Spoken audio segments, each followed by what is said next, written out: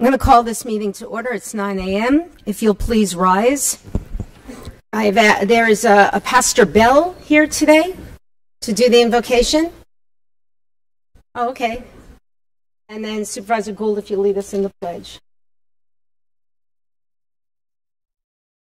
Let us pray. Blessed be the God and Father of our Lord Jesus Christ, who provides protection and provision and peace for the, his people. And we pray this morning, Lord, that you do provide the protection for those working for this county, for the board. We ask for the provision that the county can use the funds to further this county. Bless them, Lord, with the peace, knowing that you are in control of all things. We ask for wisdom this day for this county board, that they can provide for the people here. Be with us and bless us. In Jesus' name I pray. Amen. Join me in the Pledge of Allegiance. I pledge allegiance to the flag of the United States of America and to the republic for which it stands, one nation under God, indivisible, with liberty and justice for all. Motion and action to call for an executive session to be held March 18th, 2024 at 9 a.m. So moved. Second. All in favor? Aye. Opposed? Motion carried. Okay, I've had a request to move, before we get started with anything, is to move item 67 up. That was our executive session. And this is to uh, approve the recommendation of the selection committee for the appointment of the interim clerk of the board effective March 4th, 2024, with special detail pay at range 29, step 1 at $44.72 per hour or $93,1760 annually. Pleasure of the board. Did I do something wrong? I, I need a motion or something. Item 67.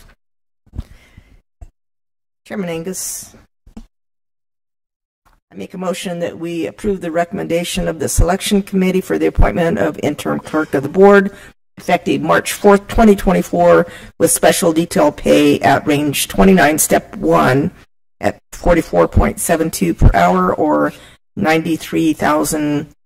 $93,017.60 annually, if it ends up being annually anyway. okay. I need a second. Second. Okay, we have a motion and a second. Any further discussion? All in favor? Aye. Aye. Opposed? Welcome Laura Skubal to the clerk of the of the board's chair. This is an interim appointment until we get all the applications in and go through them, and then uh, in, in sometime in the near future we will put in the permanent uh, clerk of the board. Welcome, Laura, and I want to thank everybody who put their names in, and uh, we look forward to interviewing everybody when the time comes. Next up, we have another uh, out of Laura. order. Okay, everyone good? and that is a presentation. This is a presentation of the Sheriff's Reach Out Facility on Adult Detention Center campus by Public Works. And I believe there's somebody on the phone for this. Is that the case? Madam, Madam Chair, good morning. No, we have somebody in the room here. Oh, that had slipped. Oh, got it. Okay.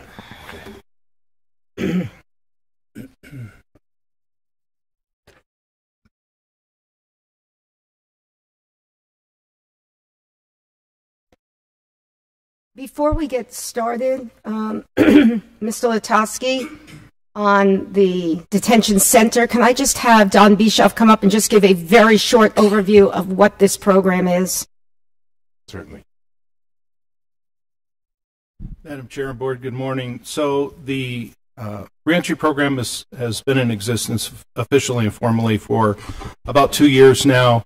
And at the simplest explanation, uh, our coordinators in the jail, uh, they work in the jail, and they uh, have the goal of trying to identify and assess every inmate that's booked into the jail uh, to obtain information about substance use, mental health, homelessness, and a host of other issues. With the idea that if that person is willing, we can try and get them either connected for the first time or reconnected uh, with services in the community upon their release.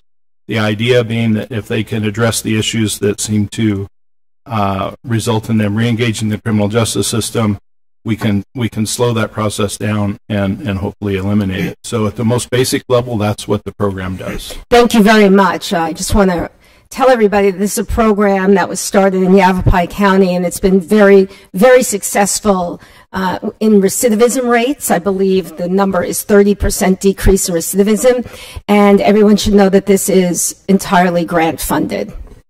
Yes. I'll turn it back over to Okay, Steve. unless thank have you. Other questions? All right, Steve, you're up. Good morning, Madam Chair, members of the board.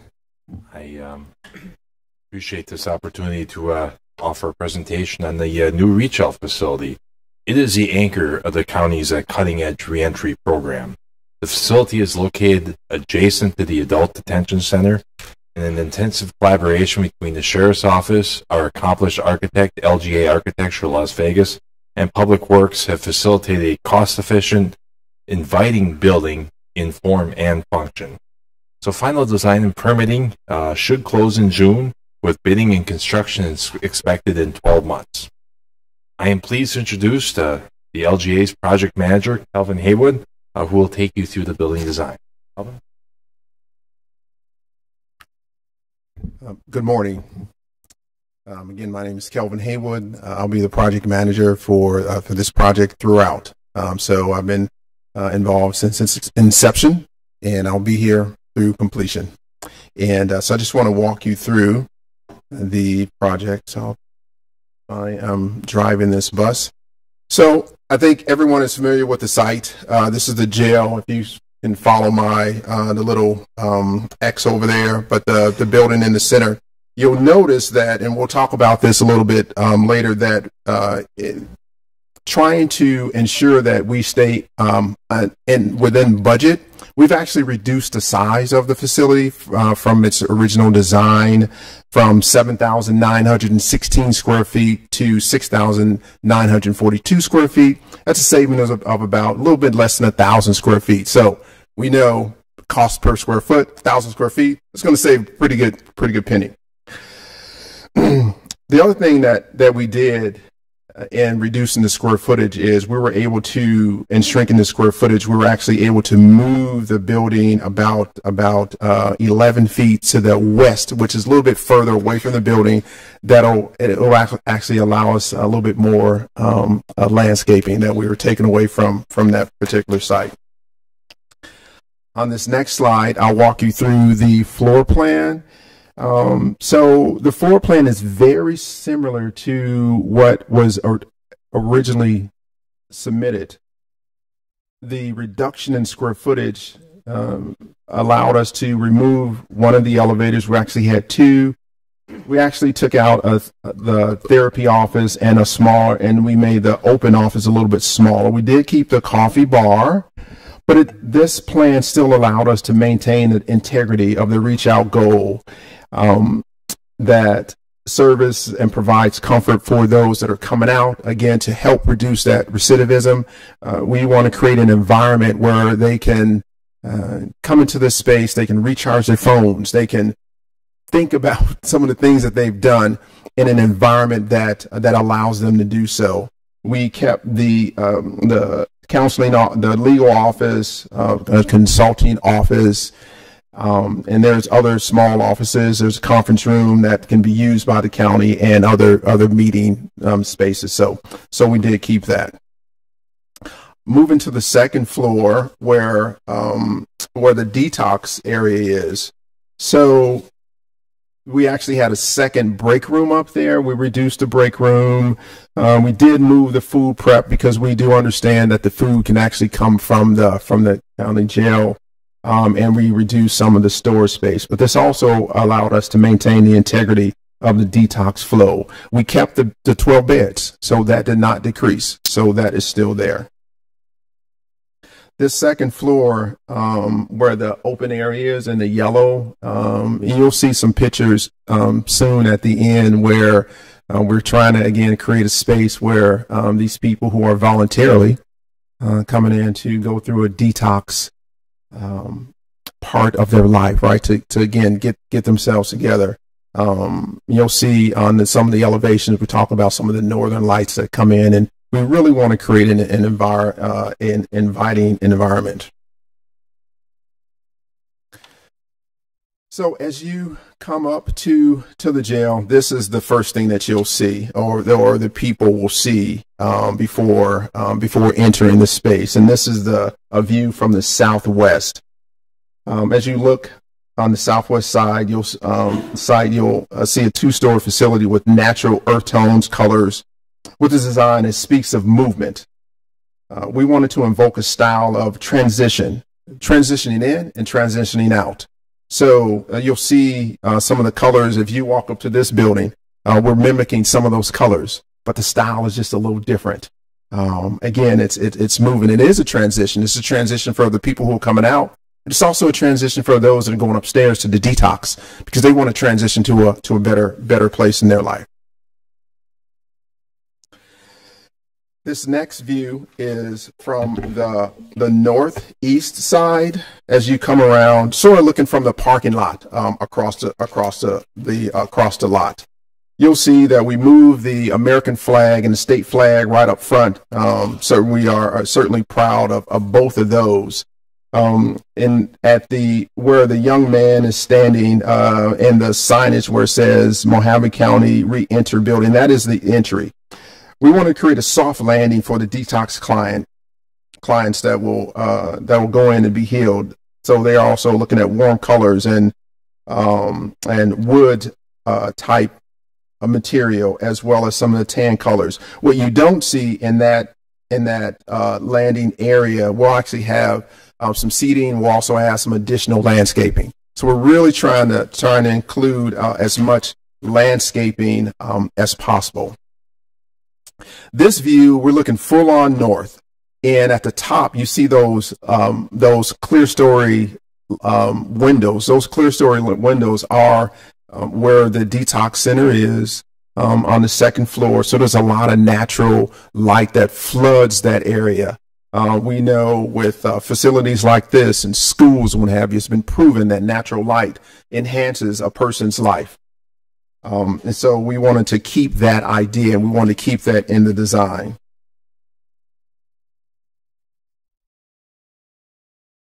This view is a view uh, directly east as a person comes out of the of the reentry. I was talking to uh, Butch this morning, and he he relayed a story of someone, uh, actually a couple people coming out, and um, they're basically just directed to go down the hill.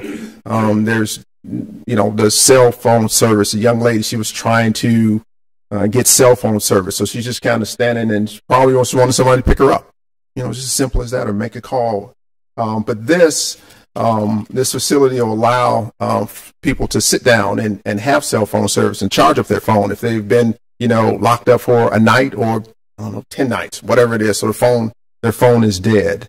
Um, so this view, once they walk out, um, you'll see to the left that wood sort of um, look. Um, it's an EIFS finish. So again, we're are, are, trying to be very conscious of cost. Well, it's not um, the real wood, but it's uh, it's it's mimicking, but it still will, will create that feel.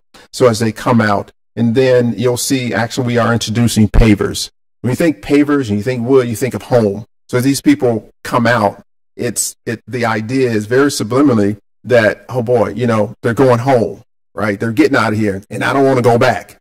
So that's the idea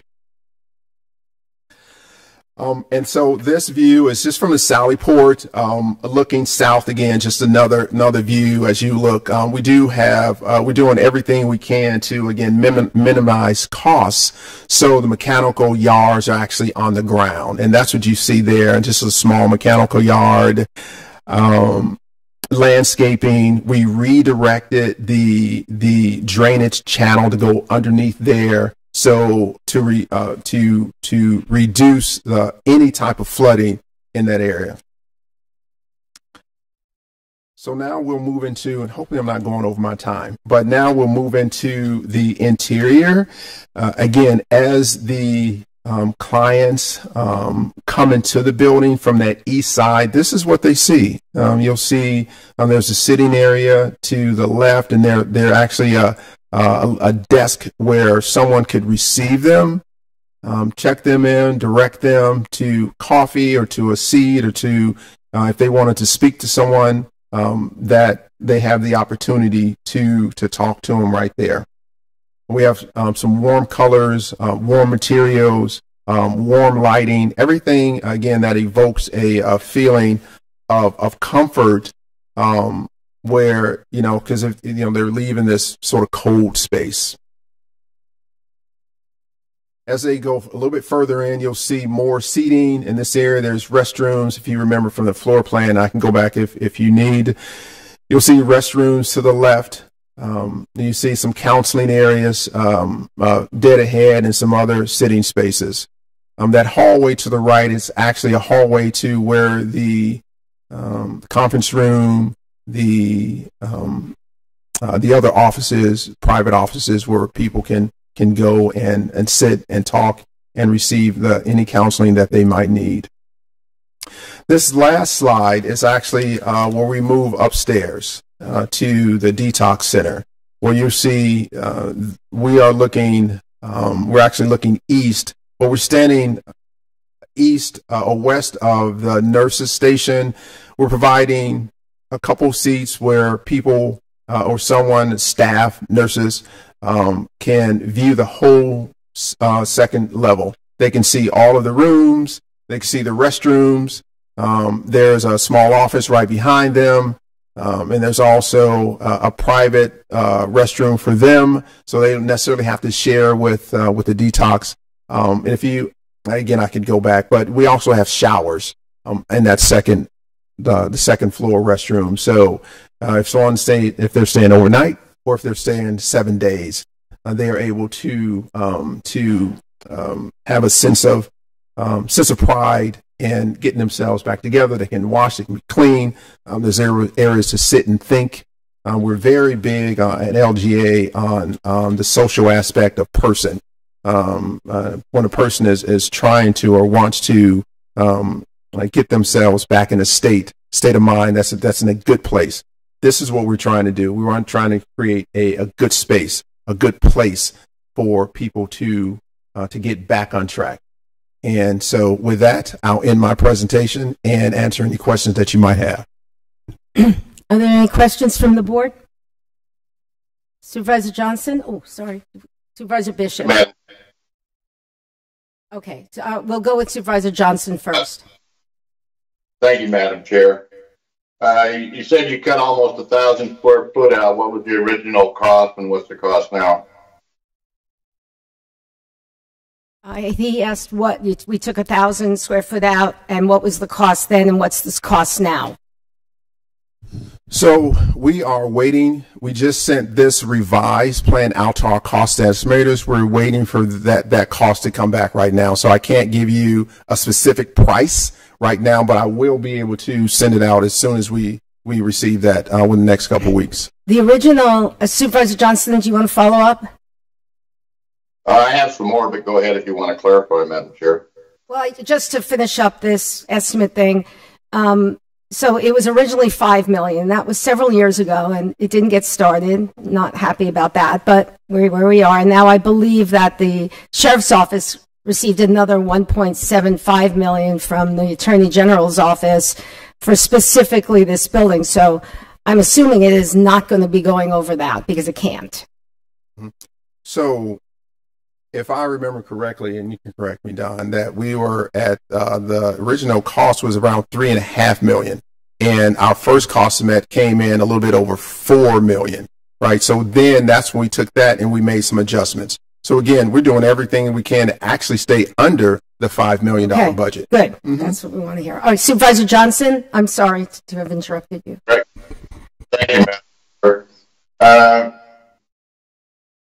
this nurses station, is that 24 hours going to be, be staffed for 24 hours? So Supervisor Johnson, it's Captain Bischoff. The, the short answer is yes. The second floor of this facility, uh, for detox purposes, will be a medical detox facility, and uh, depending on how uh, a patient is doing, uh, they're likely to be probably there for about a week, maybe a little less, maybe a little more, but it will be around the clock, so there will be nursing staff there the idea, the concept of the second level with the detox facility is to, to create a partnership in the community. So a community provider would actually be uh, running the detox facility services. It, it wouldn't be me sitting in the in the nurses station, unless the sheriff said so. Okay, when you talk about a detox center and then we talk about people leaving the jail, I assume that you're not allowing the people in the jail to stay high on drugs, so they need a detox as soon as they walk out. Is this more for people off the street to come and detox? Yes, the the reentry, the first floor is for reentry, and for those coming into custody, generally they have a very short stay. Obviously, there's some that stay longer than others, but uh, to make a meaningful connection uh, it requires more time. And for those that are out by the time they have their first court appearance, the reentry facility on the first floor gives uh, some of the community providers as well as some of the entry staff the opportunity to connect with them even further and actually start making some uh, appointments and taking care of insurance needs uh, and and perhaps even doing assessments. The uh, the second level, the detox portion, would be uh, uh, open for community use. So we wouldn't be taking those that were incarcerated and needed to detox and placing them in there. If they felt that they needed to be assessed and go through a detox, um, they certainly could. But it's that portion of the of the project is is community based. Now I noticed that there's no bars on the windows or locks on the doors, so this is strictly voluntary? This is voluntary. It will it will be secured, but it's not a secured locked inpatient facility. So those that are there on the second level are there voluntarily. So it'd be just like going to the hospital. You could leave anytime you wanted to, even though your provider might recommend otherwise. So they can go in and out at, at their own will? No, they would they would be there until uh, their provider uh, designated that they were uh, ready to be discharged, so they wouldn't be coming and going. Um, if if they opted to leave before their treatment was completed, then they would be done. They wouldn't be allowed back in, and, and unless they were willing to start completely all over. Okay, thank thank you, sir. Thank you, Madam Chair. Thank you. Um, before I get to Supervisor Bishop, I just want to clarify something that Supervisor Johnson said. Originally, I thought when we first started talking about this that the idea of the detox center was so people would not be detoxing in jail because that's not the right place to be detoxing. So that would be their first stop. On this, uh, you know, obviously they're not using in jail, so it wouldn't be the second stop. So is, is that going to be part of the model? Well, depending on the, the, the partnerships that we can get with the, the community law enforcement, depending on the circumstances, excuse me, they may be able to deflect or divert somebody away from an in custody situation if they were willing. Again, this is voluntary. So if they were willing to uh, and fit the criteria to enter into the detox in lieu of uh, being incarcerated, that of course would be an option based on bed space availability and everything else. Depending on um, their their length of stay and the uh, programs that are available through uh, the existing inmate healthcare uh, system inside the jail, they may or may not be able to uh, medically detox. Either way, they're going to detox mm-hmm. Uh, in in custody, depending on what their status is and their length of stay. Uh, they would do that inside the facility, but it looks much different than it it would in uh, this facility. Okay, Supervisor Bishop.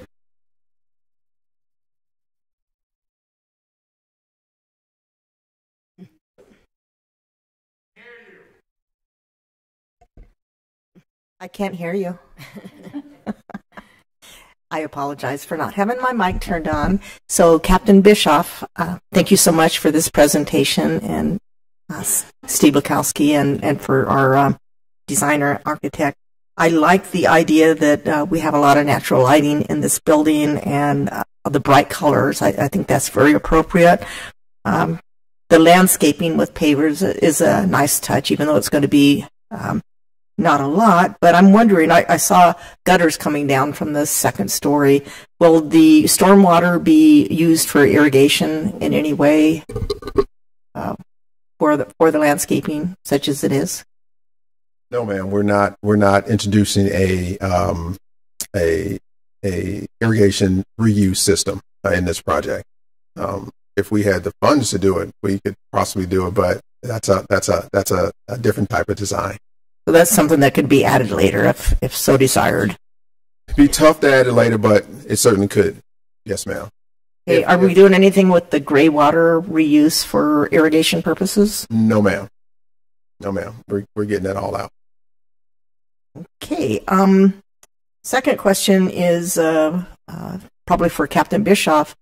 Is this facility going to have any type of a um, um say a, a, thrift store or something where inmates, you know, they come in in the wintertime and get released in the in the summertime or vice versa, and, and um, they don't have the proper clothing to be released out on the street. Are you looking into doing something like this? So good. So that's an excellent question, and that is part of the model. Not necessarily to to have goods and services available for sale, but it's it's very common for people to come into custody during one season in Arizona and be released in a different season so their clothing is inappropriate. Sometimes, depending on the activities that they're participating at the time, they're not dressed appropriately uh, to be out in public for very long. So, uh, uh, our model, as well as many of the reentry models, is to have uh, a pantry and, and closet of donated goods that, that can be issued out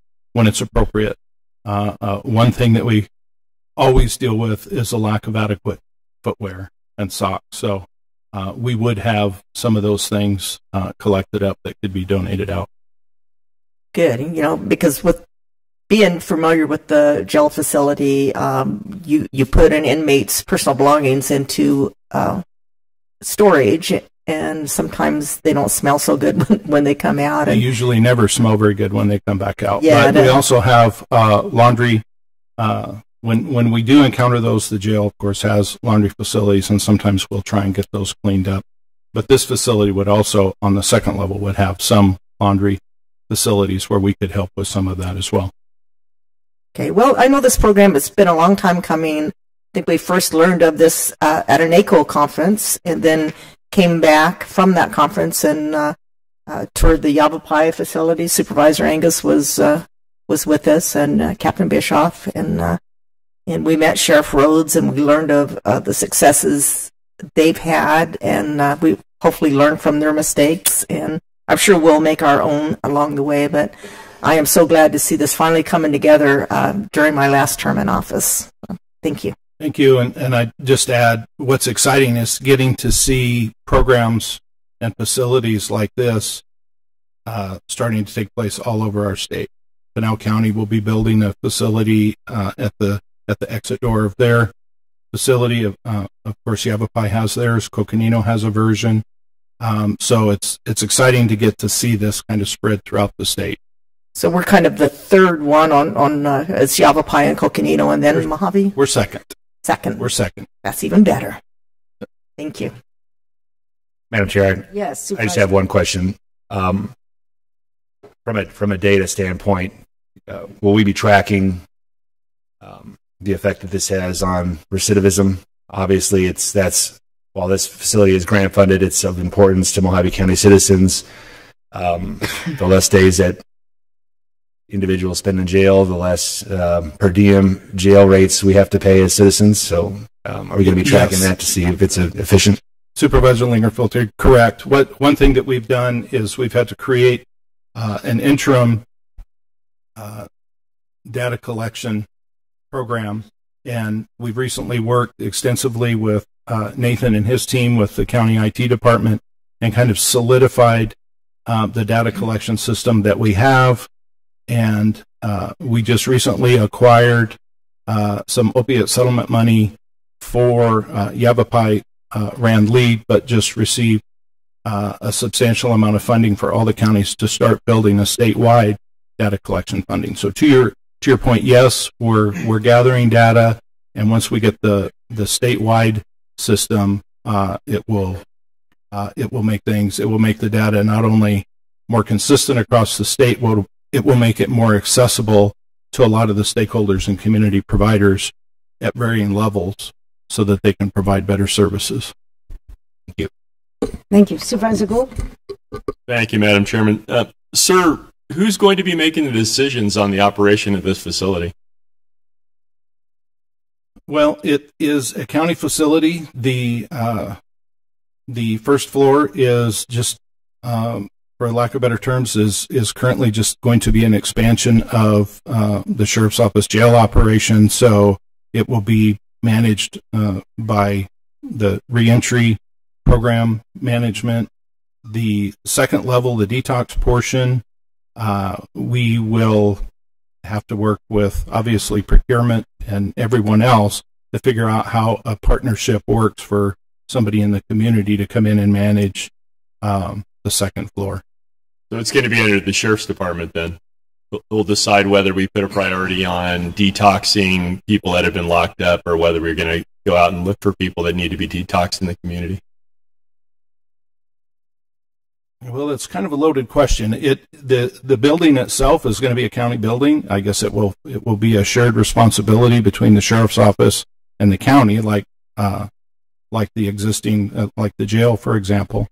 Uh, but as far as the operation, there will be a scope of work on how the detox uh, level of this building will operate, and just like anything else, there'll be contracts and agreements that dictate how it's run and everything else. I don't know that the sheriff's office is going to go about looking for people to put into detox, but that is an that was option. kind of what you said when you're opening it up to the community versus people that are coming out of jail that might think, geez, I screwed up. Now I'm in jail. Maybe I want to detox instead of going back to the flop house I live in. Yeah, as far as avoiding an in custody situation, that's always an option. There's other options available to law enforcement, not just the sheriff's office, to deflect somebody out of an in custody situation if they're willing to participate in something else.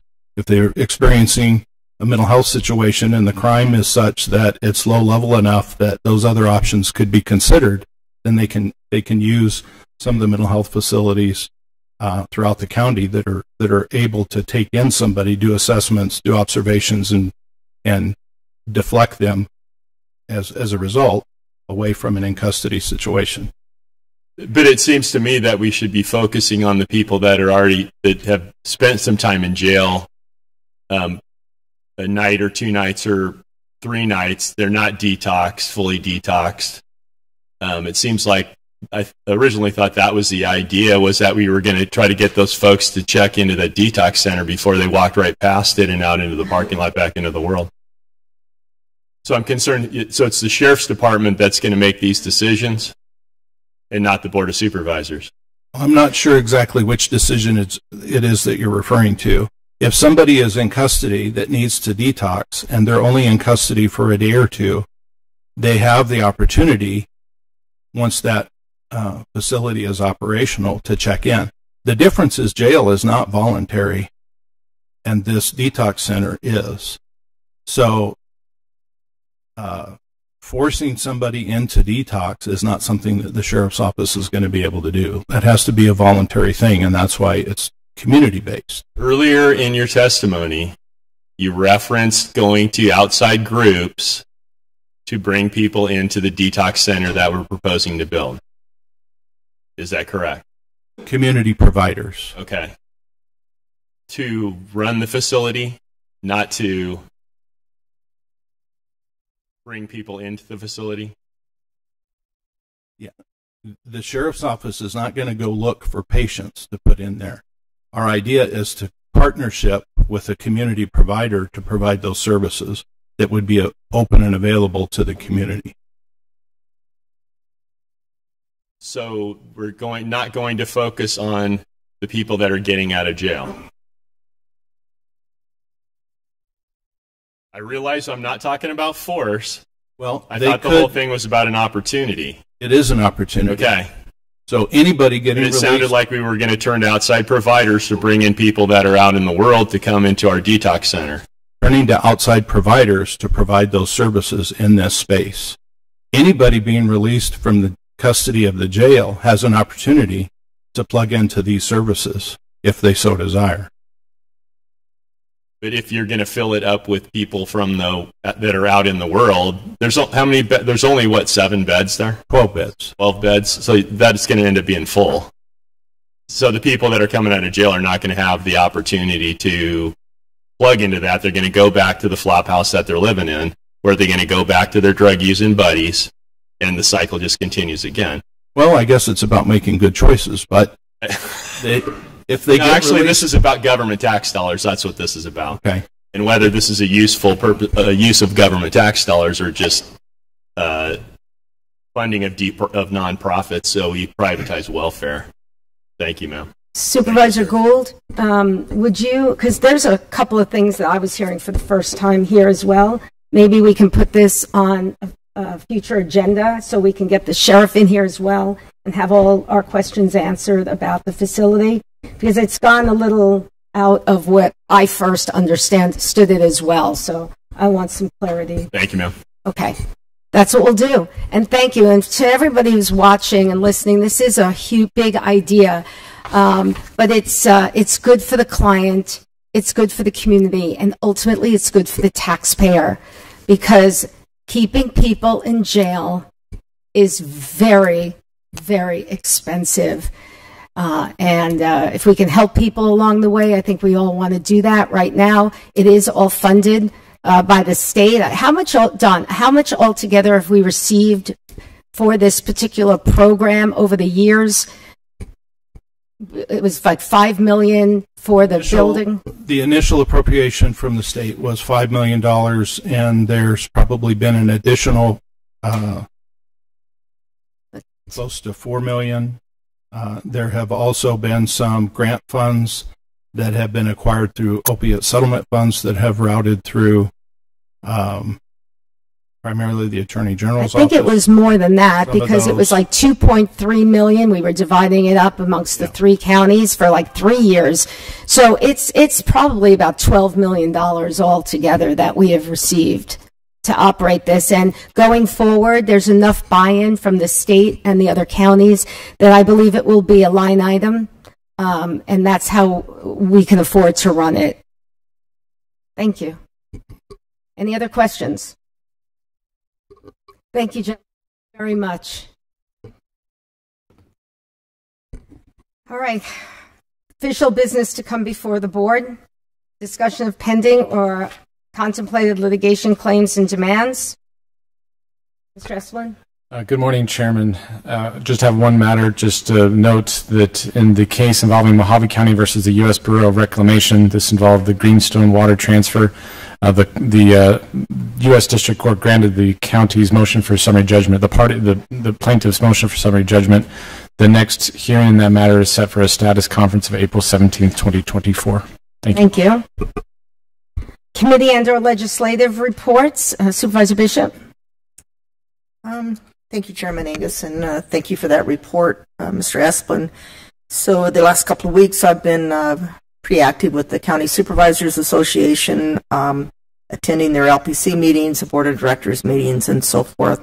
I've also been active with the Arizona Criminal Justice uh, Commission as a commissioner, and um, have chaired the Board of Health meeting. Supervisor Lingenfelter? Thank you, Madam Chair. Uh, We continue to monitor a few water bills at the state um, capitol. I won't get into too much of that. I think we have a lobbyist report this morning, or I assume we do. Um, Other than that, I don't have anything else. Thank you. Supervisor Gould? Nothing today, Madam Chairman. Supervisor Johnson? Nothing, Madam Chair.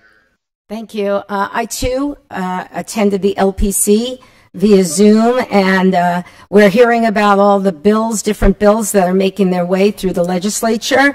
It's been interesting this year. There are voter integrity bills. There's a, a, a kind of a, a flurry of zoning um, things like that that we're watching carefully. Some of it sounds good. We're, we're always look for the unintended consequences of these kinds of bills. And there's water bills going going forward. And Supervisor Lingenfelter and I uh, attended a meeting with the sponsor of the big water bill, and that was, and we're we're really monitoring that, making sure that what they do in Phoenix doesn't hurt us up here. All right. We'll go right now. I, I know we have a lobbyist report, but let's get the county manager's report out of the way, and then we'll go back to that. Madam Chair, board members, I have no report this morning, and I would like to get to the Okay. uh, water Do we report. have Nick Ponder on the line? Yes. Okay. We do, Madam Chair. Uh, Thank you again for the opportunity. As Attorney Esplin indicated, we were very pleased with the decision of the court uh, in in request uh, to the judgment on the Greenstone transfer. I can also say that the Attorney General was very pleased with that result as she had filed an amicus brief um, and reached out to both myself and Supervisor Lingenfelter with her enthusiasm about the outcome. Uh, we continue to follow. So there were six bills that we have weighed in on. Three of those seem to be effectively dead or not moving. Um, the other three bills that are outstanding have to do with measuring devices and the ability or inability of the state to require measuring devices in areas that were subsequent INAs. Um, while the bill doesn't directly impact Mohave County, one of the challenges with the bill is that it actually limits what the state can require on the state's own land. Because uh, there's a language in the bill that says notwithstanding any other law.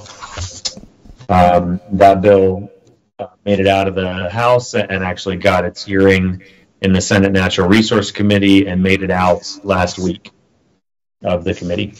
Um, there's an HCR, which is it's just a resolution. It doesn't go on the ballot, but it says that rural Arizona has all the tools that it needs to address its water challenges.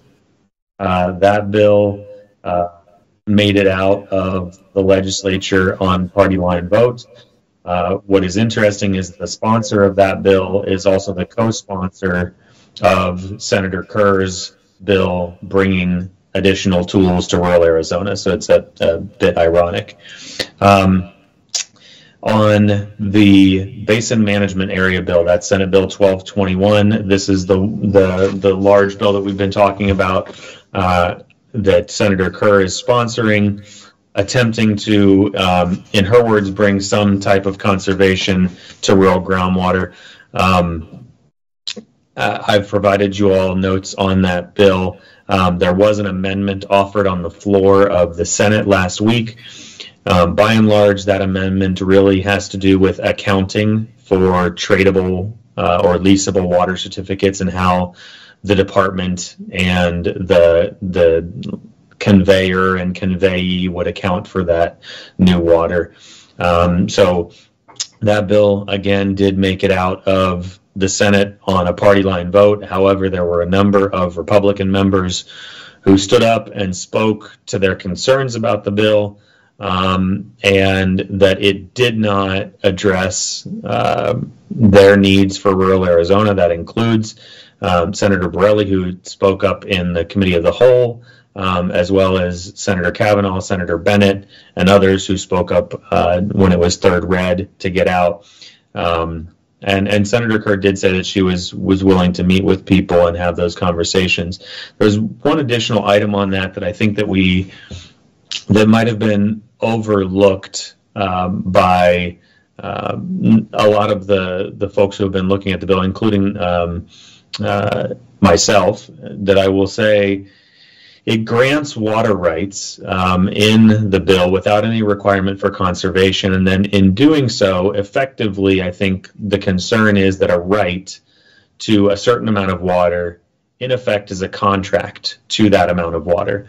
And Article 2, Section 25 of the Arizona Constitution precludes the abrogation of a contract. So I think the concern that we've been going forward with all along that there, there's not enough conservation in here um, is actually even uplifted even more by this uh, Article 220, Section 25 of the Constitution, which means that once rights are conveyed, there can no be there can be no further amendments to legislation that would then abrogate those rights or diminish those rights. Um, so that's why we need to really get the policy correct this first time around. Um, we continue to have conversations. Um, you know, I'm I will continue to meet with the Mohave County delegation. Uh, I will continue to meet with Senator Kerr at at uh, her availability to try and get us to um, a workable solution on this. And with that, I'm happy to take any questions. Anyone have any questions for Mr. Ponder? Supervisor Booth? Thank you, Mr. Chairman, Madam Chairman, excuse me. Um, Mr. Ponder, that HCR is a striker. Mr. Ch- It's going to be used as a striker. I'm sorry. Uh, generally, if you run a bill that does nothing, and you run it over into the other body, it's it's striker ammunition. So it's sitting over there waiting for him to strike something on to run it back the other way. It's an HCR, so it's, it'd have to go to the voters. But put your striker radar on. Thank you, sir. Will do. Thank you, sir. Okay. Anyone else? Supervisor Lingenfelter? Thank you, Madam Chair. Uh, the only thing that I would add to what Mr. Ponder has offered this morning on uh, Senate Bill 1221, um, Supervisor Bishop and I represent the Kingman area, and that's really what our concern is with this bill um, within Mohave County. Uh, you talked to the city of Kingman. Their main concern and focus is to provide the most affordable water rates to over 65,000 people and businesses for as long as they possibly can. Um, this bill would quantify groundwater rights to Saudi farms, Central California farms that have been here within the last nine, ten years, with the majority of water users uh, users now in the Hualapai Basin. And if the city wanted to grow, that they would have to go hat in hand to these corporate farms and purchase water credits from them at the taxpayers' expense, and we are against that. So there's a there's many other things that we're opposed to in this bill, but we're going to continue to monitor it. Thank you. Okay. Anyone else? Supervisor Johnson? No. Okay. Well, thank you, Mr. Ponder. Thank you. Okay, I am uh, at this time before the call to the public. I am going to bring up uh, another uh, issue, and it is a public hearing. There are people here that I know need to leave. Chairman Angius, So, yes, do we have a county manager's report? we did it already. He said no. Okay. Thank you, though. Um, yeah, so it's number 53. It's a rezone public hearing. So I'm going to open the public hearing for item number 53. And that is uh, discussion possible action to approve or deny the adoption of BOS Resolution Number 2024-066, which is a rezone um, to allow for a campground in the Kingman vicinity. It was uh, talked about at P and the commission recommended denial by five to one, with the chairwoman abstaining. So um, the applicant has asked to speak first. Mr. Chase Spillman.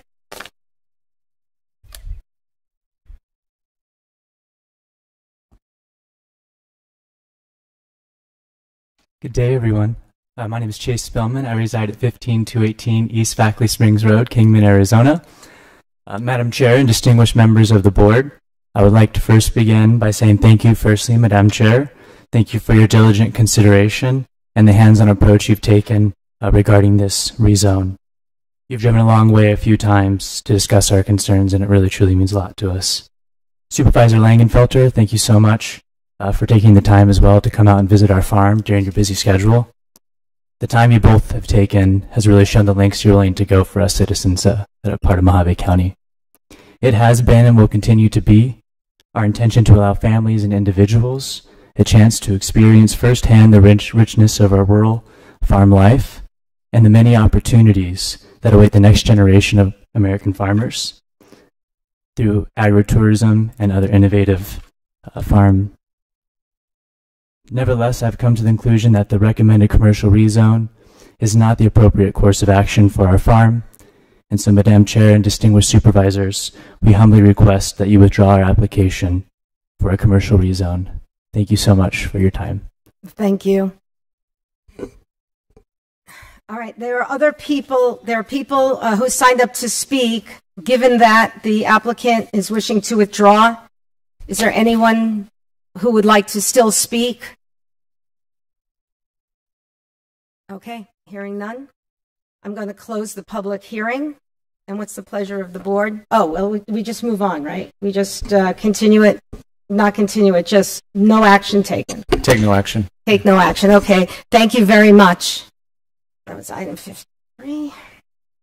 Now we're going to go to the call to the public.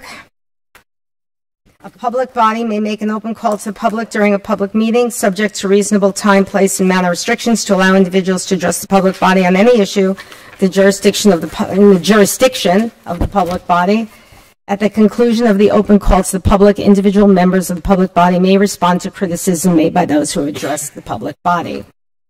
Okay, we do have um, quite a few people, so I'm going to do what I've been doing, which is I'm going to call someone and then somebody on deck. Please come down. You can sit at that uh, seat there at the corner. Be ready to go so we can get these get through this in a timely way. First up, John Keck. Second up, Roger McClellan.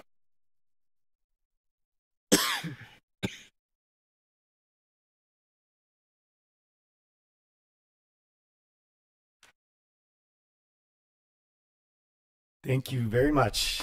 Hello, board. Hello, everyone in Mohave County. Today is a beautiful day. This is a beautiful county. And I just want to remind us all that God created us for a special purpose. There were no mistakes in His plan, and we are all created for this time in history. Yes, there's a lot of fear in the world right now. Between all the millions of illegal immigrants coming into our country and all the shots everyone's taken, and all the plastic in our water bottles that we drink that the EPA has already presented to us, we have to overcome this fear with faith and proclaiming God's word. Skip a meal today with us and read Psalms 35 and proclaim it. And when your stomach growls, let that remind you to open up God's word. If you would, write this down Psalms 35, verse 18, verse 15 through 18. In my adversity, they rejoiced and gathered together. Attackers gathered against me, and I did not know it. They tore at me and did not cease. With ungodly mockers at feasts, they gnashed at me with their teeth. Lord, how long will you look on? Rescue me from their destructions, my precious life from the lions. I will give you thanks in the great assembly. I will praise you among many people. Yes. These fears we have are a byproduct of unfair elections. This week, there was a Board of Health meeting, and the health department presented on vaccines, and he presented the VAERS program, which is the various adverse reactions to vaccines. And at the beginning, he discredits it right away as a valid source of information because it is all done anonymously and electronically. He tries to use these facts from VAERS to show that there are only 100 people in Arizona who have died or had a reaction to the shots. We all know someone who has died or had a reaction. I mean, let's take a second. If you would, raise your hand if you know someone No, close to you. Mr. Sir, sir, you need to address us, sir, not the audience. We all know somebody. I can name three people very close to me off the top of my head. Two of my grandmas, and one of my people close to me I consider a sister. And one of those grandmas is like the board up here. She was a member of the CARB, Air Resource Board, in that place next door to us. She now has the new turbo cancer after being proud to be a part of these test shots. The point is, this is all a byproduct of unfair elections. Just like with the vaccine reporting done electronically, that's like our election electronic voting machines. They manipulate it behind the scenes. And just like the anonymousness of submitting those VAR forms and how they can't be trusted, it's the same with mail-in voting. Just because you sign the outside of an envelope, it's all done anonymously. okay, thank you, thank you Mr. Keck. So Roger McClellan and then Don Matson.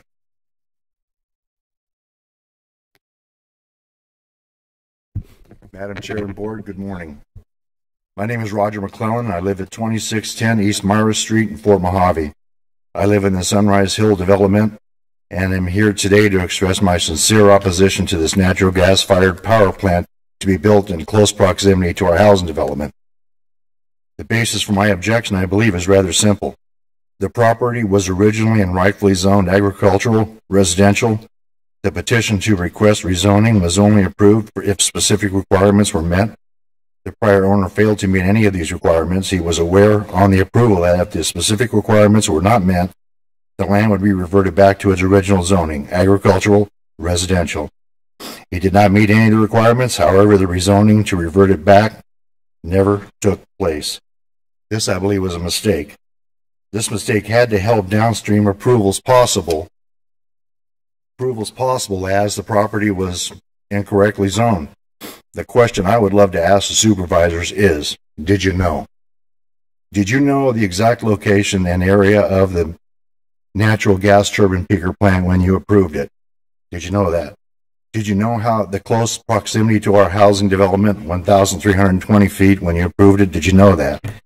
Did you know the current parcel zoning was supposed to be reverted back to its original agricultural residential zoning due to the fact the petitioning landowner failed to complete any of the stipulations required? Did you guys know that? Because if you knew these facts, I have trouble understanding how this process has progressed this far. This is a potentially much needed project which has been designated in the wrong area. While it may be economically advantageous for MEC to locate a peaker plant there, it is simply too close to the residential housing period and needs to be it needs to find a more suitable site. While I understand that MEC is getting annoyed with our group, we are heavily invested here and we are not backing down and we will continue to advocate and promote a suitable solution. What I would ask each of the supervisors who may not have had all the facts available at the time of your vote, I would ask you to do some soul searching. And if for any reason you are not clear on all of the facts in this future development, I would ask you to do the right thing and rescind your vote. Please do the right thing. Thank you for your time. Thank you very much. Don Matson and then Mac McKeever.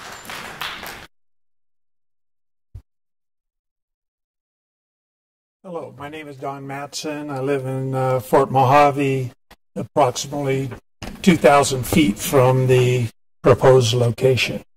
What I want to point out today is some information we've learned from the town hall, and I've kind of been looking at the history of the Board of Supervisors meetings, and I noticed some interesting things here and there. And I'd like to point out something with my uh, chart here. This uh, chart shows where MEC is. They are part of the cooperative with AEPCO. AEPCO provides uh, electricity to all of these colored areas on this map. Uh,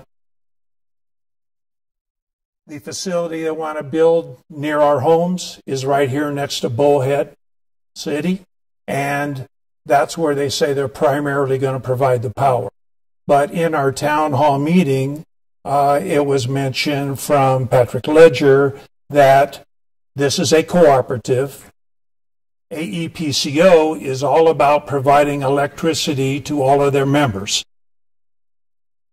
MEC is proud to be part of that group, and these are all of the areas where they are provi- providing power in this community.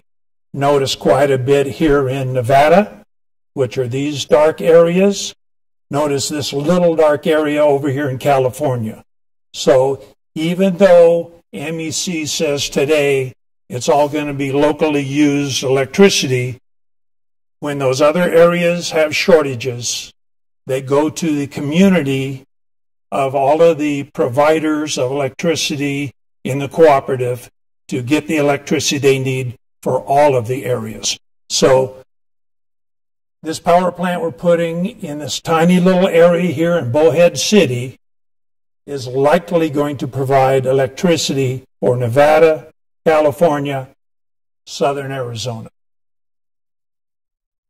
I did have one last comment to make, and that is I was reading through the meeting, uh, the Board of Supervisor meeting minutes of 12 4 23. Supervisor Lingenfelter says, I am absolutely against companies coming here and using our resources and then shipping all the power west. The response from Ron Martell or John Martell was, so are we. This says that the power, although the west portion is Nevada, if you want to be critical, the west is Nevada and California, but this is power used outside our area. Thank, you very much. Mac McKeever and then Jerry Grinstead.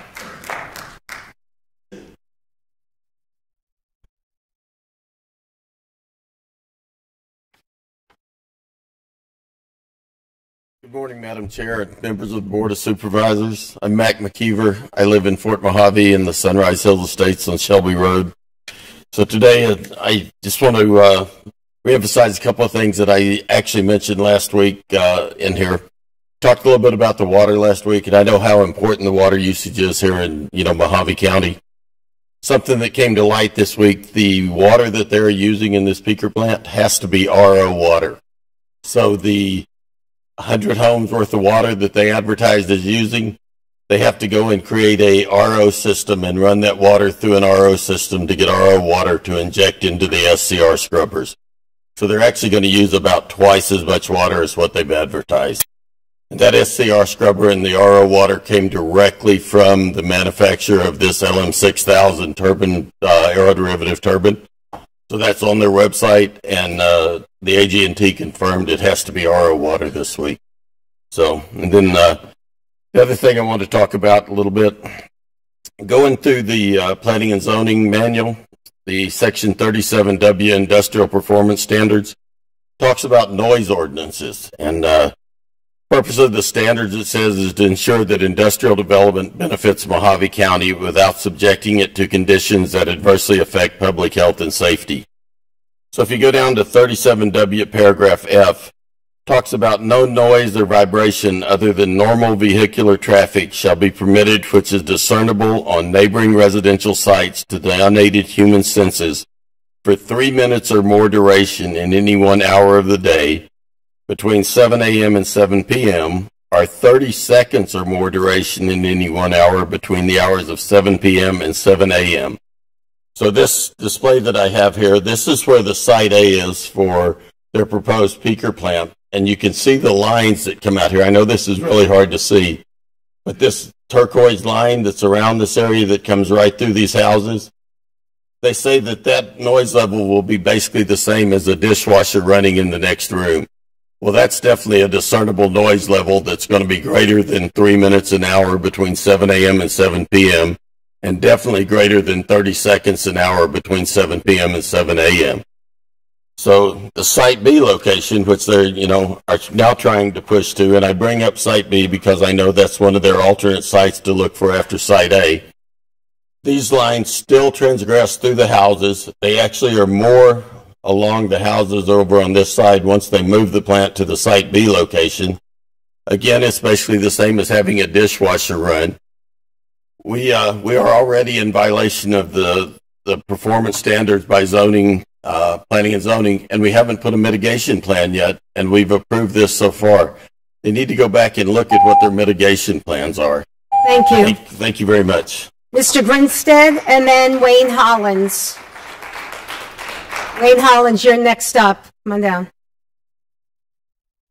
Good morning. My name is Jerry Grinstead. I live at 2613 East Nez Perce in Fort Mohave. I'd like to read to you this morning the mission statement of Mohave County. The mission of Mohave County is to serve the citizens through the efficient management of resources and the promotion of co- cooperation among communities in a visionary manner that enhances the lives of those served. Mr. Gould, we'd like to thank you for the work and your continuing efforts of serving our district, District 5. We appreciate you.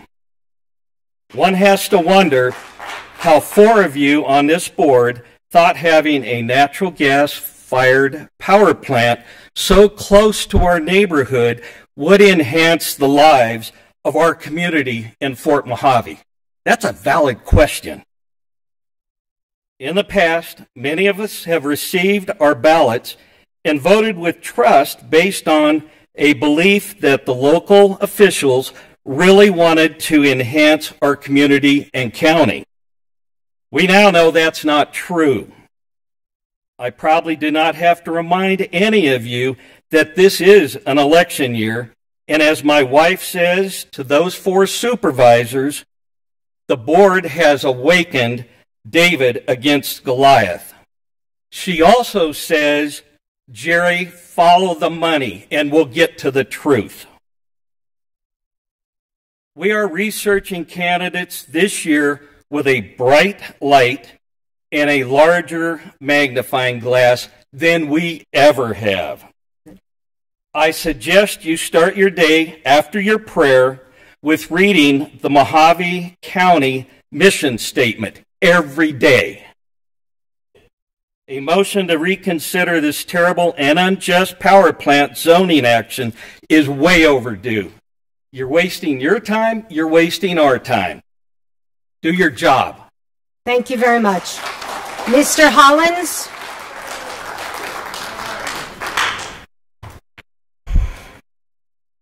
Wayne Hollins, Golden Valley.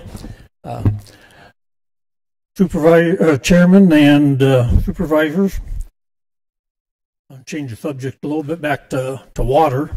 Uh, I appreciate uh, Supervisor Bishop's uh, questions this morning on the water harvesting uh, thing on that new project. Uh, sometimes I feel like you just listen to me and think I make up what I'm talking about here, but I actually have read books that are written by the experts, and the one in particular is your Mohave County Low Impact Development Guide. And I told you this before, and I read it before. The county, if we get just five inches of rain in the county, 3.59 million acre feet of water. In the INA area, 1,820 square miles, five inches will get you almost 500,000 acre feet. We're short 34,000 acre feet. so, 2% of that 3.59 million is all it takes to for the domestic use of the all the municipal water use in the county. For the LID, low impact development, multi benefit decentralized drainage infrastructure is necessary to address community flooding, water supply, and quality of life improvements. Why is decentralized water infrastructure important? mitigate nuisance flooding, drainage issues associated with high frequency storm events, and reduce overall stormwater runoff volumes. Provide stormwater management alternatives at a scale for residents to implement and construct with limited resources, like your shovel and hoe. Promote water conservation through groundwater recharge improve stormwater quality, reduce erosion and sedimentation, improve soil health, and increase soil moisture. Again, conservation is, is just as important as regulating the water that's coming out of the ground. If we're not doing enough to put it back into the ground, what did we accomplish? And spending $3 million to put 185 acre feet into the ground. Now that's not needed. That's a lot of money for three million bucks. The people in the Mohave County that live here and they're responsible for this also. They need to get out there and do their water harvesting. Thank you. Thank you very much. Um, Jeff Esposito, you have um, something, some stuff from our consent agenda listed. Do you want to speak about it now, or do you want to wait until we pull it from the consent? Okay. And then uh, Pastor Roy Hagemeyer.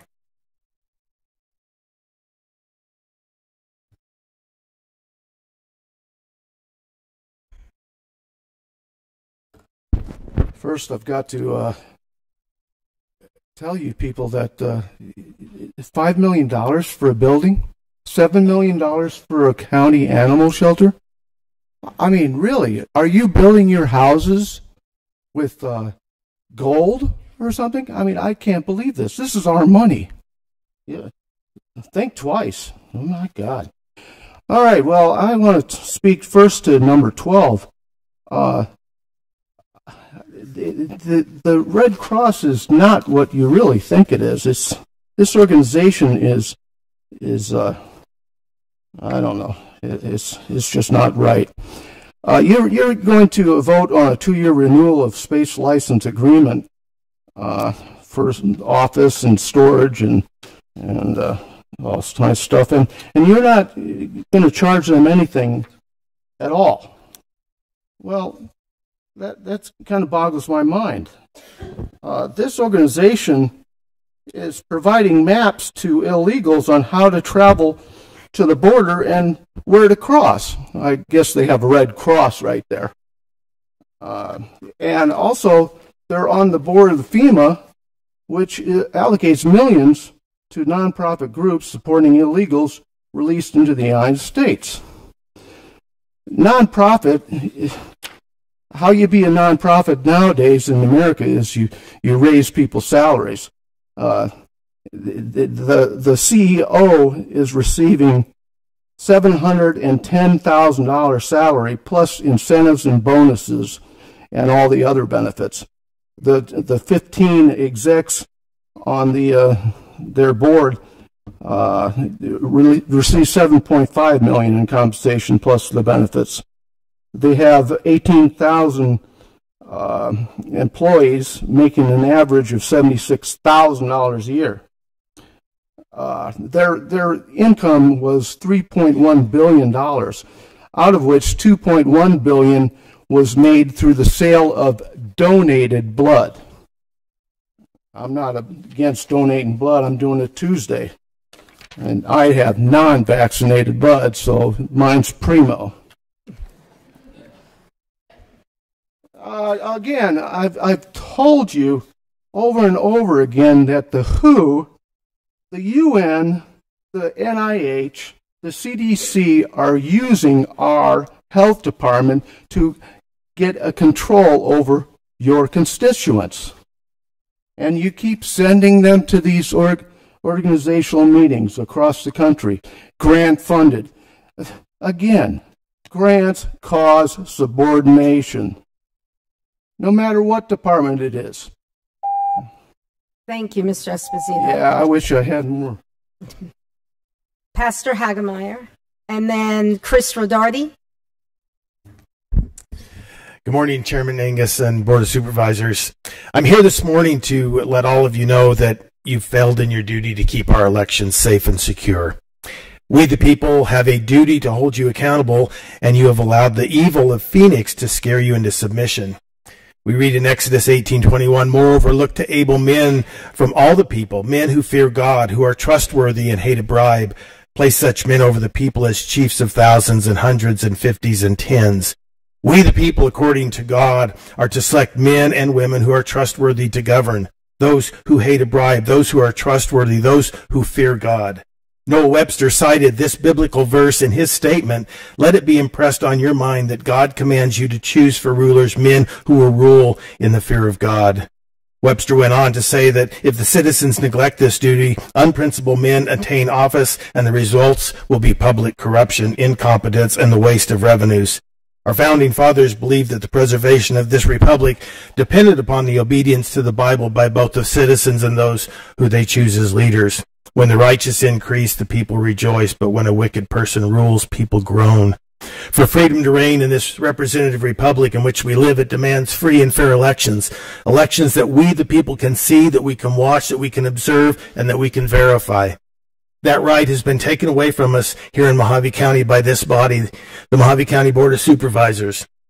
Every portion of our electoral system has been changed to be electronic, making it more than ripe for fraud and manipulation. And I believe that every one of you know that and understand that fact. It is our responsibility to hold you accountable for your actions, both good and bad, and we are demanding our elections be returned to our county for our oversight. God entrusted this nation, the United States of America, to the people, it is the people's nation to keep it or to lose it, and we the people intend to keep it. With or without you. For this reason, citizens must be well informed and vote for candidates that will govern by biblical principles. The citizens should know that the Bible says that civil government relying on the Holy Spirit to guide them. Psalm 25:12 says, "Who is the person who fears the Lord? He will instruct him in the way that he should choose." Elections of principled leaders promote the ability of citizens to lead quiet and tranquil lives in godliness and dignity. Samuel Adams said those who have a share in making it as well as judging and exercising the laws should be men of singular wisdom and integrity. The, the Lord loves fairness and freedom.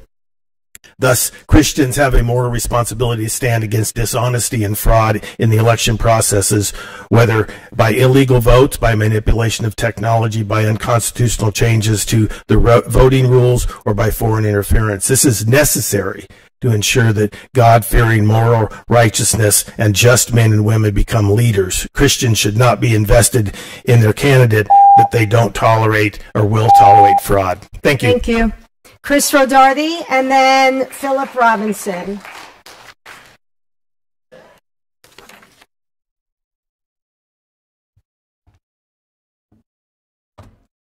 Chris Rodarty, Mohave County taxpayer. In 1778, John Adams said, Our Constitution was made only for a moral and religious people. It is wholly inadequate to the government of any other. Thomas Jefferson wrote, God grant that men of principle shall be our principal men. George Washington warned us to guard against the impostures of pretended patriotism. Another wise directive from Jefferson, we must not let our rulers load us with perpetual debt. And Noah Webster said it all when he said, if the citizens neglect their duty and place unprincipled men in office, the government will soon be corrupted. Laws will be made not for the public good so much as for selfish or local purposes. Corrupt or incompetent men will be appointed to execute the laws. The public revenues will be squandered on unworthy men, and the rights of the citizens will be violated or disregarded. Could any of our founders envision the State of the Union in 2024? The precious republic for which they sacrificed their blood and treasure. Mohave County, we are no shining beacon of freedom. We too have neglected our duty as citizens to vet and scrutinize political candidates. The corruption and fraud rampant in D.C. has oozed its way into rural red America where it now flourishes. We have another election coming up, and nationally it will no doubt be another clown show, but locally as well, in my opinion. Lately, I have been reading accounts that call into question the integrity of local public servants running for election. Fact or fiction, time will tell. But the erosion of faith and trust has left me, and no doubt others, distraught and demoralized. What's that saying? Absolute power corrupts. Power corrupts absolutely. As human beings, we are fallen, sinful, and corrupt. Our only salvation is in our Lord Jesus Christ. As the Bible says in 2 Chronicles chapter 7 verse 14, if my people who are called by my name shall humble themselves and pray and seek my face and turn from their wicked ways, then will I hear from heaven and will forgive their sin and will heal their land. May God have mercy on our souls. Okay, Philip Robinson and then Brett Forrester. Madam Chair, thank you, uh, Philip Robinson. I've got some great news for Mohave County. we started a group four months ago out in Golden Valley called Conservatives for Golden Valley. Me and John have started that group. We are very proud to announce Sheriff Lamb will be coming March 30th. I am inviting you. It's out at Great West or Great American Pizza out in the valley. Robert and Kat have are helping me put this on. Um, what we did at, at the Conservatives is I've got a trailer that's coming out. I've got sound coming out. We're doing the advertisement for it. We're in the, we're going to be in the standard. We're also going to be on a radio station. And I'm also trying to get a hold of Cameron. You probably know who um, Mike Fletcher is. I'm going to be getting a hold of him and see if the Cameron will be will do some pre-advertisement for us. Uh, we're just a small group right now, and then April third, sixth, sorry, April sixth, we're having our first debate out in Golden Valley. Thank you, Hildy, for wanting to join that. It's for LD 30 Congress? State Senate. State Senate. Thank you. Um, that's going to be our very, very first debate besides being on the fire department. When we used to be back in the day doing the debates, uh, Butch Merriweather has decided to be our moderator, which is very, he's a very biased individual. I look, he put on awesome debates for the fire department back in the day when we were having trouble. A lot of you were around during all that trouble. Um, and then I think that's all good news. But now to the reason why I'm up here. Uh, me and Attorney Esplin, back in the day before I went on vacation, uh, I wasn't real sure about how all this worked and the call to the public, and I finally figured it out. but anyway, the reason why I'm bringing that up is back in the day, we were told that uh, out of district, I'm talking about GVID, out of district people were going to get charged more. Is that still on the books? Because I, I do a lot of my own rain harvesting, so I don't know. It, it, there's no place on my billing where it says I'm out of district. Uh, but anyway, what that's all about is. Thank, thank you, thank you, and I assume well, I. I'll talk about more. Next Right. time. I recommend that you go to your supervisor and have these questions answered. Oh, okay. Okay, thank you. Brett Forrester and then Greg Beffert. Uh, Good morning, Madam Chair, Board Supervisors. Uh, First, I'd like to do, because I have more information here than obviously will take up the three minutes, I'd like to go ahead and put out uh, three video contacts uh, that you can go on to dot .org. One is A, the letter A, 1000cuts.org. The second is an HTTPS double backslash uh, handcountroadshow.org backslash events backslash Mohave dash county dash az backslash. The third is state dash of dash denial.org. These are videos that explain the tools and the things that have happened to our election system. It has been completely destroyed. We have no chance whatsoever of having any integrity or security in what is our most precious thing, a vote. Just like you sitting up there on these chairs, you're voted into position. You're not put in there by any other means. So, as Americans united in versus unfair elections, elections are the only civil way to settle political issues.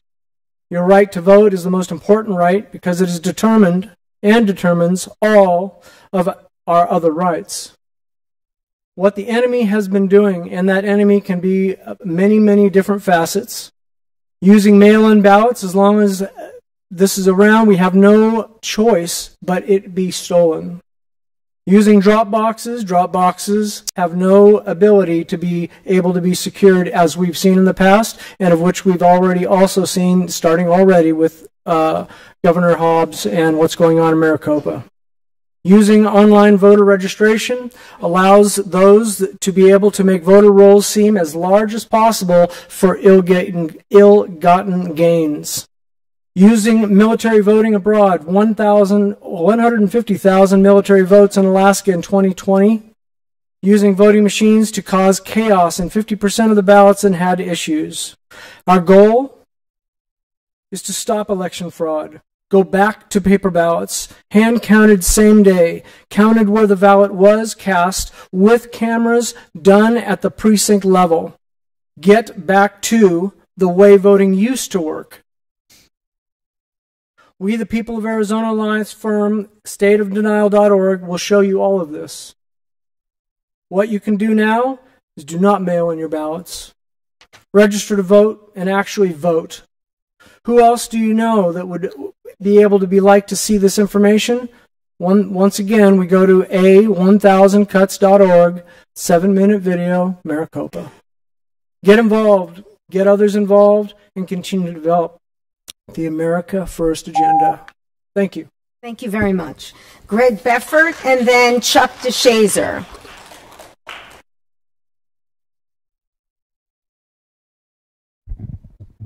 Supervisors, for the record, Greg Bedford, Mohave County taxpayer. Last time I was up here, I, I gave a, some of the tenets of, of Satanism, the satanic mindset. And really what it is, is, is in a nutshell, is egotism. It's the worship of the self. It's not, the, you know, the, the, the red horned uh, beast that, the, you know, Christian, Christianity makes it out to be, nor is it the jinn from Eastern traditions. It's the worship of the self, an e- egoic mind. And that's what prevents a lot of you from pivoting off of the positions that you've taken on some of these issues. When you make a mistake, whether it was COVID 19, and, and, back in 2020, I tried to get you to, to look at another perspective and to pivot on the positions that you were taking because you were causing harm. You never looked at the harm that you were causing. Never looked at the, the, the cost benefit analysis of the harm to the kids, to the community, to the businesses, to the economy, to the psyches of people. And I told you last time, those at the very top of that power pyramid have a knowledge differential. And they use that. They used it during COVID 19. These are master psychologists. These are ancient priests, if you want to call them that. This is a priest class who understands how the human psyche works, and they did a number on you during COVID. Kept you in a state of fear and confusion you know, lied to you, misdirection, changed definitions of terms, whether it was pandemic or the definition of a vaccine or whether it's a definition of being fully vaccinated. They kept you in that R complex. You know, these are master psychologists. And, and many of you fell for it as well. You're not immune from it. And neither are the people that sit in this audience out here or watch on TV I was speaking to, the, to as much them as I were as I am to you people up here. You know, the, the, unfortunate aspect is that most people in society possess a satanic mindset or adhere to one of those tenets and don't realize it, don't admit it to themselves. But subconsciously they do.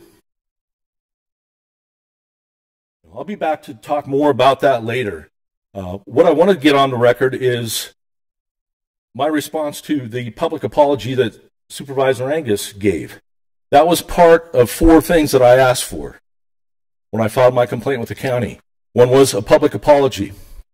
One was the retraction of the resolution that you didn't pivot on when you should have, the support for Israel.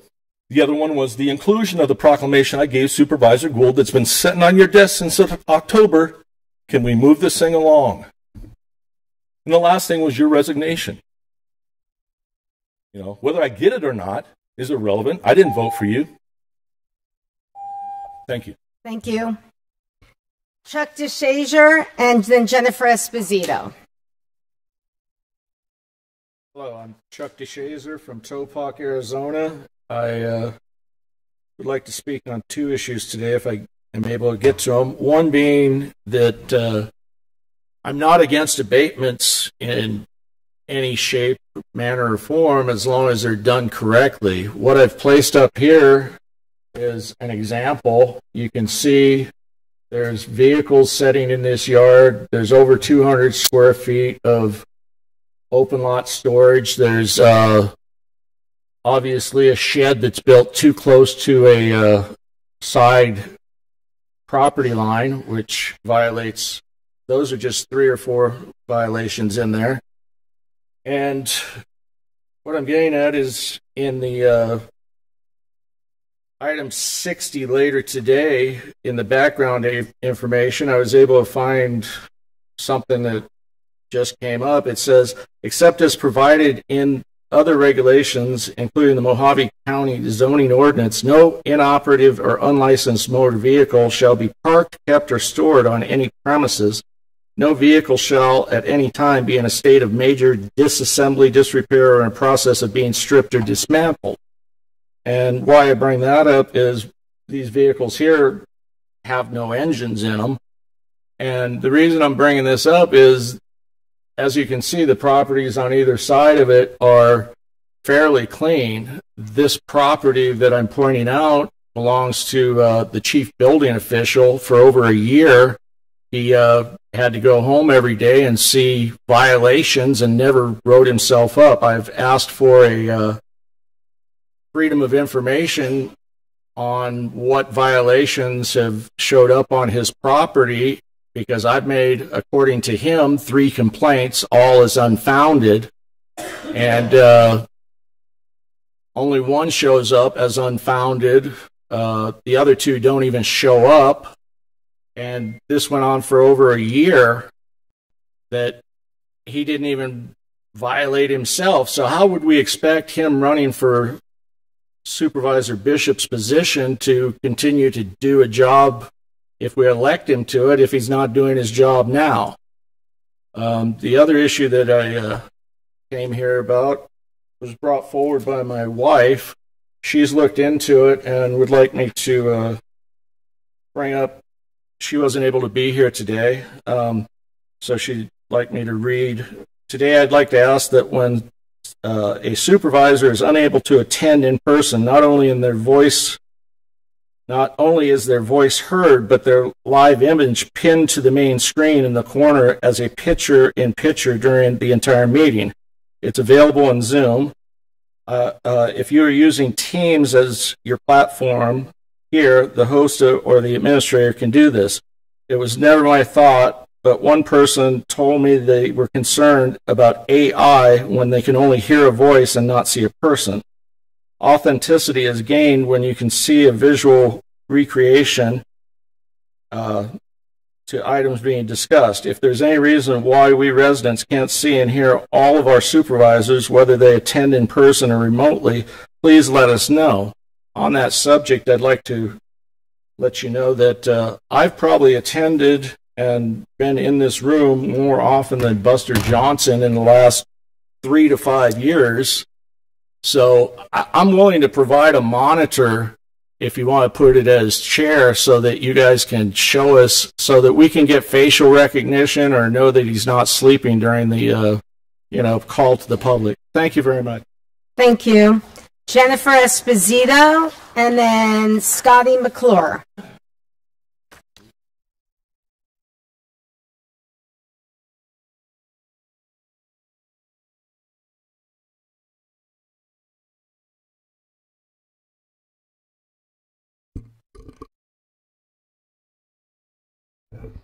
Thank you. Jennifer Esposito, candidate for District 4 County Supervisor.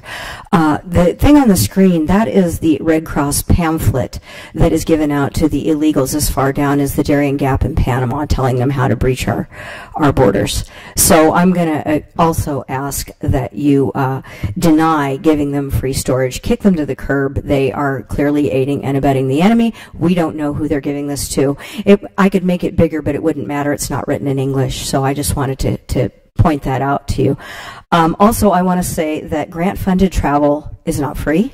Because if the grant was so darn important that you had to enter into all of the entangling fine details of it, then by using grant funded money for travel, you're taking that money away from the taxpayers that you thought the grant was so important for to begin with. So in that spirit, I would like to oppose items 12, 13, 14, 15, and 16. I would also like to oppose item 31. Um, I have concerns about what that might lead to in the future. Um, and I want to mention um, with the Golden Valley Improvement District, in December of 2022, I believe it was December 5th, this board approved money for the well, which is now covered with uh, ARPA money as well. The total budget for the project is $2.2 million. Now, the bid came in at under $1 million, and I'd like to remind the board that I've asked you already, $562,900 of that money belongs to GVID and was swept from the GVID bank account. It's not needed. You need to return it to the people of GVID so that the financials no longer make us look like we're broke when we shouldn't actually be broke.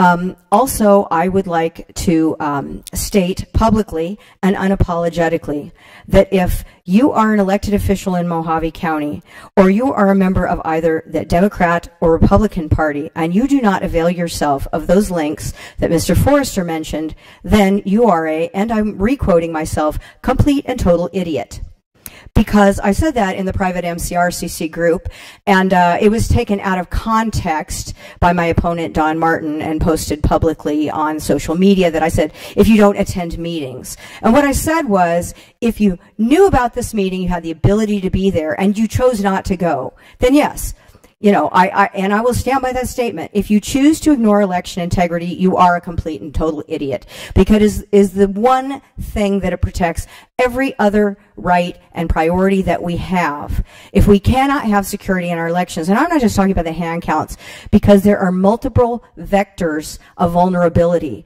electronic poll books and the, the Avid system and all of the stuff that we're, I hope, going to discuss because I signed up to speak on that. And um, I would just like to say that I posted a video and uh, Supervisor Lingenfelter posted a laughing emoticon in my comment with the video, so apparently he doesn't take it seriously. And then Jean Kentch.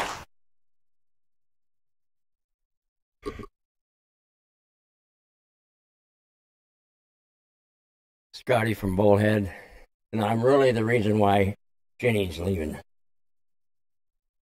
Uh, she usually gives me four minutes too.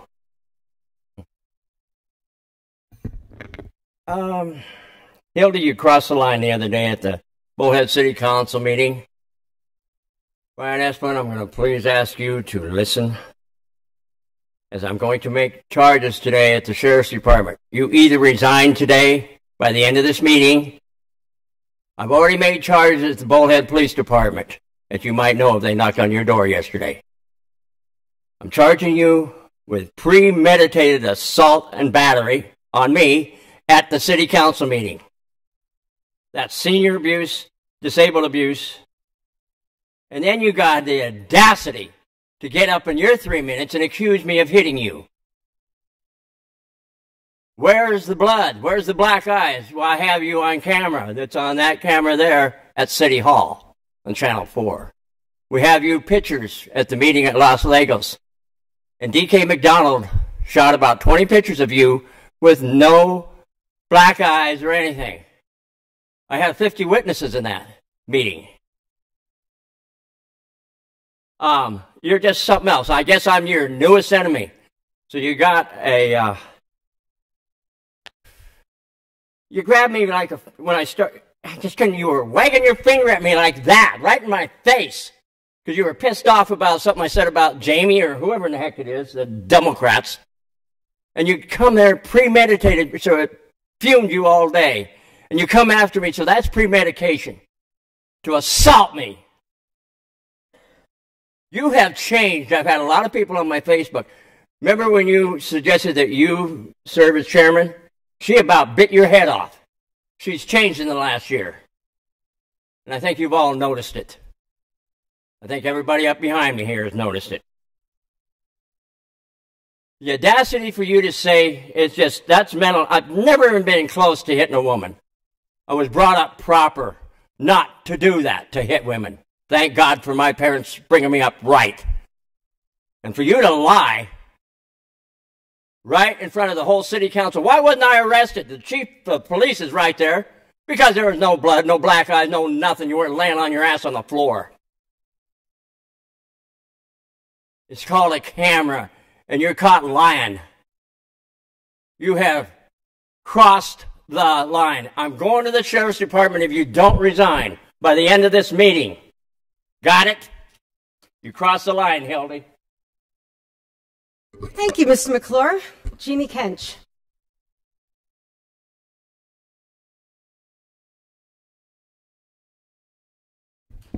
Chairman, Board, how are you today? Today's Mohave Minute will focus on some bill movement at the legislature. Senator Borrelli, Representative Biasiucci, and Representative Gillette have been hard at work moving bills forward to help everything from home ownership, election integrity, government policy, and thankfully deed fraud. With Representative Gillette's assistance, the House has been successful in a couple of bills that we hope will result in approval from the Senate, then on to the governor. HB 2581, the Physical Presence Bill, is defining Arizona residency. Believe it or not, there was zero definition of what was required to be an official Arizona resident, just your intent to stay. This bill will help the assessor's office with clarification for rentals. It will help with the vehicle registration department and even the rotor registration. This bill passed the House and transmitted to the Senate on February 28th. 2588, which is HB 2588, relating to notaries and sponsored by the Secretary of State's office. This bill requires a thumbprint from not only those being notarized, but the notary themselves. If passed, this will help strengthen conveyances, reducing deed fraud. This bill was passed at the House and transmitted to the Senate on February 22nd. And HB 2405, damaged property grace period. This bill originated in Coconino County, allows property owners their loss of homes through fire, flood, or an act of God to be given more years to rebuild prior to reclassification. Those are just a few bills, special bills that I'm focused on and are important to the assessor's office. There is always give and take with bills. Sometimes it's the only way to get clear sailing across the finish line. The common denominator for all successful bills is to work hard communicating with all legislators, expect compromise, and stay alert when committees request the possible opposition. Thank you again for allowing me a few moments to share the Mohave Minutes. Thank you. Okay, I'm going to close the call to public. Uh, we have a proclamation. Proclamation declaring the month of March 2024 as Procurement Month and March 13th, 2024 as Professional Buyers Day in Mohave County. Mo- motion to approve? Motion to approve. Second. Motion second. All in favor? Aye. Opposed? Motion carries. We have another presentation on the status of electronic plan review by Mohave County Development Services and Mohave County Information Technology Departments.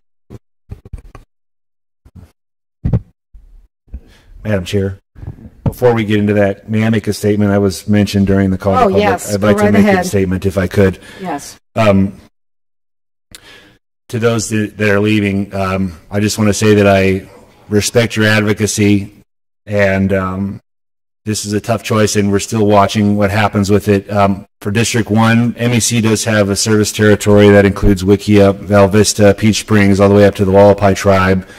Um, I hope that uh, they do find a suitable location, and I hope everybody understands that that zoning is just the first step in a in a long process. That the site planning process comes after the zoning, and I, I want to make sure that um, that site planning process includes pretty robust mitigation to the noise and any other concerns that you guys have. Um, I want to offer that up. I also want to talk about the COVID 19 response. Um, that was mentioned by a speaker. I wanted on record that in 2020, as the vice mayor of Kingman, I was the only member of that body to stand for medical freedom of choice in 2020 against the shutting down of private businesses. I actually pushed a parklets program here in Kingman, and I, out of my own pocket, uh, funded the first parklet to make sure that our downtown businesses in Kingman would not close. That they had, you could only have 50% indoor seating, and you had to have 50% outdoor seating. Um, I helped the wine bar out with the first parklet. I'm very proud about that. And my position on that has not changed.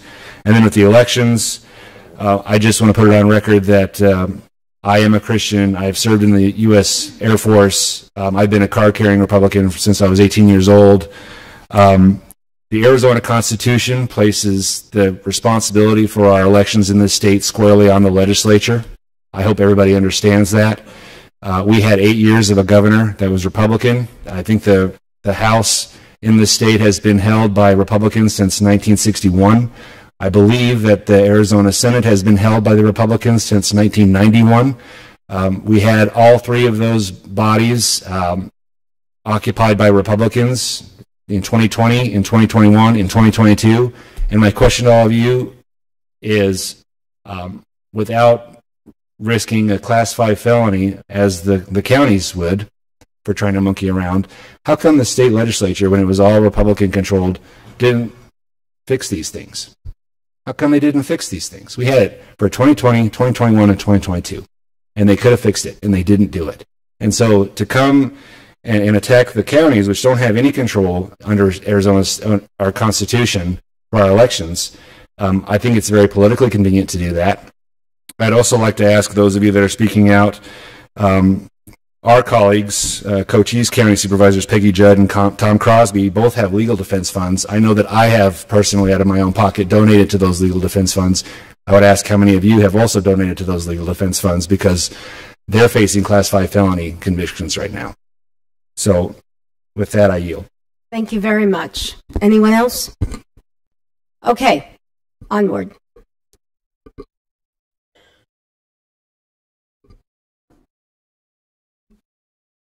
Good morning, Chairman and Board. This presentation is going to be started off by our Director of Development Services, Tim Walsh. I believe he's on Teams, so he's going to begin the presentation. I'm going to drive it, and then when it gets to the section or area when there's potentially questions about technical aspects of things, I'm going to aid Mr. Walsh. Nathan, thank you. Uh, Madam Chair, members of the board, thank you for uh, the time to share this this uh, presentation with you. Um, as mentioned back in November, uh, we we let the we told the board that we'd be back uh, February in order to give you an update on this. We were hoping to have our online permitting up and running at that time. We've hit a couple of snags, and, and we'll get into that a little bit more um, at, in this presentation. But uh, we should have this up and running here fairly soon, and and and be able to to get that out out there for our our, our residents and our customers. Um, if I can, just a, a brief overview of, of what the, the program is. Online permitting, uh, we've been working on this for quite some time now. Uh, we've been working with IT and uh, and some of our vendors on in, improving our uh, our customer experience, helping our, our contractors, our uh, do-it-yourselfers, um, all of our residents be able to improve their experience with the county and, and make it as easy as possible on them. Um, online permitting is is just one more uh, aspect of, of improving that that customer experience.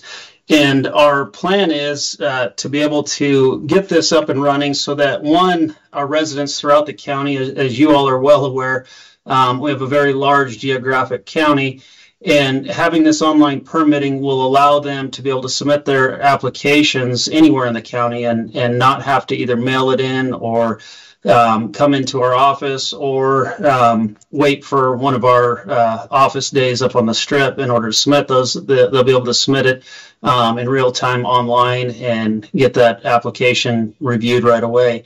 Um, on that's you know on the on the client side that's that's some of the major benefits on our side it, it also helps in being able to uh, manage our loads um, be able to shift our, our our workload from one office to another depending on on uh, what we see if you know if bullhead's got a, a large workload um, and Kingman's not as as buried. We can send a lot of those things up to Kingman uh, electronically and and basically in the end provide a better service for our customers. So that's our end goal with with this entire project is to be able to better serve our customers.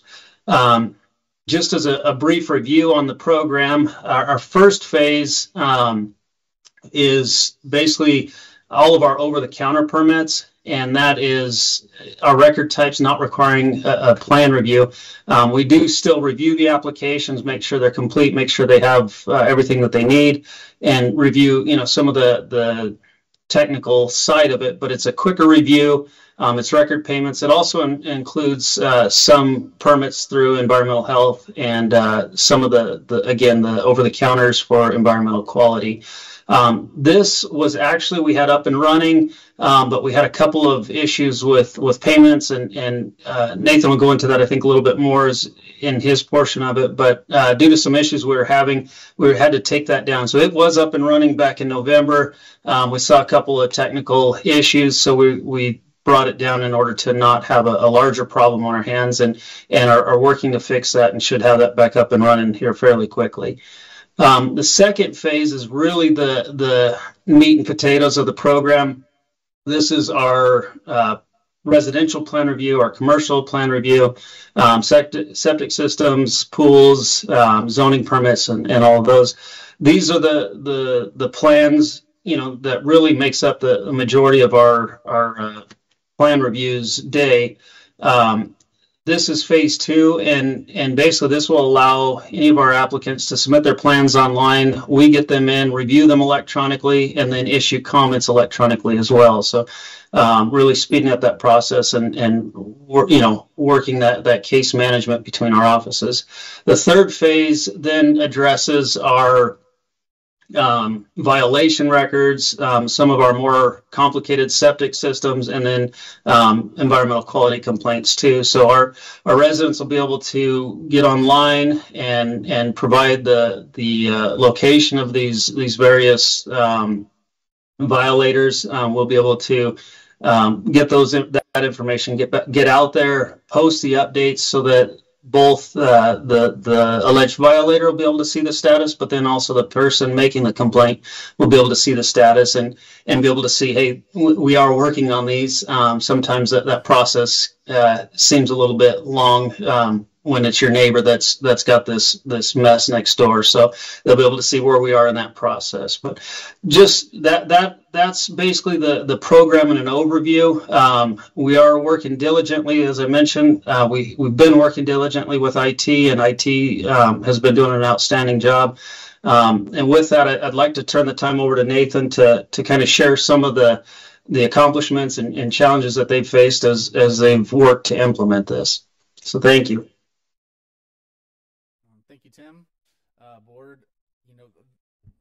Timeline of this project has has been you know fairly long. We we began this project in 2022, middle of the year, and fast forward to today, we've had a lot of uh, time and energy devoted to really enhancing the services uh, that the county provides relative to this business process. You know, uh, as the CIO for the county, it's you know one of my major tasks to modernize our business processes as best I can. Uh, that requires a lot of coordination with the departments that I call the business process owners. Uh, IT doesn't make the decisions about these things. We coordinate with those departments that technically own those business processes. So Tim and his group have put a tremendous amount of time and effort and energy into reviewing these business processes so that we can automate them through the use of technology. Um, obviously, we're here today to give you an update on when we think we're going to be fully live. And I believe that timeline is March 18th. We're planning on being fully live with all phases of the project. Um, if there's questions or concerns about the delays and why uh, we've failed to meet some of the deadlines, we have some of that information in here. Uh, but you know, I really want to focus on uh, delivering a message to to you all that we are taking this project seriously. Staff at Development Services has been working uh, very hard to do the job at hand and do additional validation and testing. And this is not uh, a light project. It, it's something that it's easy to say, but it's it's not as easy to execute. You know, when we say let's do online job, online permit applications, sounds really easy. I wanted to highlight for everyone that's watching uh, that equates to 172 record types in the system, and every record type requires testing and validation. So the amount of work and time and energy that it takes is is sometimes overlooked. But the the the really positive message here is that we're making it. You know, we're really close to the finish line on this, and I think uh, come March 18th, we'll have the ability for our citizens to apply for these permits online through the county website and uh, really significantly enhance the service that we're delivering to the citizen. Okay. Any questions for Nathan? Madam Chair. Yes. Nathan and, and uh, Director Walsh, if you're still with us, uh, thank you both for the presentation. Um, this project started, it looked like in August of 2022. The first time that I put it on the agenda was in May of 2023. Um, and then also have an item on uh, later in the agenda just in case um, the board wanted to set an absolute final date for this um, with our county manager. But um, I'm pleased with the report. I think that a county of our size, um, even though we're very geographically large, we should have a, a system like this already in place. Um, I think one of the best ways that we can hit the deficit is to make sure that we get a system like this in place. Uh, time is money for these projects. It keeps everybody on the same page. Everybody that's involved, whether it be public health or or any other division of the department, can concurrently review plans. Um, all of the comments are in one spot. Um, there's not any searching around for where my plan's at. You can go on exactly and, and find out exactly where your project is. Hopefully, it'll it'll be a significant time savings, and hopefully, it'll help us with also some of the complaint stuff that we've seen um, testimony on in in previous meetings too. So um, hopefully, this does um, wrap up and, and get fully ro- rolled out in March this this month. Is that correct? Um, uh, I may just keep my item on um, and just ask the board to task our county manager with his leadership to make sure that it sticks. Um, that's all I have. Thank you. Thank you very much. Anyone else? Madam Chair, Yes. Mr. if I may, just really quick, I, I want to really point out that staff started this project with an eye on the end of it, and which would enhance and improve permitting.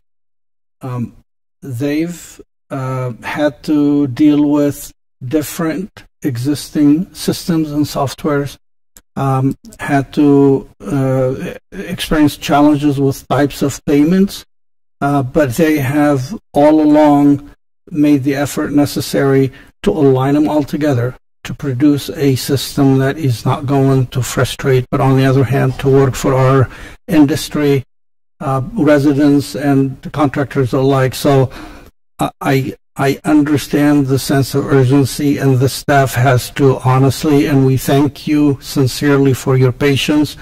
But I think you will be proud of it when it's done and, and when it does go live.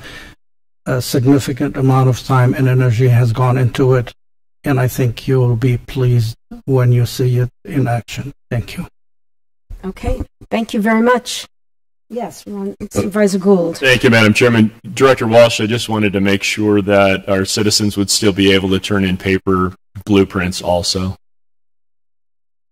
Madam Chair, Supervisor Gould, absolutely. We'll we'll have that available. Um, definitely for our, especially for our um, owner builders and and the, the, your do-it-yourselfers. Those guys, um, we definitely will will make sure that we can accept those paper plans. Thank you, sir.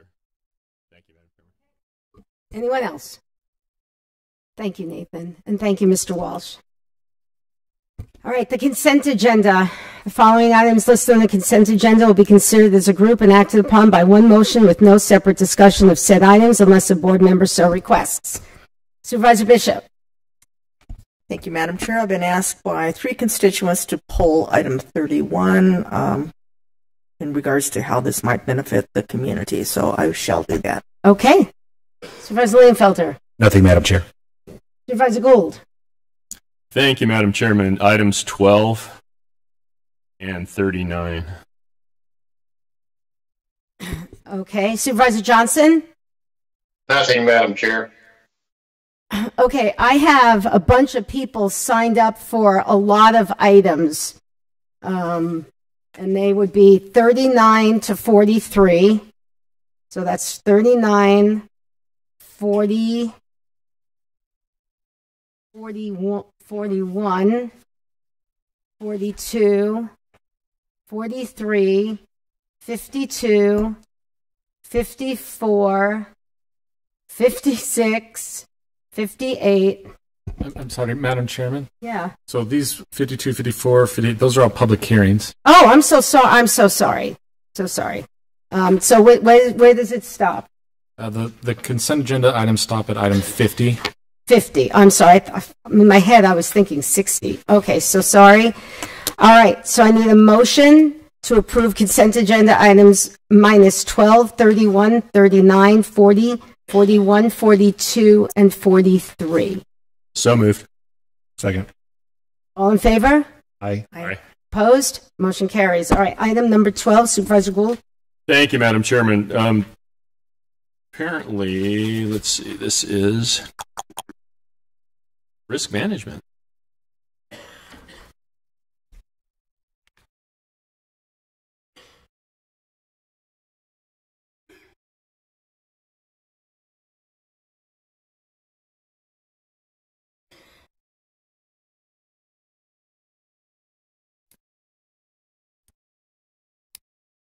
Madam Chair, Supervisor Gould, is there is there some specific questions you'd like to, to know about this, or do you want me to give you an overview? Why don't you give us an overview? Fair enough. So in 2022, the board approved um, uh, for the Red Cross to be able to utilize some space up at uh, 3675 Sunshine, which we share that building with them in risk and emergency management, really on the emergency management side. Uh, that we use as a d- department operations center. Up there, we store lots of uh, supplies, equipment, things uh, that are associated with emergency res- response. Right now, um, since 2002, they have a small office there. They have a uh, they'll occasionally use a training room that will they'll share with us as a real small training room, but really dedicated to them as a small office small storage space. The uh, their operations right now uh, involve uh, being able to respond if there is a disaster in the area. Keep in mind, there's only, I, I believe, at the current time, there's two Red Cross volunteers in the area. The closest uh, other response is going to be from Flagstaff or Prescott right now. So the resources they have in there um, include things like cots, which they can, if there are uh, places or, or incidents that require some sort of displacement of people, um, to be able to open a shelter. They do maintain uh, agreements with the schools and things like that to be able to open those shelters, which is not uh, something that's within our capacity at this time. They they're able to to do that for approximately 100 people.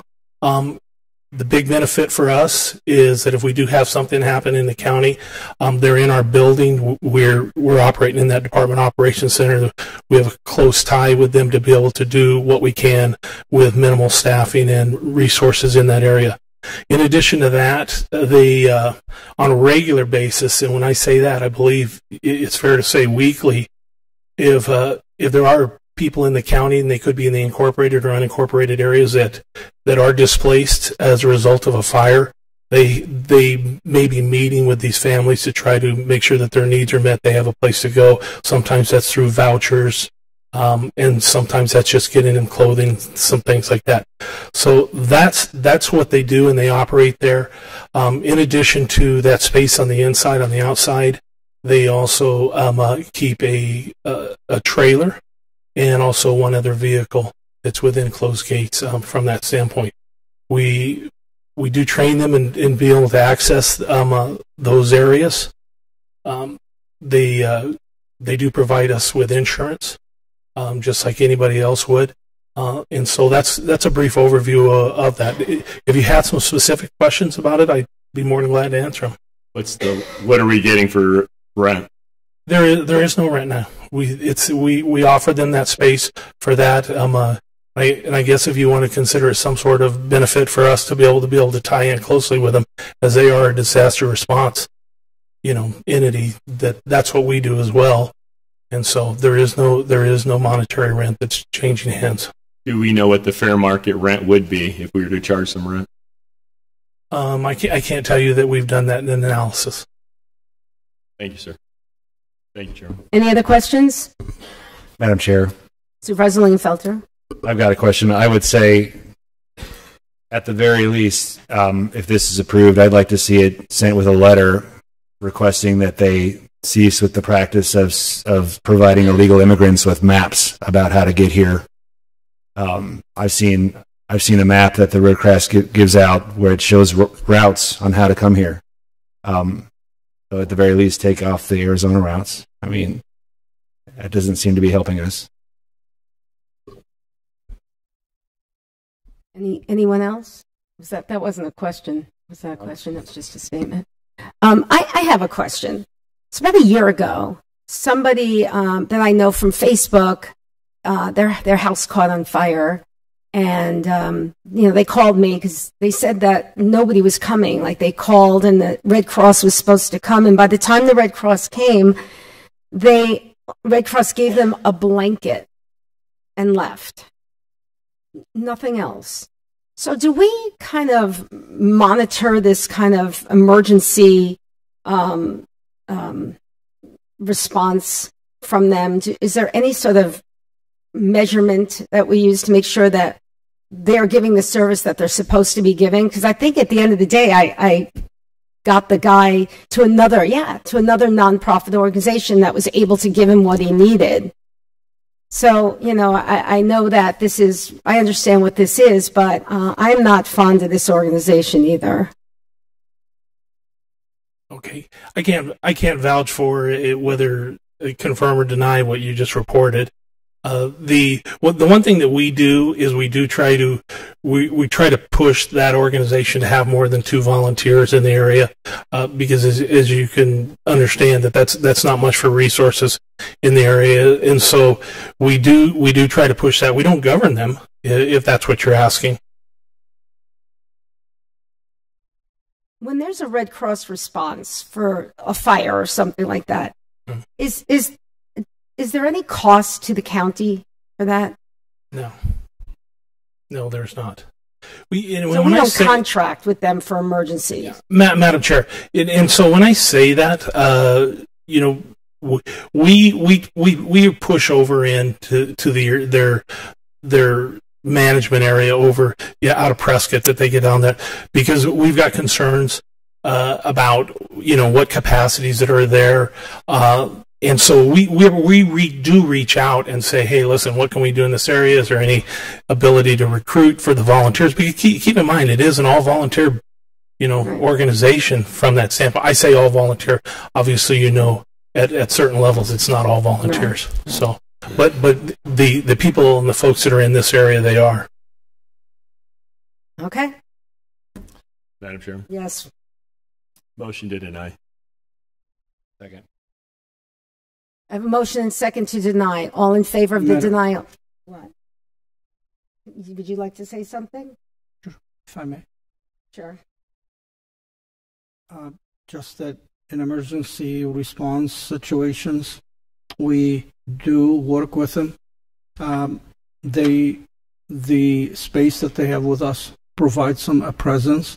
I think in the long run, that's that offers us as a county more value than not having them in here. So as you contemplate uh, a decision to provide them that space or not, please do keep that in mind. I think there's value to our county I think we need to open it up and, and find uh, a better a better response organization. But we have a, uh, a motion and a second to deny. All in favor? Aye. Aye. Aye. Opposed? Aye. Okay, three to two, motion carries for denial. Item 31. Uh-oh. This was, I believe, uh, Supervisor Bishop's. Oh, okay, okay. Okay. I moved, did the wrong. Acknowledgement abandonment application proposal for property owners of APN 306-31009, High Desert Land Holdings. Supervisor Bishop. Chairman Angius, if I could get Steve Latoski to uh, come down and just give a summary. Uh, apparently, some of my constituents want to know the reason to abandon a road and what benefit that might have to the uh, residents out there. Thank you, uh, Madam Chair, Supervisor Bishop. Uh, this represents the uh, first step in the abandonment process by which staff is bringing the uh, applicant's petition to the board for an acknowledgement and referral back to staff. Proposal is High Desert Holding they own two lot, uh, two parcels, uh, totaling 70 acres, uh, with the uh, intent is uh, per uh, preliminary submittal, they're proposing to develop what's called Midway Estates. It's a subdivision of about 276 lots, and this particular right of way for La Osa Road is undeveloped, has not been graded or built out, but it bisects the two parcels. So it literally, you know, um, the action, the intent of the developer, or developer or property owner in this case, is to abandon La Osa so that they can prepare and present um, and subsequently get approval for a plat uh, to develop this subdivision Midway Estates. Okay, that explains it to me. We have growth in Golden Valley, and I don't think we can um, realistically stop the growth. And uh, if we can have controlled growth, I think it's a good thing. Do we have anybody that signed up that wants to speak to this? That's at 31. Okay, with that, I'll make a motion to approve. Second. Motion and second. Any further discussion? All in favor signify by saying aye. Aye. Aye. Opposed?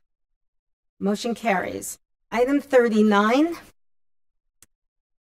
Approve the intergovernmental agreement with the Secretary of State's office to authorize Mohave County's portion of the maintenance contract of the statewide voter registration database for FY24 in the amount of $23,199.98. We have um, Jennifer, Anna, uh, Jennifer Esposito and then Brett Forrester.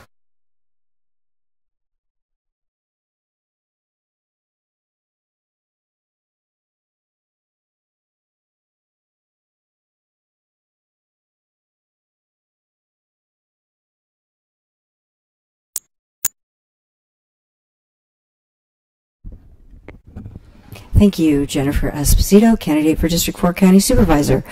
Um, we should not have uh, done the last payment on this contract with Eric Avid Database System. Um, it's not a requirement, but I have serious concerns uh, regarding the security of outsourcing our uh, system in light of the presentation given by Mr. Mark Cook in Mohave Valley on uh, a little over a week ago, uh, he went into great detail about uh, this being one of the vectors of vulnerable vulnerability. But one of the things that happens when you outsource your database is that you give bad actors uh, access to the data. They know who's on the early voting list. They know when they voted their early ballot. They know if they didn't vote an early ballot that that's a voter that uh, could be ripe for one of those mysterious things to just, uh, oh, look, we found an extra ballot that, I don't know, maybe. I, I have a, a, friend, I think some of you know her, Penny Holden. She lived, she's lived at her house for 14 years, and only last year did she start receiving, I think it was um, several ballots for a previous homeowner that she didn't request, that somebody doesn't live there anymore. But what happens is, is bad actors have the ability to to sort of harvest these uh, they now call it the able ballots and things like that where they can calculate by outsourcing this voter database they can calculate how many registered voters on the able system are are have not voted. And then they can try and find ways to manipulate that. What you have is you have a ceiling of registered voters and then you have people who actually vote. I believe it's 78% in the general, about 58% in the primary. I could be wrong on that. But you have like about a 20% margin in there, and that's where bad things can happen. I'm not saying they're happening here. I'm saying there are issues coming up that are raising concern.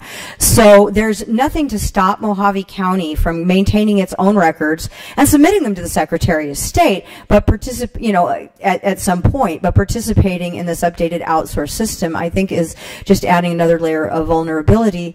And so um, I would urge you to uh, deny renewal of this contract because I do think that it, it opens us up as we well know, um, even the Department of Justice, I think the FBI, all these people have been hacked. So we talk about cybersecurity, but you're basically giving, uh, you know, an, an out, a party outside of your control access to all of our information, whether they use it legitimately or whether they use it nefariously, who has access to that. The minute you do that, it, it's all out of our control. And I think that, um, you really do, in order to instill confidence, in order to make that that differential between registered voters and people who actually vote higher to reduce that ceiling.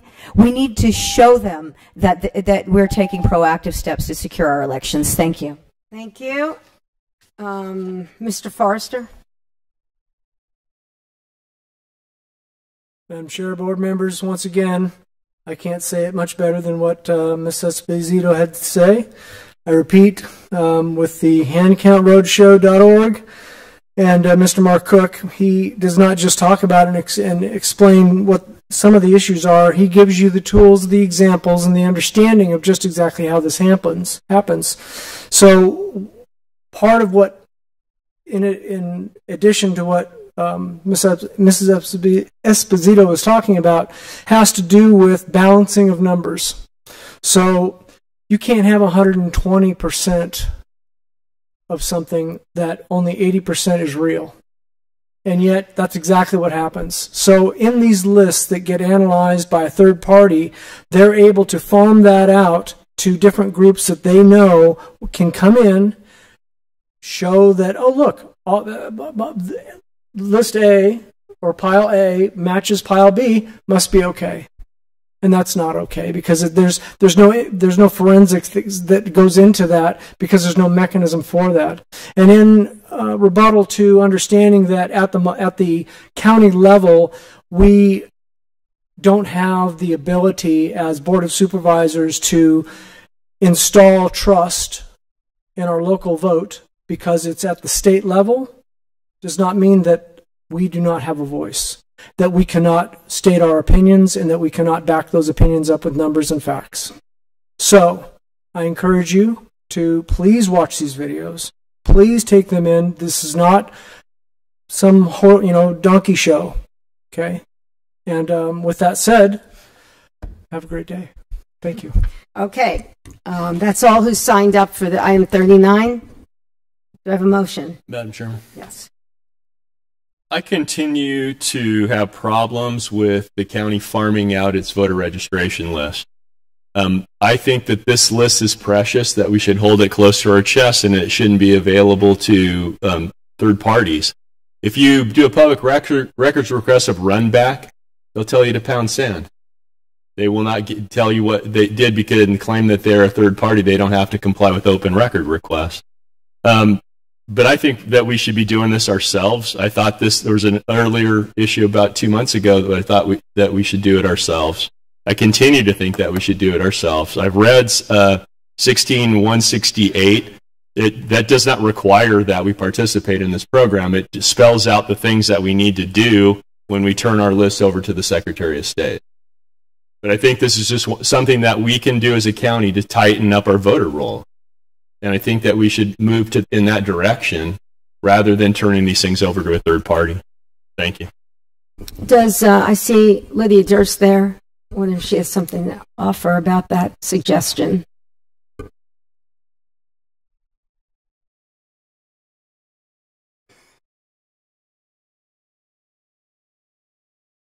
Good morning, Madam Chair, members. Um, for item number 39, we've had this in the past.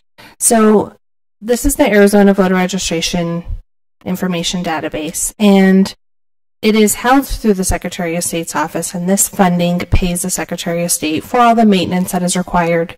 Um, when we had the new laws for 2024 to have a voter record be, or voter be able to follow their ballots from sent to received to accepted, pending, anything like that. Um, this funding assists in paying for that. Um, I would like to add that um, the JBLC, the Joint Legislative Budget Committee, has put in to reimburse 12 out of the 15 counties all of the funding um, to pay for this for the next few years. So this is a budgeted item, but it would be fully reimbursed by JBLC. Madam Chair. Uh, yes, Supervisor Lingenfelter. Thank you. Um, Recorder Durst, looking at the backup documentation, the estimated fiscal year 24 AVID costs for the state are $1.3 million.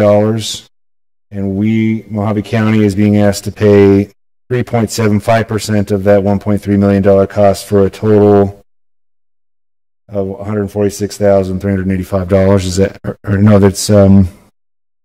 Only is it uh, quarterly? It says here twenty-three thousand one hundred ninety-nine. But in the backup documentation, it shows. Oh, okay. No, okay.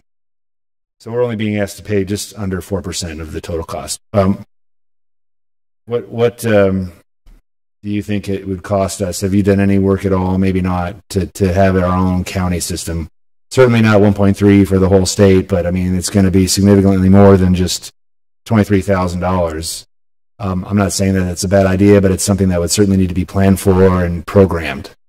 Correct. So Maricopa and uh, Pima County do have their own voter registration records, but they are databases, but they still have to pay Avid cost because all of their data still has to be transported into Avid. So on that same page there, Maricopa still has to pay $381,000. Pima still has to pay $99,000 a year because you have to still input all of that data into the Avid database. So what you're saying is, no matter what system an individual county creates at their own expense, they would still have to make sure that the system that they create is compatible with the Avid system. And there may be some sole brand type of technology or something. I'm it, I'm not an IT guy. I don't know. It's the the systems have to talk to each other, right? Yes, And so they still have to pay. they do. So would we save? So I don't know. We won't we won't get into that. JBLC um, isn't paying for Maricopa, Pinal, or Pima County for reimbursement, but they'll pay everyone else for reimbursement. So it comes out of the taxpayers' pockets, but then it's reimbursed. It, is that what you're saying? Yes, it'll come from general fund and then it'll be fully reimbursed. And it's been confirmed that five counties so far that have paid, they've received 100% reimbursement. Okay, thank you very much. I have no more questions. What, what is the purpose of a statewide database? Like, what, what do they, just for, so everyone knows, what do they use it for? So it's the voter registration database. When someone completes a voter registration paper form, it comes to our office. Five out of the voter registration specialists are going to input all that data. It's everything from your name to your driver's license, your date of birth, your mother's maiden name. All the questions on your voter registration form are inputted by our office, and then you become a registered voter in Mohave County. If you want to move from Mohave County to Coconino, it's going to just carry that record with you. Um, so you're always going to have your voting history in the state of Arizona, although you may move to different counties. Um, we are a bottom up state with voter registration. We do all the voter registration in house. Uh, we signature verify everything here. Um, Mohave County completes their own early voting locations for vote, um, early voting in person locations. Um, everything is done by us. It's just bottom up. Okay. Madam Chairman. Yes. Um, if you look in deeper into the backup, this data is transferred to Sutherland Government Solutions Inc. Um, and it, INEXL Consulting LLC. Um, and I'm not sure where where it says we have to participate because it's certainly not in 16168. I don't know if Recorder Durst knows where's where what statute requires us to participate in AVID. We have to turn our data over to the Secretary of State, but we don't necessarily have to pay these folks to do it. We can do it ourselves. I don't have the state statue in front of me. Um, I believe it is within HAVA since 2020 or 2002 um, that everyone is supposed to be with the Arizona voter registration database or um, just the Arizona voter record by the Secretary of State because we joined AVID in 2019. Um,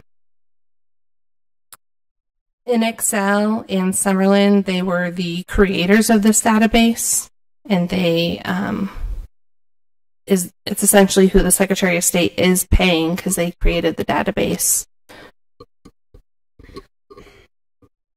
If that answers your question. It does not. um, I'm not. I'm not. It wouldn't be in that statute, and it's not in 16168. Um, it might be in HAVA. HAVA is not a is is a federal thing. It is not a state thing. Right. Um, so I don't know if HAVA requires us to do to do that or not. But you are turning the data over to um, looks like two third parties, which makes it double problematic to me. I have no pro- if we have to turn it over to the Secretary of State, we don't have any choice in that. And what they do with it, we have no control over. But I don't know that we have to willingly participate in a system that turns our data over to um, to private company. And, Maric- and like she said, Maricopa, Maricopa and Pima don't even participate in that. And I'd rather, frankly, I'd rather pay and not participate than to pay and participate. That's how strongly I feel about it. Uh, Madam Chair, Yes. just a couple things. Looking at at uh, 16, the statute that uh, Supervisor Gould cited here, 16168. Um, there's a lot of information on this, but I'm going to boil it down to really Section 7. Section 7 says that the, the, the Secretary of State has to develop and administer a statewide database. They have to do that. And so to do that, they've they've utilized these third-party vendors to create that. And there's a cost to maintaining it, keeping it up to date, doing firewalls, everything else that comes with any kind of software. So that's that's the process that they do that. That's required by statute that they have to do this database. The relevant part here, at least to answer some of the questions here, it says as part of the statewide voter registration database, county recorders shall provide for the electronic transmittal of that information to the Secretary Secretary of State on a real-time basis. So we have to participate in this. We, we do. We could do our own. It sounds like I, I didn't know that other counties did their own, but we do have to participate in this. And there's some there's just some benefits to participate in this because, as you know, people move, people change records, they they update, they they go from different parties, and so they're trying to do that as quickly as possible and try to get it as so that as as people are moving and changing things that that'll still stay as as as you know as as as up to date as they possibly can. I, I think Supervisor Gould is correct. I, there's nothing in the statute that says we have to pay for it. Um, I, I remember when this came through a couple years back, and, and really it's just a matter of who's going to pay for it. And it's a question of, okay, can the counties help pay for some of it? And so that's what this request is really is, can the, can the counties help pay for some of it?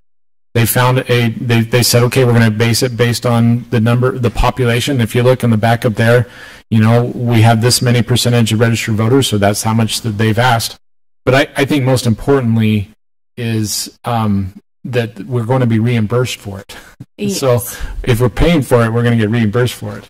So if you deny it, it's not going to change the fact that there's still a a statewide database. It's not going to change the fact that that we're going to be participating in it. Um, I can't answer the que- I cannot answer the question of why we have to pay for it. I can't. I, I just I can't. But I, I will say that this seems like a fair a way to to distribute this burden upon everybody, all the counties throughout the state and uh, so that way, you know, one county isn't paying more than the other. Um, and again, because it's being reimbursed, uh, I don't see why you wouldn't want to do this. Anything else? No, m- motion to deny. And we have a motion to deny. Any second for the motion to deny? Hearing none, motion fails. Motion to approve. I need a second. I'll second. We have a motion and a second. All in favor signify by saying aye. Aye. Aye. I- I'm, I'm an aye too. Opposed? No. Okay, thank you. Uh, perhaps we could talk about this for the next, I just, it's just so close to the election now. Maybe we can bring this back up uh, at a future meeting. Um, the next ones, we have 40, 41, 42, 3. Have One person signed up, that's Lisa Esposito. Is this issues?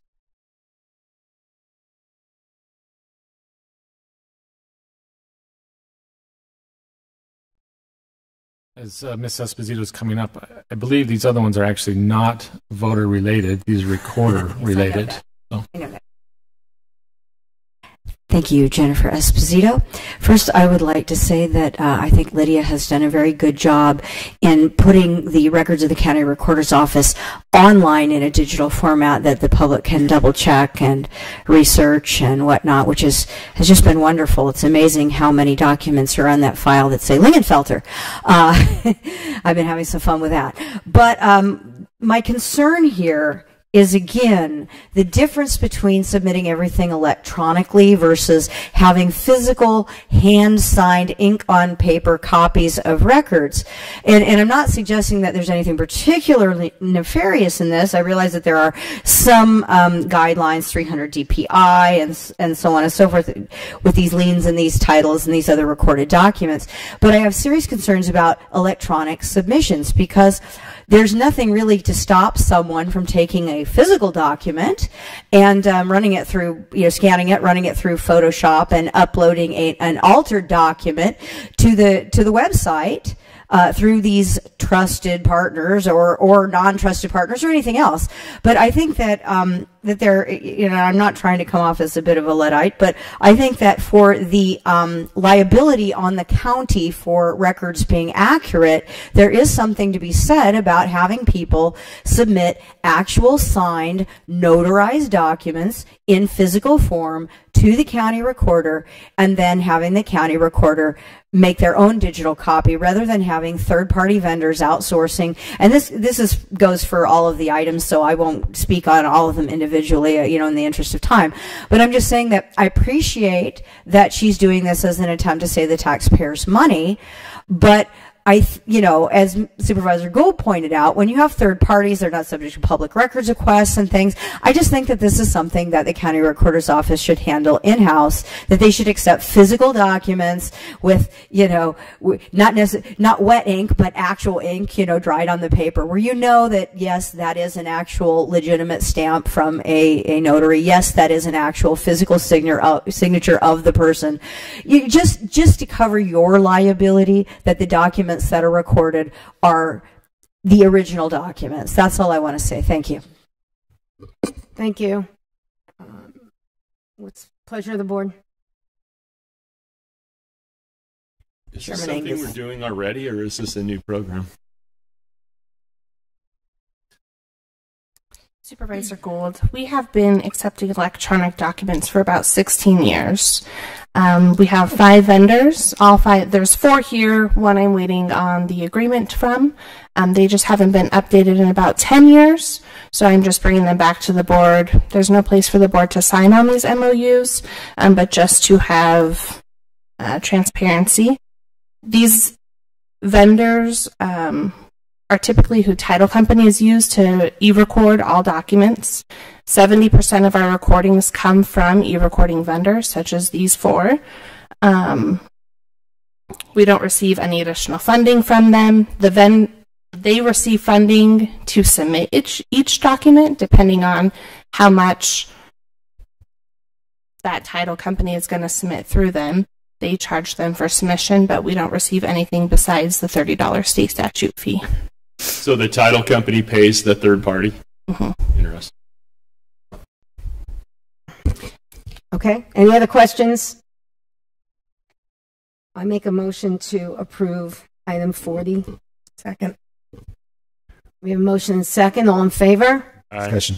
Aye. Oh, you need to, you want discussion? I'd like to make a point since Yes. the speaker uh, mentioned me by my last name. Um, I have no doubt that there's a lot of documents with the last name Lingenfelter. My grandfather was the fourth doctor in Mohave County, um, was the greatest entrepreneur and philanthropist that Kingman's ever had. And when the when he passed away in 2012, the paper here ran a story that said that we lost his greatest philanthropist. So he did a lot of business here. So that's why his name's on everything. Okay. We have a motion and a second. All in favor? Aye. Aye. Opposed? Motion carries. Item 41, approve the memorandum of understanding between e-recording partner network and the Mohave County Recorder's Office. I'll make a motion to approve. Second. Uh, any discussion? We have a motion and second. All in favor? Aye. Aye. Opposed? Motion carries. Item 42, approve the memorandum of understanding between Corporation Service Company and the Mohave County Recorder's Office. I make a motion to approve. Second. We have a motion and second. All in favor signify by saying aye. Aye. Opposed? Motion carries. Item 43, approve the memorandum of understanding between Data Services, Inc. and the Mohave County Recorder's Office. I'll make a motion to approve. Second. We have a motion and second. All in favor signify by saying aye. Aye. Aye. Opposed? Motion carries. That is it for, I believe, for the uh, consent agenda. We'll be going to public hearings, but I think we should take a 10-minute break.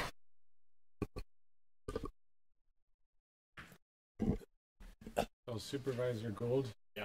My apologies that you had to read six,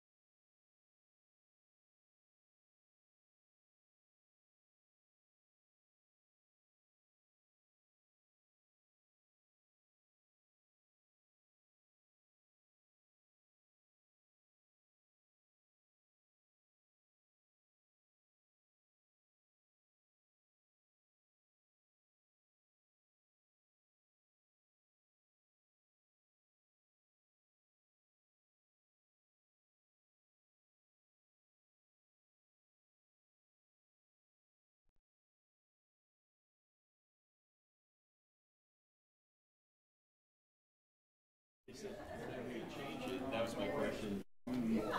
This place. Are we running it or is it?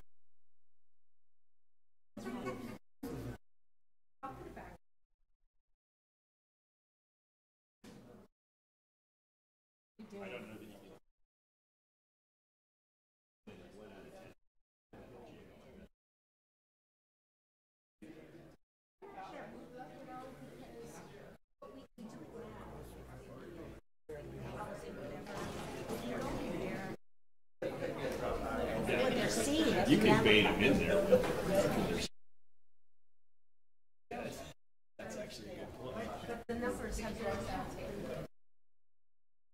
Okay. Going to call this meeting back to order. We have public hearings. Number 51, I'm opening the public hearing, discussion and possible action to approve the adoption of Board of Supervisor Resolution Number 2024-064. Is there anyone who'd like to speak to this? Anyone who'd like to speak to item 51? Hearing none, I'm going to close the public hearing. Madam Chair, Yes. this is my district. I'm going to make a motion to approve BOS resolution number 2024-064. Do I have a second? Second. We have motion second. All in favor signify by saying aye. Aye. Opposed? Motion carries. Number 52, I'm going to open the public hearing. We do have somebody signed up, Amy Fonger or Funger. Come on down.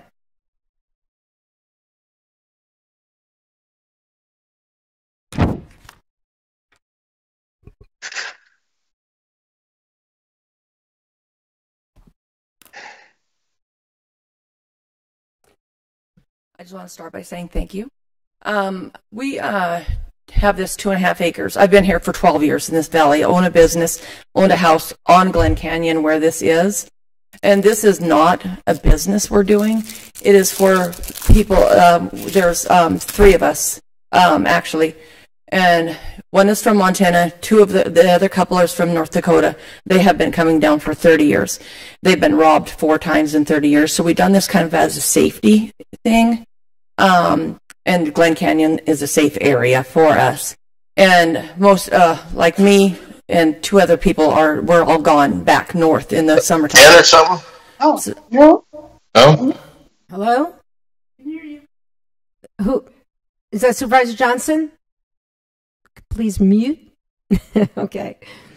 Okay. Go on. Anyways, uh, so we're only on the property for like maybe four months a year. I mean, I'm more so because I own a business here, but they're only here for four months out of the year. So anyway, that's all I need to say. And we just want to do everything right and make sure all the permits are in order. And like, I mean, there's so many in the valley that uh, it's insane that they're not. So we just want to make sure that we are all in order. Okay, thank you very much. Would anybody else like to speak to item 52? Item 52? Hearing none, I'll close the public hearing. Chairman Angius, I make a motion that we approve per staff recommendation. Second. Motion second. All in favor signify by saying aye. Aye. Opposed?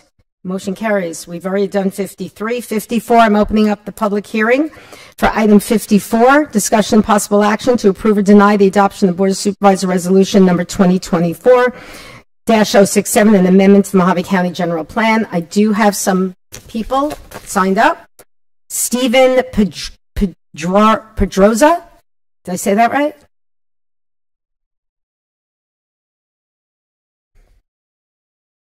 And after him, we have Logan Marsh.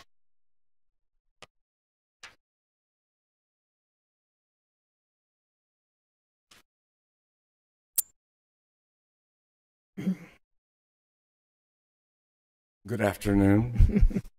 My name is Stephen Pedroza. I live at 10919 North Sharon Road, Kingman, Arizona, 86401. I own and operate Little Old Wine Drinkers Winery. We are catty corner from the five acres in question. And I would just like to speak today about the American dream. Um, I am there, and I had an opportunity to make my American dream, the dream that a lot of people in this room have succeeded in doing. It would be an ill conceived idea that I would think that it should stop other people from conceiving of their dreams. I believe there is precedent to pass this. Five acres are currently zoned commercial for Stetson Winery. There are two special use permits within 200 yards of the proposed change. That would be Cella Winery and my own winery. We think it would be a great add to the area, give us an opportunity to have something to eat that we don't have to cook. Not that I'm afraid of cooking, but we would like the opportunity to have that. People have spoken of an increase in traffic through Valle Vista and on Brooks Boulevard. I think we need to be more concerned about the amount of traffic that will be generated by Angle Homes building 450 homes in Valle Vista Phase 2, or 3, I believe it's 3, that they have just built.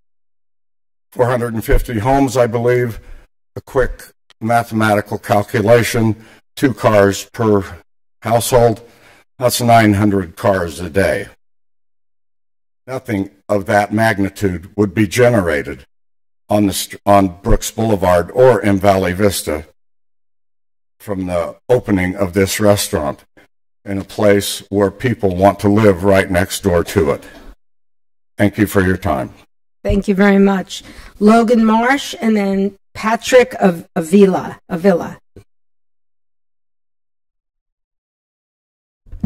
Good morning, supervisors, uh, Chairman Angius. Thank you. Uh, my name is Logan Marsh. I um, live in uh, 917 South Emery Park, Golden Valley. I was at the uh, Planning and Zoning Commission um, and also spoke on this. Um, I was really disheartened to see the commissioner's decision, but I hope that uh, we can rectify that here at the board today.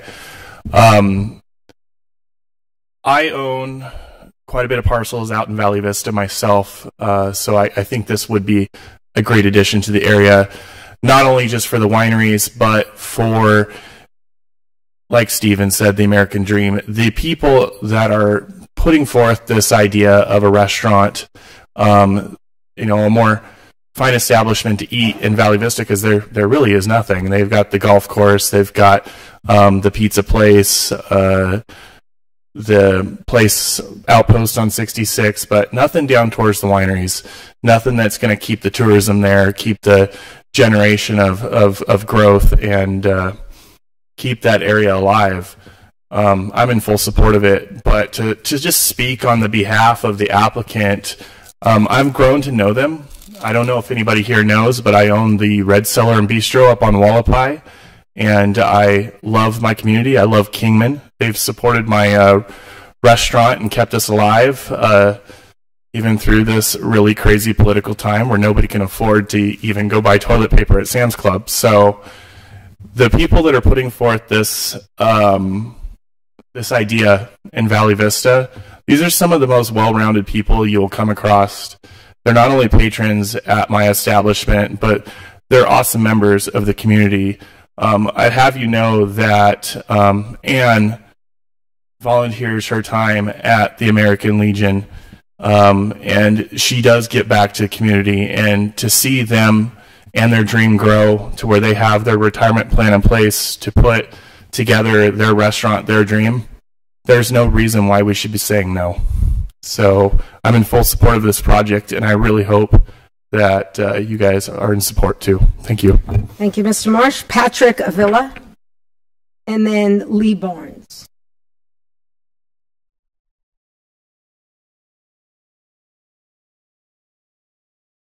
Afternoon. I'm Patrick Avila. I live at 10688 North Benjamin Road, a couple miles away out in Valle Vista.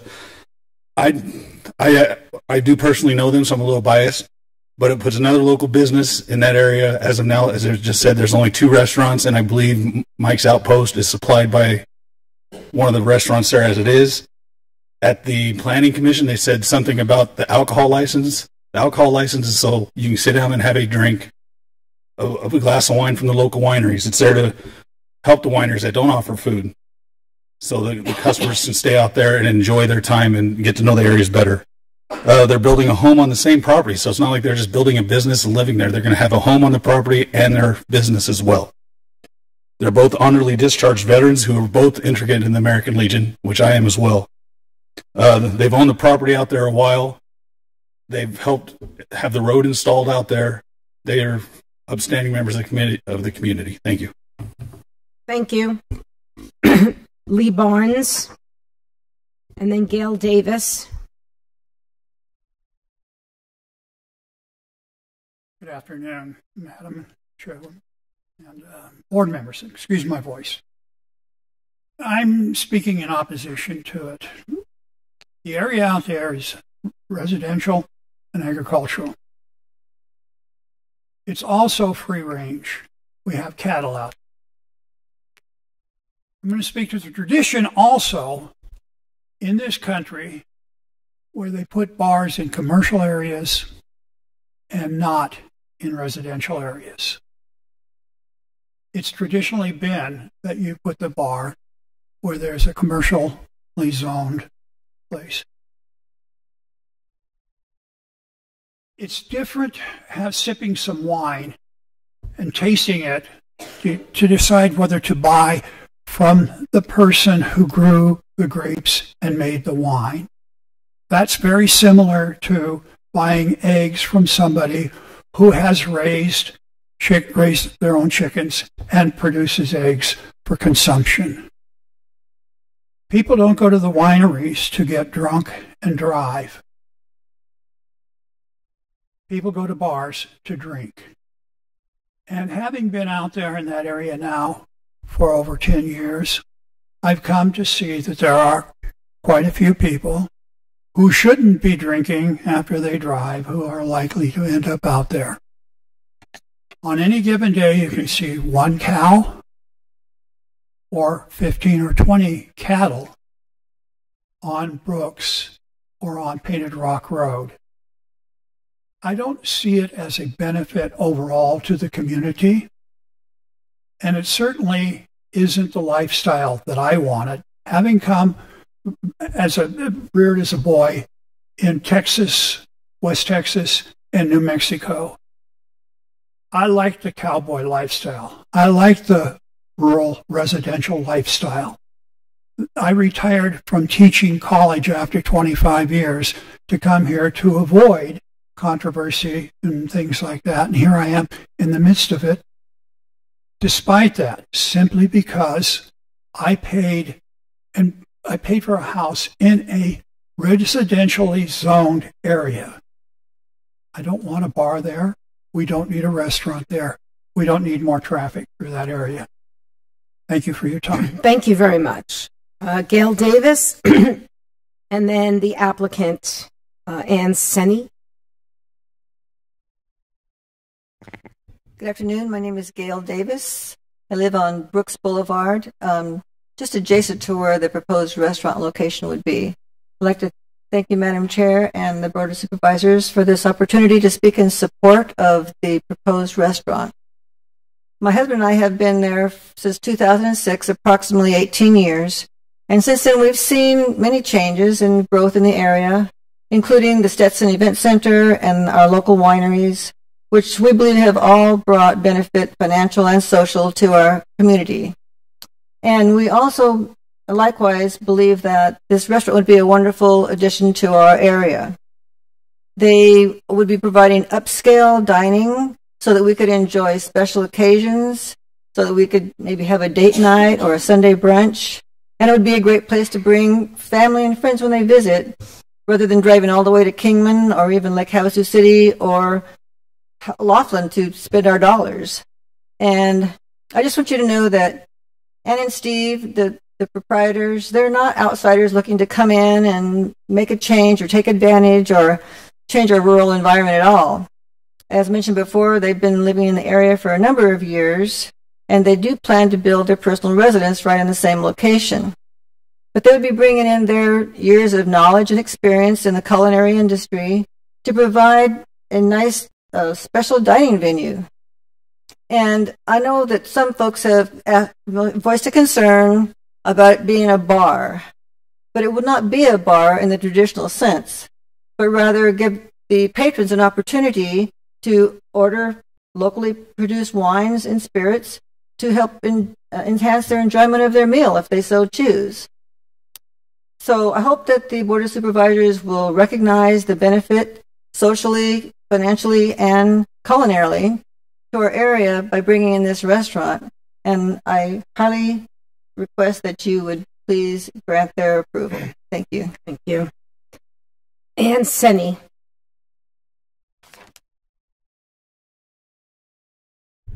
Good afternoon, Madam Chairman, supervisors, excuse me, and everybody who supports us. Um, just a couple of things I'd like to address from Mr. Barnes and anybody else who might have these concerns that he expressed, um, although they, they were already addressed briefly. Our bar is attached to the restaurant and bar license that we need to apply for. Um, if you've been to Matina's, you know that they don't have a bar. They have a place where the bartender pours drinks, but there's no place that people can belly up. And we will not have that either. Um, if someone wants a drink with their dinner, then absolutely. Um, nobody's addressed the tea room, but that's one of my pet things. And I really think I'm a tea snob, and going to Las Vegas for afternoon tea just isn't you know, I can do it, but why? And I think uh, a lot of people that I've talked to here would really appreciate having the opportunity to have afternoon tea in an area where they could also enjoy the local wine, beer, rums, mead that we that we produce here in this area. Regarding the free range, open range issue, we're very aware of that. We've been we've lived here um, over 20 years. We were made of, made aware of that when we first moved here, even though we weren't. We were we're in town now, but knowing what is out there, uh, and it is all private property right now. Um, the cattle are allowed to roam and feed on private property as long as they can. Um, but if we're going to do farm to table kinds of foods and grow a lot of our own herbs and vegetables and fruits, we do need to make sure that the cattle don't think, ooh, buffet, and um, not give them access to that. So, uh, just want to say thank you for your consideration of our application and do I ask for questions now? This is a public hearing. Okay, If we, right. if we'll call you back up if there are questions. Thank you very much. Okay. Um, is there anyone else who wants to speak to item 54? Come on down.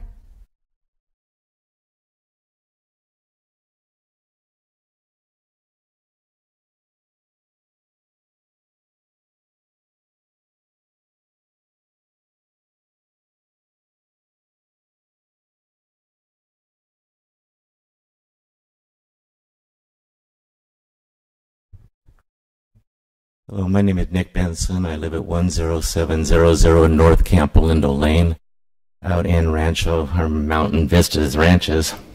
I strongly oppose this. I moved here five years ago precisely because there was no bars or businesses or anything out there. Uh, a big concern is that it's all pitch black out there. Uh, I use a flashlight at night just to cross over my yard. And when people come in from out of town and it's pitch black out there, we have no street lights. We don't really want street lights. Uh, they're not going to be able to see the grazing cattle. The grazing cattle are not the concern of getting on our private property. They're concerned that they're out in the street and such and can cause accidents. We do not have any emergency services out there. I have with me a list of all of the uh, sheriff deputies in Mohave County and it equates to about one sheriff deputy for every 1,200 square miles. That's not going to be able to handle any major accidents in a timely manner. We have no ambulance service out there. Uh, as far as not bringing in out of towners, it definitely will. This menu is definitely designed for something out of Westways magazine, such as Napa, California. Uh, I've never had any of my neighbors, and I have wonderful neighbors. I've never had any of them ask me, "Hey Nick, let's go get some brie baked in crew with stone fruit jam." It just didn't. They have asked me about biscuits and gravy. Um, then I had a conversation with Mrs. Sanian, and they mean very well. They're nice people. However, when I asked her how this restaurant's going to affect property taxes, she replied, aren't property taxes a necessary evil? Yes, they are. However, they aren't necessarily raised for no reason at all other than one person's dream. The rest of us are already living our dream out there. I do not want to deny them their dream, but why did the minority want to deny us our dream that we're already living? Uh, on my shared well alone, we have one lady who's working. She couldn't be here today because she's worked 70 hours a week. She just emailed me that she is one step away from homelessness. We have three widows whose husbands just died of COVID a couple of years ago. Their incomes went down 40%. You raise tax. Oh, we have another lady who's 80, lives on Social Security. She wears a jacket all winter. She doesn't turn on her heater because she can't afford the electric bill. Yet, we're going to just unnecessarily raise property taxes for the dream of one people? I don't think that's right for anybody to move into an established neighborhood with an established lifestyle and decide that they're going to, that the rest of the neighborhood has to change to accommodate them. So in conclusion, I would ask you to please do not California our Arizona. Thank you. Thank you very much. Is there anyone else who wants to speak? You've already spoken. We'll, we'll see when after we close the public hearing. Anyone else wish to speak? See, seeing none, I'm going to. Oh, is there somebody else? Okay, come on down.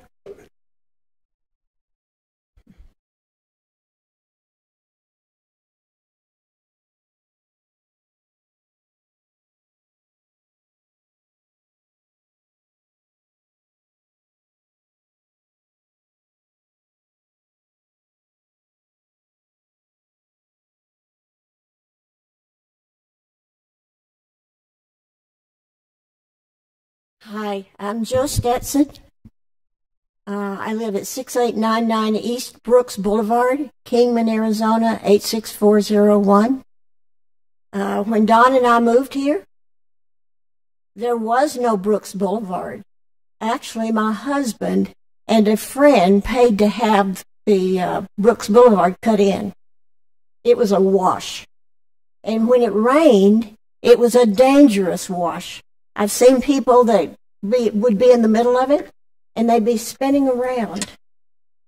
So I was here long before anything actually happened. We did build Stetson Winery, and Don passed away a couple of years ago. It's been very difficult. It still is. Uh, the Ann and Steve Sini are super nice people. They are true uh, inhabitants, and their little 30 seat capacity restaurant will not cause much in the way of any kind of problems. Uh, it will be nice to not have to spend extra time and money to come into town to eat because there's no place out there to eat right now. And they do have very nice food. Uh, it will be an addition to the area. Um, I don't know what else to say. I hadn't planned on speaking. Well, thank you. But thank you so very much. Okay. you will approve it because it's needed. Okay, thanks again. All right, anyone else? All right, I'm going to close the public hearing. I, I, was neglect when I read the item that it was recommended denial by unanimous vote by our planning and zoning. So, um, is any, can we have someone from planning and zoning come up, pop up?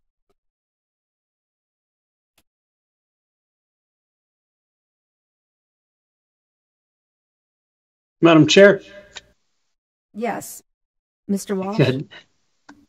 Uh, just a, a little background, I guess, as far as from the Planning and Zoning Commission um, and from Planning and Zoning Department. Uh, staff did recommend denial on this item.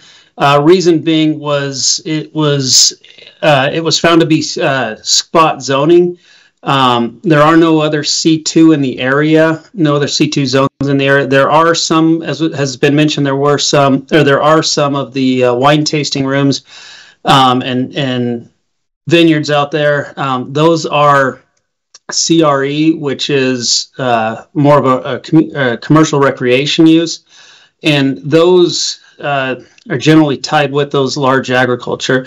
Uh, where a restaurant is a C2 zone, um, staff found that that would be uh, spot zoning as there's no other uh, commercial in the area other than those CREs. So uh, staff recommended uh, denial based on that. Um, commission agreed with it and, and did recommend um, denial as well. So I'd be happy to answer any questions. Are there any questions for Mr. Walsh? I would have one question for Mr. Walsh. Go right ahead. Director Walsh, um, I know our general plan is coming up for review here. Can you can you let me know when that is? Yes, Chair, uh, Madam Chair, Supervisor Lingenfelter. Um, our general plan is up for review, and we're actually beginning that process. It is due in 2025. So uh, our our general plan is is reviewed and updated each every 10 years, and ours uh, is every based on the basically it, our next time will be 2025. So. That's when it comes before the board um, for reapproval, and that's after considerable citizen input. Is that correct? That is correct. So it is a, a lengthy process. We're, we're beginning to set up, uh, or basically we're doing our planning, and we'll we'll be bringing that to the to the board for for review as well. Um, but we will be meeting in the various uh, communities to to look at um, what you know what changes if any, if any need to be made uh, to the general plans to uh, meet citizen input. Um, we'll be making those uh, take those recommendations package them together. They'll go before planning and zoning commission and then to the board. But yes it, it's it's quite an extensive project uh, to uh, put together a general plan update. That's all the questions i have for director walsh Yes, I, I have a question of Director Walsh. Uh, this is considered spot zoning. Have we done spot zoning in specific locations? And if so, uh, what type of circumstances allowed that? Madam Chair, Supervisor Bishop, um, general planning practice, we try not to do spot zoning. Um, and it's basically you know, general planning uh, practice, you want to have congruent uses, uh, compatible uses next to each other, um, and and get that flow of, of various types of uses. Um, the board at times has approved uh, zones that that staff would have you know recommended against, but the board has uh, a different view or a, a, a larger view, I guess I would say. You know, staff generally we look at um, specific on zoning and and whether those uses are compatible. Um, the board may disagree with staff on whether certain uses are compatible. Um, the board may see a, a, a, larger picture as far as um, wanting a, a, certain area to have uh, what would be cons- considered spot zoning. But in the end, um, the board approved uh, the zoning ordinance and and you know the the zoning maps. They they also approve the general plan, and therefore, if if the board finds that um, a certain use would be uh, well suited for a, a, certain property, the board has that discretion to be able to approve it. Okay. Um, I'm I'm thinking uh, along the lines of safety. Um, I go out to the wineries and, and have a glass of wine, and I might have two glasses of wine if, if there was an establishment like this in the area where I could uh, have some food before or or after. Um, so I, I think it, I I think they kind of complement each other. So, um, I'm not sure. Maybe this is something we can look at at the um, 2025 general plan. But uh, the wineries, as it sets now, can can also offer food without the C2 zoning. So it's a little confusing. If the wineries can have special events and and offer um, offer um, special dinners and and uh, foods, I'm not sure that's a whole lot different than a 30 seat little restaurant in the area. So what what do you think about that? Can we get a special use permit maybe? Uh, Supervisor, Madam Chair, Supervisor Bishop, um, I guess what I, really it's up to the board's discretion on on whether or not this would be a, a good application. Um, if I may, I'll share my screen, and that might just to to share, you know, where staff where staff's recommendation is coming from. Um, so let's see if it's coming up. I don't know if you're able to see that just yet, but um, in the area, so there we go. Uh, the the highlighted parcel is the the proposed parcel. Um, down south, you have Valle Vista. Um, and then this would you you basically continue up Painted Rock and then turn left on Brooks Boulevard.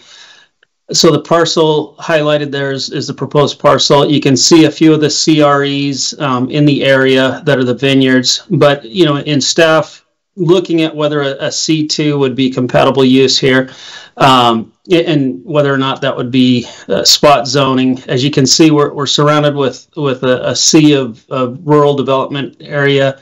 Um, and then many of the zones around there AR five acre uh, minimum for the for the most part or, or larger.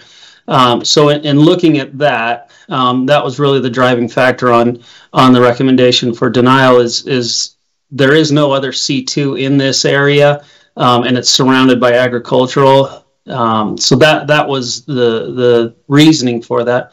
Uh, again, if the board feels that this would be a, a good uh, location for this restaurant, by all means, you know, we would support it and we would um, would work with the applicant to do so.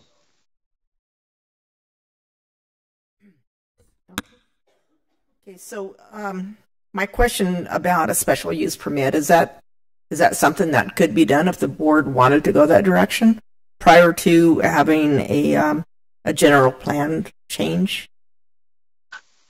Madam Chair, Supervisor Bishop, uh, if I may, I actually have uh, my planning director. He's he's chiming in as well. If I could have him help me in, in addressing those questions. Sure. Madam Chair, uh, members of the board, um, Supervisor Bishop, um, just to kind of clarify a little bit as well, the CRE zone uh, does allow for kind of like your country club your resort type activities. Um, the Stetson Winery was rezoned in 2011 to CRE. So I do believe that's they were fitting the, the Stetson Winery under that um, approval is it's, it's more of like a, a country club. It does uh, interact with the agricultural uses on site. Um, a restaurant, uh, just looking at our CRE zone, I can't fit a restaurant in our CRE zone. It doesn't allow for it outright. Um, so that that's why we uh, told the applicant that that's the zone that they would have to go to if that's something that they would want to do on that property. The C2 zone also allows for your uh, auto repair shops, your um, retail stores, restaurants, gas station. That's one of the reasons why we feel that this is not a uh, appropriate zone for this location, that it, it shouldn't allow for those types of uses in the rural area. That's why we recommended uh, denial. As far as your question is concerned about a special use permit, we do use special use permits for uh, special events uh, so if they were going to be holding just a special event every six months, I think you can hold one uh, event every six months, not lasting more than four days. then they could um, apply for a special use permit. Uh, But other than that, I don't, uh, a special use permit specific for a- a restaurant is not something that's specifically allowed in the AR zone. Okay, and it, it's a, uh, it's not allowed in the CRE zone either, correct? Madam Chair, Supervisor Bishop, that's correct. Okay, thank you. Anyone else? Supervisor Lingenfelter? Uh, I have a question for Director Latoski. It's more of a transportation related question, obviously.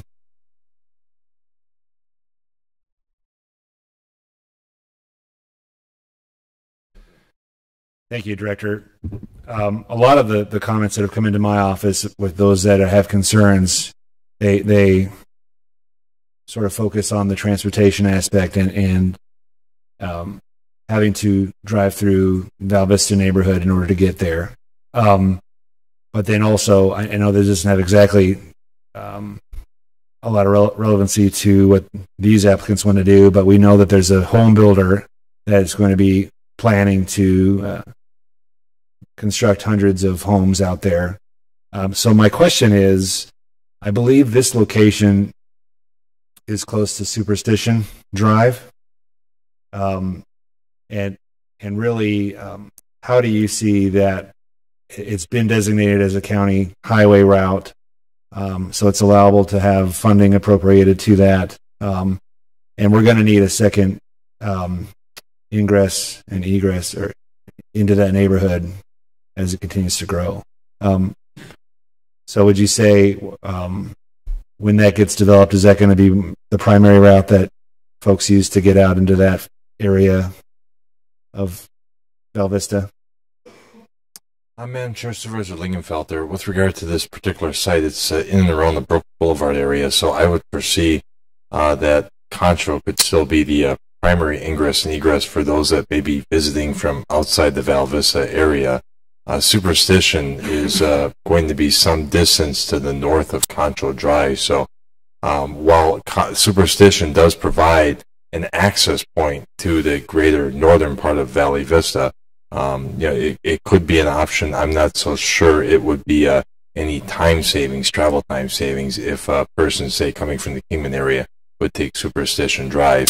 Um, but in all essence, uh, with the plethora of development, residential development adjacent Concho, the travel time difference may not be too substantial. In fact, it might be more or less the same. Uh, uh, so uh, it all depends on how superstition is laid out. If there's a more of a higher speed, you know, 35, 40 miles an hour, and not too much uh, driveways, where Concho has a lot of driveways, yeah, it, it might actually be a uh, equivalent travel time, even though the travel distance may be just slightly greater.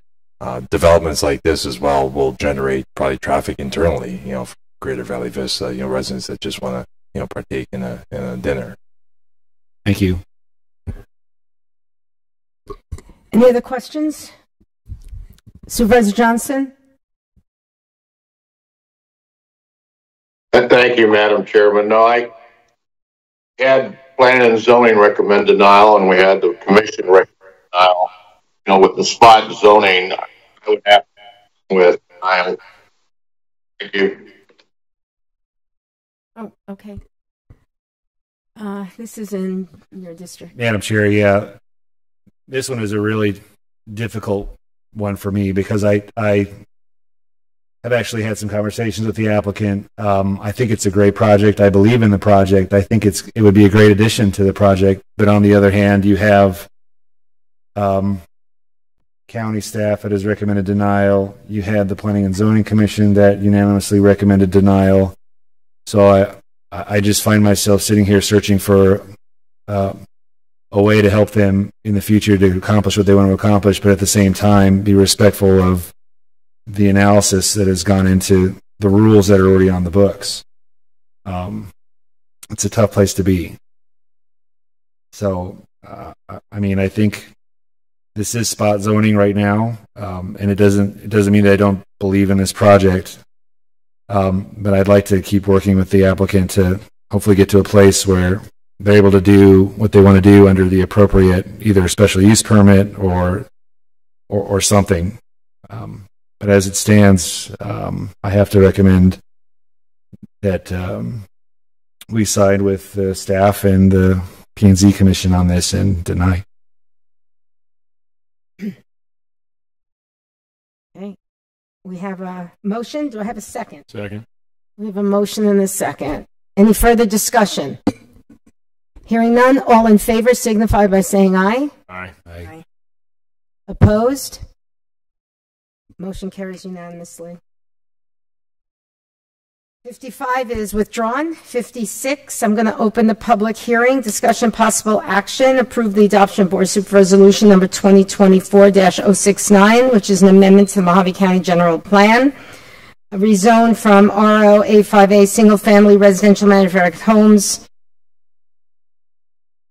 to an RO A1A, and the commission recommended approval by a six to two vote.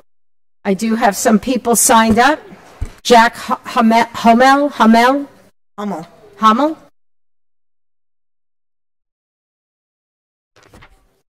And then Don Harris. Good morning, Madam Chair and honorable supervisors. I would like to speak for two perspectives here. I love this city, I love the county, I love the whole thing we've got going here, some rural, some commercial. We, there's needs for that. Everybody needs it. I've been asked by a bunch of people, and I mean a whole bunch of people, to come here and scream and yell and carry on and, and ask for this to be put away. I moved here 25 years ago. I had a house built, so I'm partly responsible for the development that's going, the trend.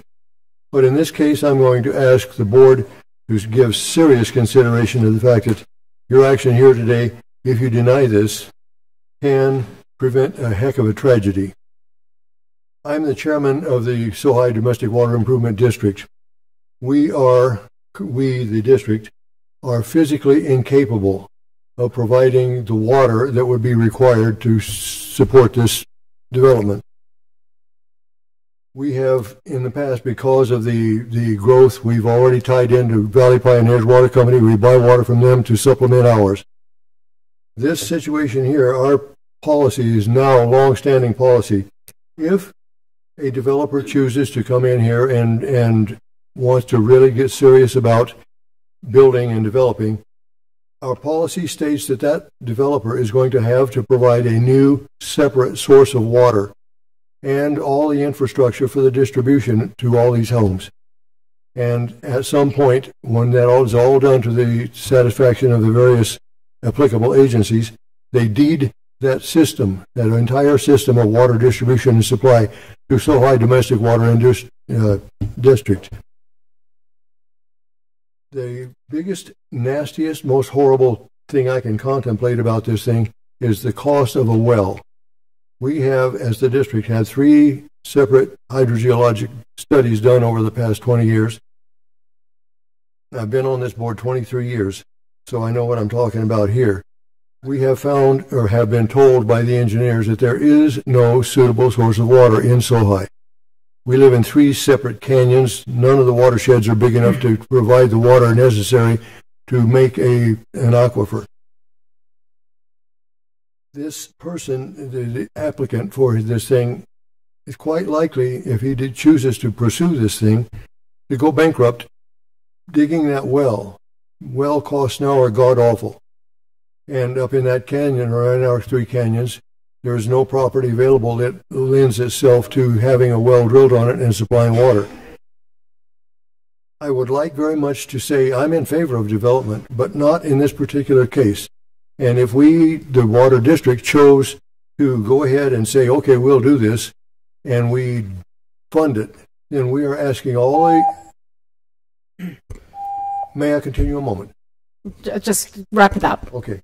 I, if we went ahead with this on our own, we would be loading the cost of it on the existing subscribers. Okay. I cannot support that. Okay, thank you very much. Thank, Thank you very you. much. Don, Don Harris, and then Catherine Green. Good afternoon. I'm Dawn Harris. Um, I live on Ramp Road in Sohai uh, community.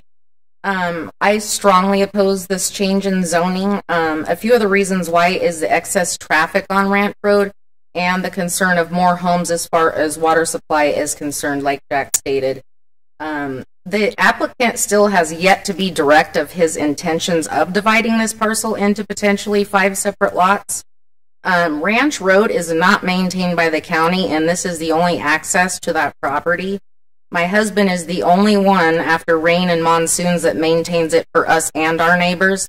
And the intersecting road, Castle View, is also maintained by one resident, which is not the applicant.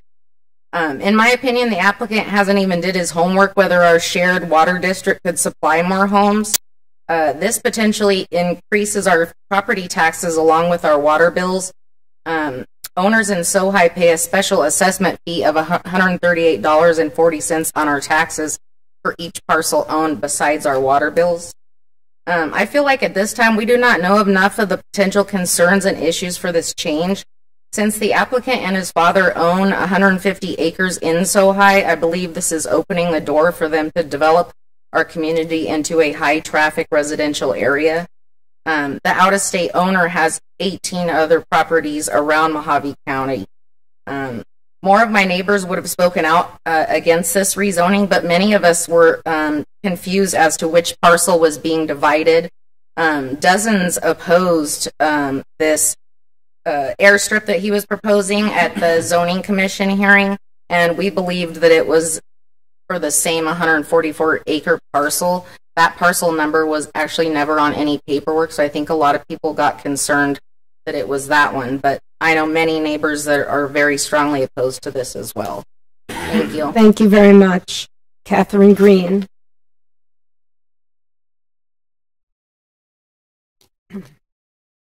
Good afternoon. My name is Catherine Green, and I live at 4680 Thurman Drive.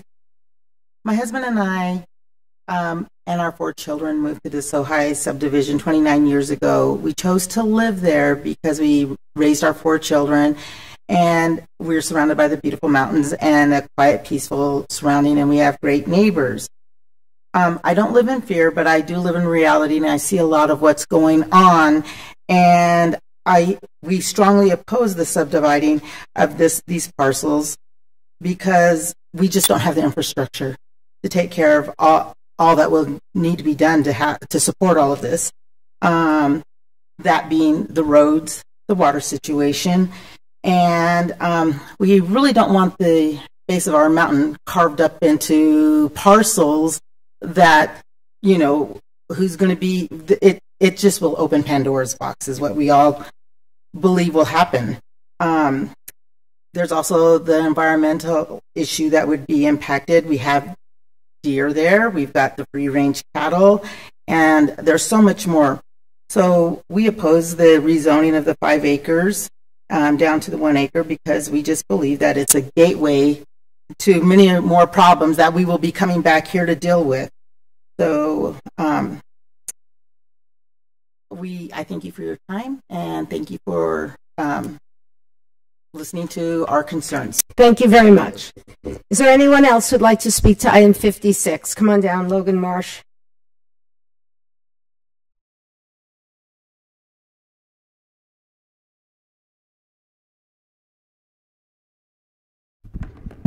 Board Supervisors, Chairman Angius, thank you again for letting me speak today. Um, I do know the applicant would probably be here speaking on his own behalf, but he had a medical emergency last week and has got airlifted to Sunrise in Vegas. So I would I would ask if the board to probably reconsider this, uh, where he actually has the opportunity to talk. Um, he's a really a great guy. Him and his his dad. These are some of the first people I met when I moved to Mohave County. Um, I understand the fears from the constituents in Sohi. Um, I don't know the in depths of his plans, but like the rest of you, I think I'd like to hear them. So I'd give the applicant the opportunity to actually speak. Thank you. Thank you very much. See Jennifer Esposito coming on down. Thank you, Chairman Angius. I watched the entire uh, planning and zoning meeting. Um, my only, my, my real concern with this is if you develop additionally, you know, more construction, more parcels, maybe more homes, is that the grading and the uh, construction might change the way in which the water flows off the mountain. I don't know if all of you um, have actually been to Sohi, and, and understand, you know, the sort of the canyon way and the way that it's laid out there. But my concern is that if you start doing a lot of, of moving of dirt and, and clearing of brush and stuff, that you actually do change the way in which the rainwater and the flooding come off of the mountain. And being that the roads aren't maintained, my concern is for the, just for the safety and the ability of people to get in and out. Because I do know, being a property owner in nearby Golden Valley, which is technically, I guess, all the same thing. But when those monsoons come through there, boy, they can really do some damage. So, um, you know, I would say that I'm I'm in opposition to this unless I can be swayed otherwise, just because of the public safety issue and the ability to get you know fire and EMS up there if it if it does cause additional flooding downstream or down down mountain from uh, the property owner in this case. You know, that's that's just something that concerns me. So thank you. Thank you. Anyone else? Item 56. Seeing none, I will close the public hearing. Madam Chair? Oh, yes, Supervisor Johnson. Thank you, Madam Chair. I've, I've got a question for staff. This is just a land division. This isn't building homes or anything else, correct? Madam Chair, Supervisor Johnson, that is correct. Thank you. That's all I had. I'd like to ask Jack Hummel uh, to come back to the podium. I have a question.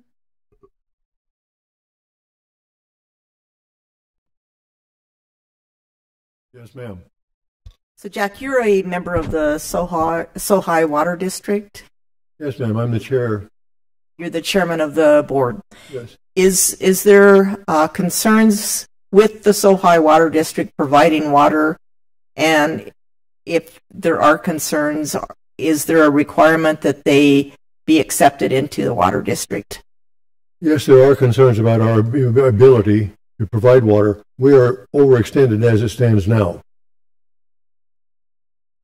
In order for this proposed subdivision to take place, we would have to demand, per policy, that the developer find a new separate water source and provide the, the water source and the, all the linkages, all the piping and everything that goes with it. Require them to turn it over to Sohai Water District to deed it to us in perpetuity so that we manage it. That's a big cost. And add to that the cost of a well, which is god awful now.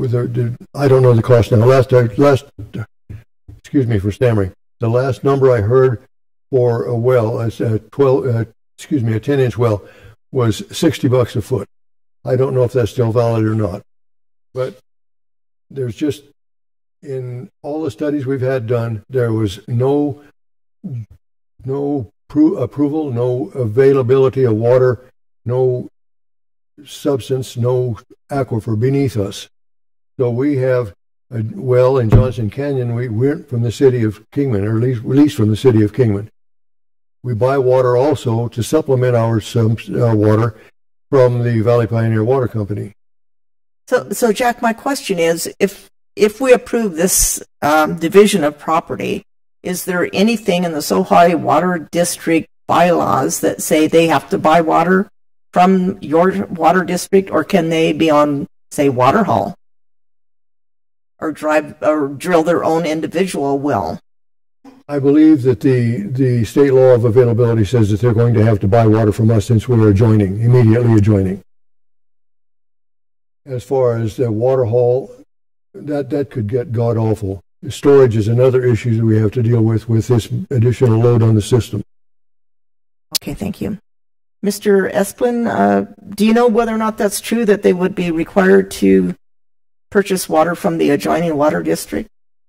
Well, let me just make sure something's clear. It sounds like they are not in the district right now, correct? I beg your pardon. I'm hearing impaired. It doesn't sound like the parcel is in the district right now, correct? It is not. Just outside. It's immediately adjacent. Under ordinary circumstance, if we had the ability to supply it, we would be glad to. So if the parcel is not in a district, it's not subject to the district laws. It's not in the district. I mean, it's as simple as that. So he's going to have to figure out how to get water. He may contract with the district. He may petition to enter the district. He may haul it in. He may find other means to get it, but he's not subject to the rules of the district, but he also doesn't get the benefits of the district either. he doesn't have a right to district water because he's not within the district. Okay, thank you. So, uh, buyer beware if, if they divide this property and decide to sell it, it's up to the uh, purchaser or the owner to figure out the water situation. Anything more, ma'am? No, thank you, Jack. Thank you very much. Okay. Anyone else have a question for anybody? So this is in my district, and I understand the, the problems with water in Sohi, and it's it's a, a valid concern, and it has been for, for as long as I can remember. But it shouldn't prevent a property owner from uh, dividing his land. That that's his decision. Should this board approve it, and I I think we we should approve it. And um, it's not our job to determine how they're going to get water to it or utilities of any type. Okay, is that a motion? Yes. So we have a motion and a second. Any discussion? Hearing none? Those in favor, say aye. Aye. Aye. Opposed? Motion carries unanimously. Item 57, I'm opening up the public hearing. Discussion possible action to approve the adoption of the Board of Supervisors Resolution Number 2024-070, and that's a rescission of the Board of Supervisors Resolutions 2011-121 and 2013-128 to remove the energy wind overlay zone from an AR36A zone. Commission recommended approval by unanimous vote. Is there anybody who wishes to speak to this? Item 57? Anyone? Hearing none, I'm going to close the public hearing. What's the pleasure of the board?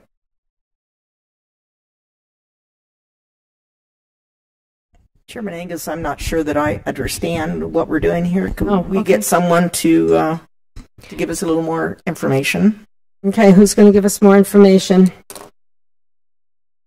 Madam Chair, Supervisor Bishop, Board, uh, these items, so uh, item 51 and then now 57 and 58.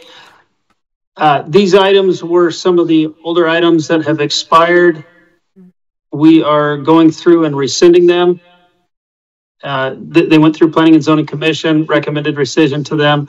Uh, Just cleaning up some of these older items that have not met the requirements of their approvals. Okay, I understand. Yeah, let's just uh, clean up. There's nobody here interested enough to come to the meeting to oppose it. So, okay, Okay. Motion? I'll make a motion that we approve. Second. Motion and second, all in favor? Aye. Aye. Opposed? Motion carries. Madam Chair, on item number 58, I had a family member that worked on this, so I'm going to recuse myself and step away. Okay. So I'm going to open the public hearing for item 58. It's another rescission of Board of Supervisor Resolution 2007-535 and 2008-255 and 2008-325 to revert the property to an agricultural residential 10-acre minimum lot size. Um, We do have somebody signed up, and that is Bruno Russo.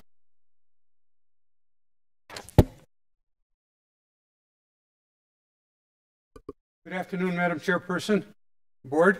My name is Bruno Russo. I reside at 4185 Lomita here in Kingman, outside city limits. Um, I represent the Golden Eagles Radio Control Club.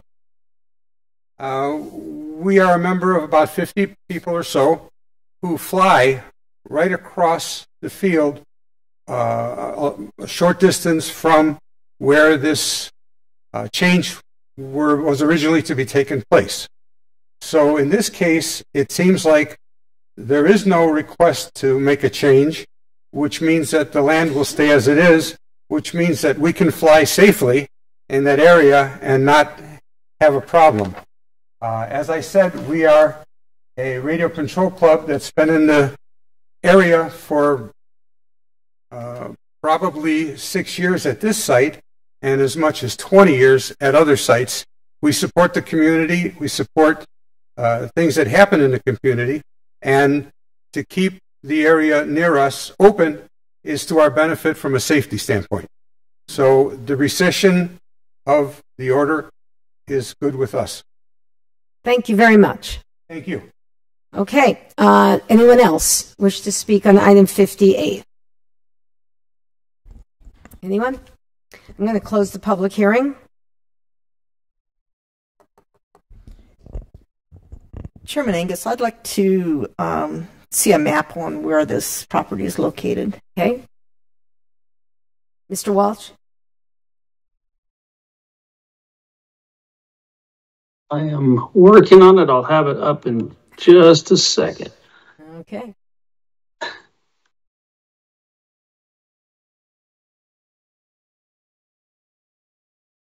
See.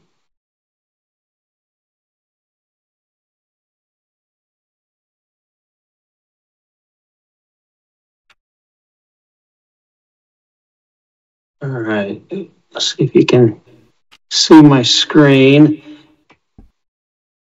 This is located near the uh, industrial park, the airport industrial park in Kingman. Uh, rather than turning right to go into the industrial park, you take a left onto Grace Neal Parkway. And this actually encompasses all of that area north of the Grace Neal Parkway. Well, I'm sorry, not all of the area north of the Graceville, Grace Neal Parkway, but between Avenida Verde and Avenida Halfley. Okay, and it was rezoned. Uh, how long ago? So back in 2009, um, it, this was proposed and, and approved as a specific zoning plan. So there was a 2,100 acre master plan development planned for this area. However, that was just before the the the, the Great Recession that occurred, and and those plans uh, did not go forward.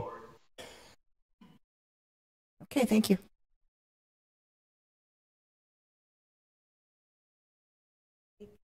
Motion to approve. Motion, do I have a second? Second. We have a motion and second. All in favor? Aye. Aye. Aye. Opposed? Motion carries. Thank you. Um, 59, I'm opening the public hearing. Discussion of possible action. Approve an amendment to ordinance number 2020-07, which ordinance was adopted pursuant to ARS 11268, establishing a fee schedule for the abatement of public nuisances. We do have a few people. Chuck DeShazier, still here? There you are.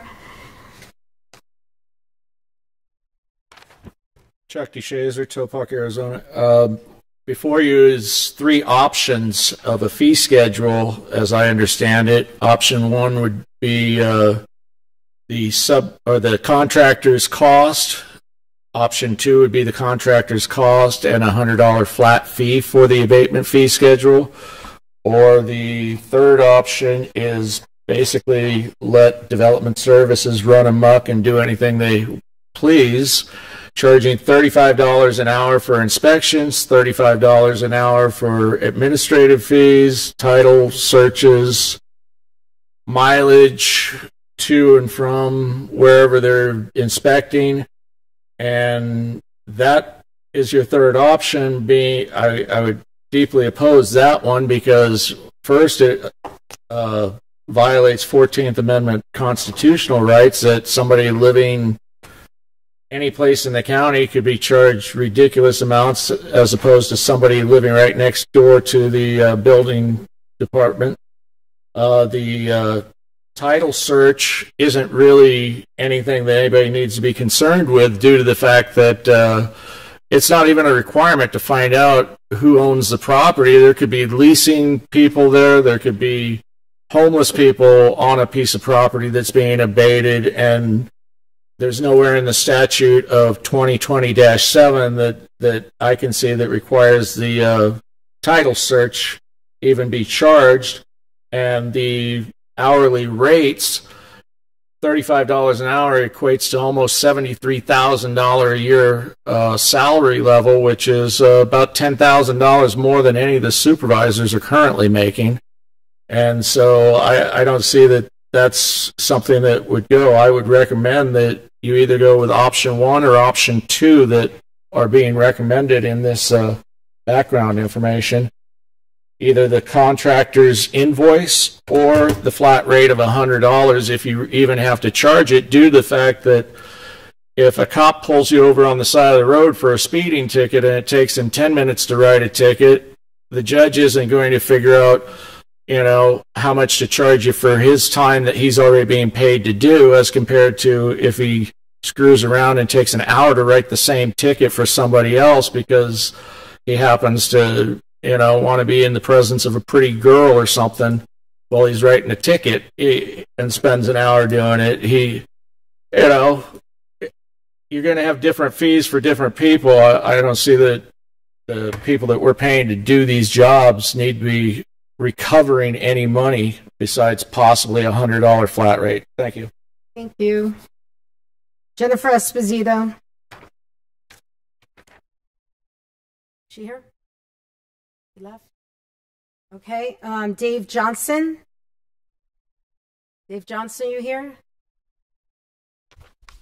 Okay, that's that's all that's signed up for that. Is there anyone else who would wish to speak to item 59? Okay, with that, I'm going to close the public hearing. Anyone have any questions or Supervisor Johnson? Yes. Thank you, Madam Chair. Um, This kind of goes back to where we got, the county got itself in trouble with not collecting uh, fees to cover the expenses of somebody requesting something. Obviously, they didn't request this because they violated the law. But if we don't collect the fees and collect what it costs us to do it, then the rest of the taxpayers are going to have to pay it. Thank you. Okay. Anyone else? Supervisor Gould. Thank you, Madam Chairman. If I get Director Walsh.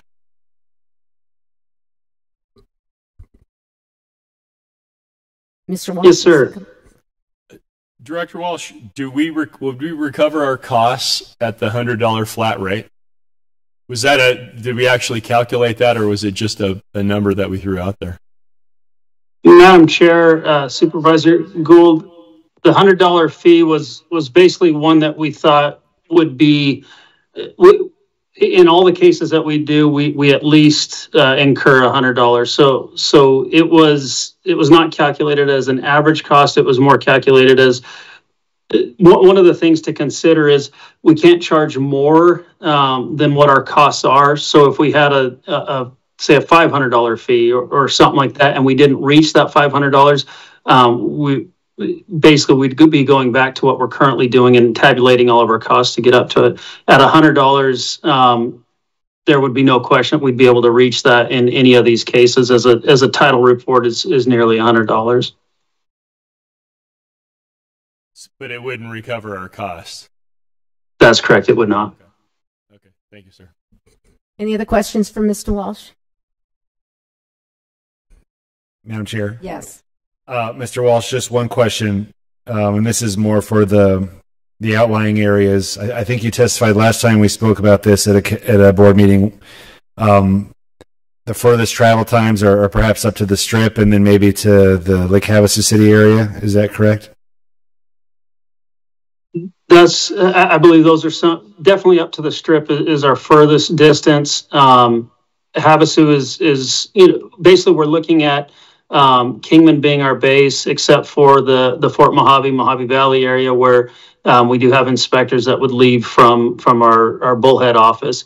Um, so yeah, I think as you're looking at, say, even Wikieup or, or Lake Havasu, or definitely going up to the strip, we've, we've got some good travel time to get to those locations. Great. All right. Um, and then another thing that I remember coming up is just multiple title reports. Um, how many title reports? Is there a cap on title reports?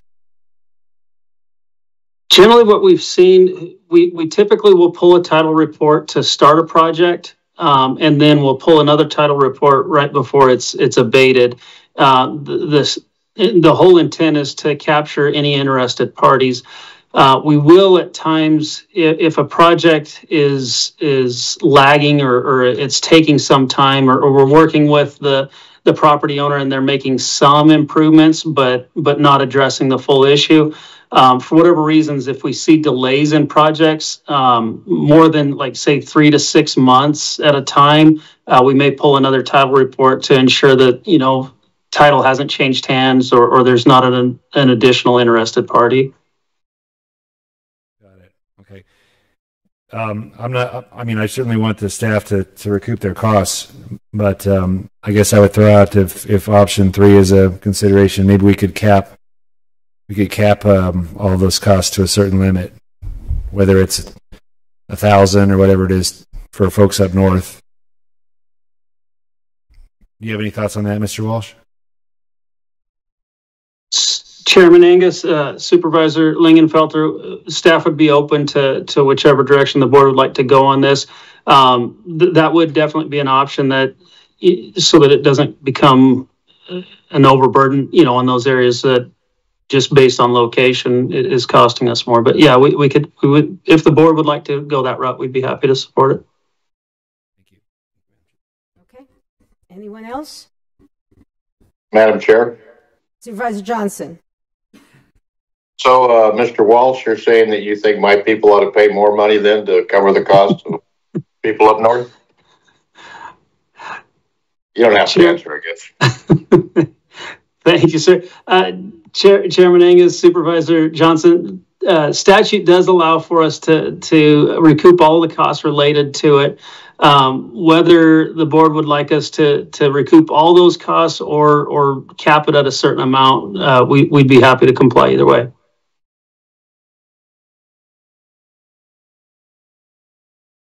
Else, Supervisor Johnson? No, Madam Chair, thank you. Okay. Anyone else? So what's, uh, what's the pleasure? Uh, Chairman Angius, if I can just jump in real quick. Sure. So uh, there is, uh, as uh, Mr. DeShazer pointed out, there are three options to, presented to the board here. The first one is just recouping the contractor costs. The second one is to recoup the contractor costs as well as a fee of $100.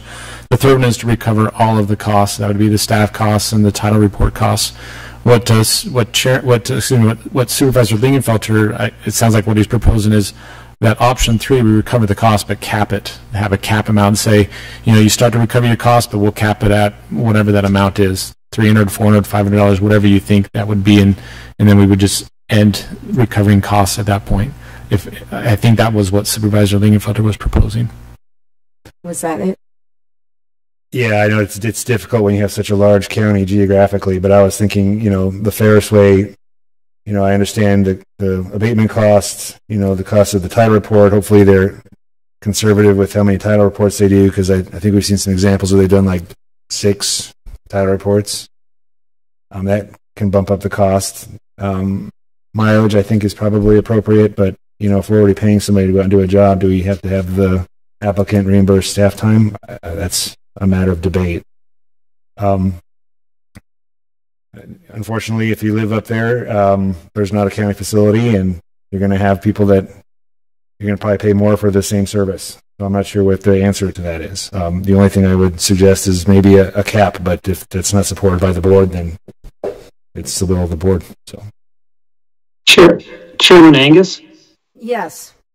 I, I was just corrected by my chief building official. Um, in calculating mi- mileage up on the strip area, we do calculate it from our Beaver Dam office. So it's not coming all the way from Kingman. It is originating at the Beaver Dam office. So that may, that will help as far as mileage goes on that. Chairman, I appreciate that, Madam Chair. Thank you. Anyone else? Anyone take a crack at the motion or a choice here? Madam Chair, Yes, Supervisor Johnson. I'd make a motion to collect full restitution for our costs.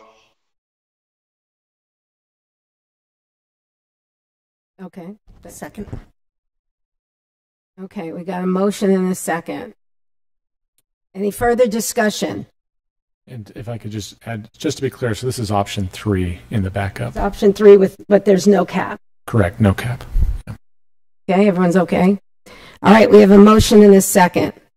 All in favor? Aye. Aye. Opposed? Motion carries.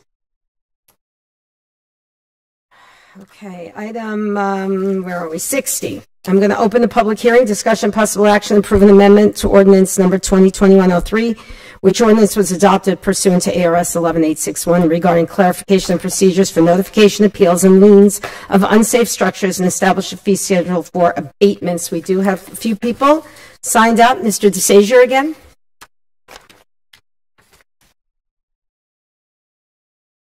Yes, before I speak, uh, I would request that uh, someone, whether it be Tim Walsh or the clerk of the board, read.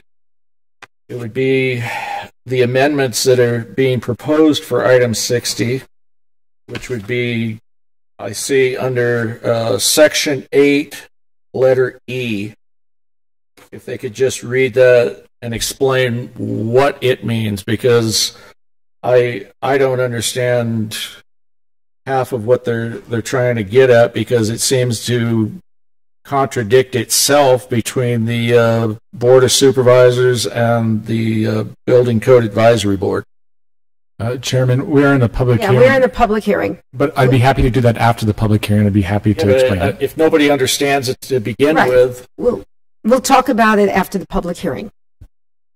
Okay, because in section E, as I read it, it's giving a from the notice of appeal 30 days uh, after the chief building official has written his notice to appeal it to the uh, building code advisory board.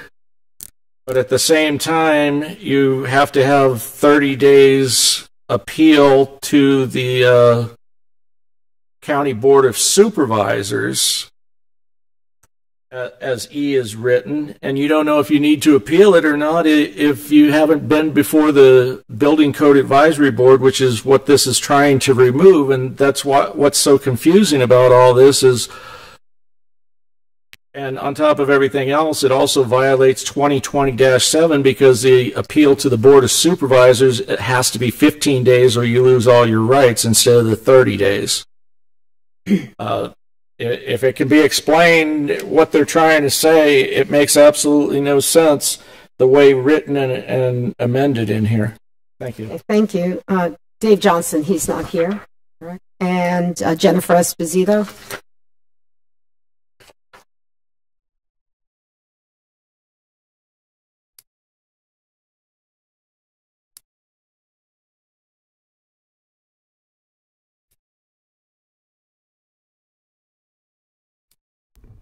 Jennifer Esposito, thank you. Um, I oppose this as it's written. I think it's extremely poorly written. I think it's extremely confusing. Uh, I still have concerns about any time you want to uh, sell someone their right to appeal something. Um, you know, I, I would oppose any codifying of that because I think that. Uh, you know, it, you can appeal and you can appeal and eventually you're going to get to court. And if you get to court, then you have to pay to appeal. But honestly, um, this board sets the policies. Development services is a hot mess. It, it all goes back to the uh, international codes, which are only a framework. They are not supposed to be, you know, swallowed whole and then figured out later. They're supposed to be used as a framework even though I oppose them unilaterally, but a framework to be adapted to your particular situation, which doesn't really apply to rural Mohave County as like for HOA rules for Geneva, Switzerland or something with some of the stuff. But I think that the appeal should be just directly, I mean, if you want to have two appeals, okay, fine, but don't charge anybody for it.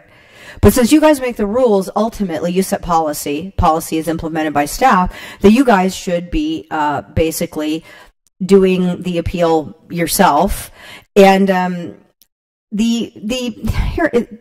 The advisory board is really only to advise the department because they're mostly contractors, right? And so their their livelihood depends on their good relationship with the department. So I don't exactly see them as an impartial arbiter, but I don't really think that that's their job. If you want to add that extra layer of due process, fine, don't charge anybody for it.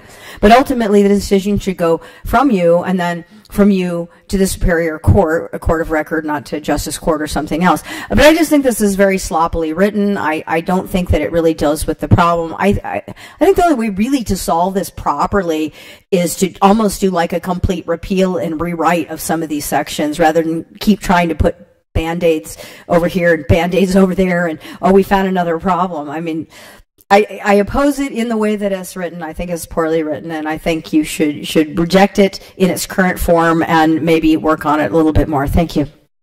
Thank you.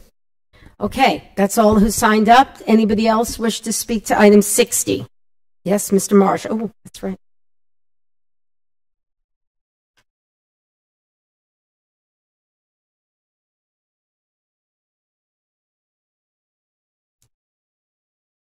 Well, I think this is the most I've spoken one day. Uh, again, thank you, Chairman, Board. Thanks for having me again. Um, I also object to the way that this is written. I did have time to go through a lot of the backup documents. There's several things that concern me, but uh, I think what concerns me most, being as I'm a car guy, um, I like cars, I like to build cars. Currently, me and my daughter are in the middle of a project of building a really nice lifted suburban. And if you go to uh, page 21, section K, um, they're amending the code. Uh, it's going to be section 3028 motor vehicles. Amend first sentence to read, except as provided for other regulations, including Mohave County zoning ordinance, no inoperative unlicensed motor vehicle shall be parked, kept, or stored on premise. And no vehicle at any time should be in a major state of disassembly or repair or a process of being stripped or dismantled. I know it exists. It shouldn't exist at all. You know, this is the American dream. I bought my property. If I want to take a car apart and do what the heck I want with it, I should. Um, there are so many things through these line codes that just make no sense. You know, and I'm a smart guy. I'm a business owner here in Mohave County. I've dealt with a lot of legal uh, situations where I had to read through legal garbage that is very, very, very hard to read. Um, this is not written correctly, and I, I, really would suggest you guys send this back to be a little bit more understanding for us average folks. Thank, Thank you. you. Hey, anybody else? Item 60. I'm going to close the public hearing. Anybody want to hear from anyone? I think Ryan wants to chime Ryan. in. Who? Ryan? Yeah. Okay. It's a dramatic reading. Uh, I can read the whole thing if you want, or can I explain it? Is it acceptable if I explain it? No, I, I wrote it. You're, I'm, I'm the one. You can laugh at me. I'm the one who poorly, well, I made the amendments to it. I did. I'm not trying to joke, but I did. And so I'll, I'll, I'll explain it. I'll be happy to explain it. So let me back up before I explain it so we kind of understand the, the genesis behind this. Uh, first off, we proposed a, a, a, wholesale number of changes, and we came before the board, and the board didn't want to do that. And so I carefully watched the last board meeting when this was brought up in January, and there was two items that the board wanted to see. The two items from that meeting, and if you can go back, you can watch the meeting. One was the board was mostly open to the idea of appealing the Building Code Advisory Board decision to the Board of Supervisors. So the building, that, that was one idea was, okay, the Building Code Advisory Board decision, that gets appealed to the Board of Supervisors. The other idea was the board wanted to just remove the unsafe structure appeal from the Building Code Advisory Board and instead just have the Board of Supervisors make that decision. So it was kind of, I'm trying to mesh these two ideas and try to get this into here. One is appeal the decision of the, of the Building Code Advisory Board to the Board of Supervisors. And then the other one is, no, no, no, we just want, we want to, we don't want the Building Code Advisory Board to hear unsafe structures. Instead, we, we just want those to be brought to the Board of Supervisors. So with that said, I went back to the drawing board, and this is how I wrote it and this is what it what this is the explanation. So the Building Code Advisory Board shall serve as the board to review all decisions and actions of the chief building official, determine the suitability of alternative materials and construction, and provide interpretations of the code. So there. The Building Code Advisory Board serves to review the decisions of the chief building officer, except except that if the chief building officer's decision whether a structure is unsafe or not, that is to be reviewed by the Board of Supervisors by filing a notice of appeal within 30 days of the date of the chief building official's written decision. So basically, if the chief building official says this is an unsafe structure, it comes directly to the Board of Supervisors. And that's what the board wanted at the January meeting. So there's that. Okay. Then the next sentence says the Building Code Advisory Board shall have no authority relative to interpretation of the administrative provisions of this ordinance, nor shall the board be empowered, empowered to waive requirements of this ordinance or those provisions specifically provided in the reference codes of or, of violating accepted engineering practices. This statement was always in there. And then the next part decisions of the board. So this is the board. This is the uh, Building Code Advisory Board shall be binding upon the chief building official and the appealing party, subject to further appeal to the Mohave County Board of Supervisors by filing a notice of appeal within 30 days of the date of the board's written decision. So there. So what we have is building code advisory, or excuse me, the chief building official makes the decision. If it's an unsafe structure, that appeal goes directly to the board of supervisors. If it's any other decision, because they make other decisions besides that, then it goes it goes to the building code advisory code. After that is done, then that person could appeal it to the Board of Supervisors, and the Board of Supervisors would be, would be able to review the Building Code Advisory Board's decision. So then it says the decision of the Mohave County Board of Supervisors may be appealed to the Superior Court by filing the action in the Superior Court no later than 30 days from the date of the board's decision. So any decision this Board of Supervisors makes, you can appeal that to the Superior Court. And that is necessary because we want to make sure that anybody will be able to appeal that to the Superior Court. Failure to follow the deadlines as stated in this section shall be grounds for dismissal of the appeal. I think that's brilliant. We'll leave it at that. I think it's very confusing because Sure. you're using the, the, the term board. Decisions of the board shall be binding up upon the chief building official and the appealing party. Well, if it's for an unsafe structure, there is no decision of the board. Because it didn't even involved. Because it, exactly, it didn't. It went to the Board of Supervisors. Because it goes directly to the Board of Supervisors, that board is never involved with it. See, if you go back up, if you read the sentence before, exactly, except that the chief building official's decision whether a structure is unsafe shall only be reviewed by the Mohave County Board of Supervisors. So it never goes in front of the Building Code Advisory Board, which is what this board wanted. And what, what you wanted too. You wanted that previously. So I'm doing what you wanted and I'm doing what the board wanted. Okay, the only only other problem is the 30 day time frame is in violation of 2020-7 says you only have 15 days on an unsafe structure or anything else. No, 2020-07 is com- something completely different. 2020-07 is based on 11268, and uh, and that is a dilapidated building. Dilapidated building is different than an unsafe structure. I thought that we could try to do that, but I spoke with staff, and I believe they're correct. A, a dilapidated building is different than an unsafe structure. There can be some overlap between the two, but there also could be some differences. And so unsafe, stru- uh, so the dilapidated building stays with 11268. Unsafe structure stays in the 2020-07 realm, or 2020-03 realm. Excuse me, 2021-03 realm. So. Okay.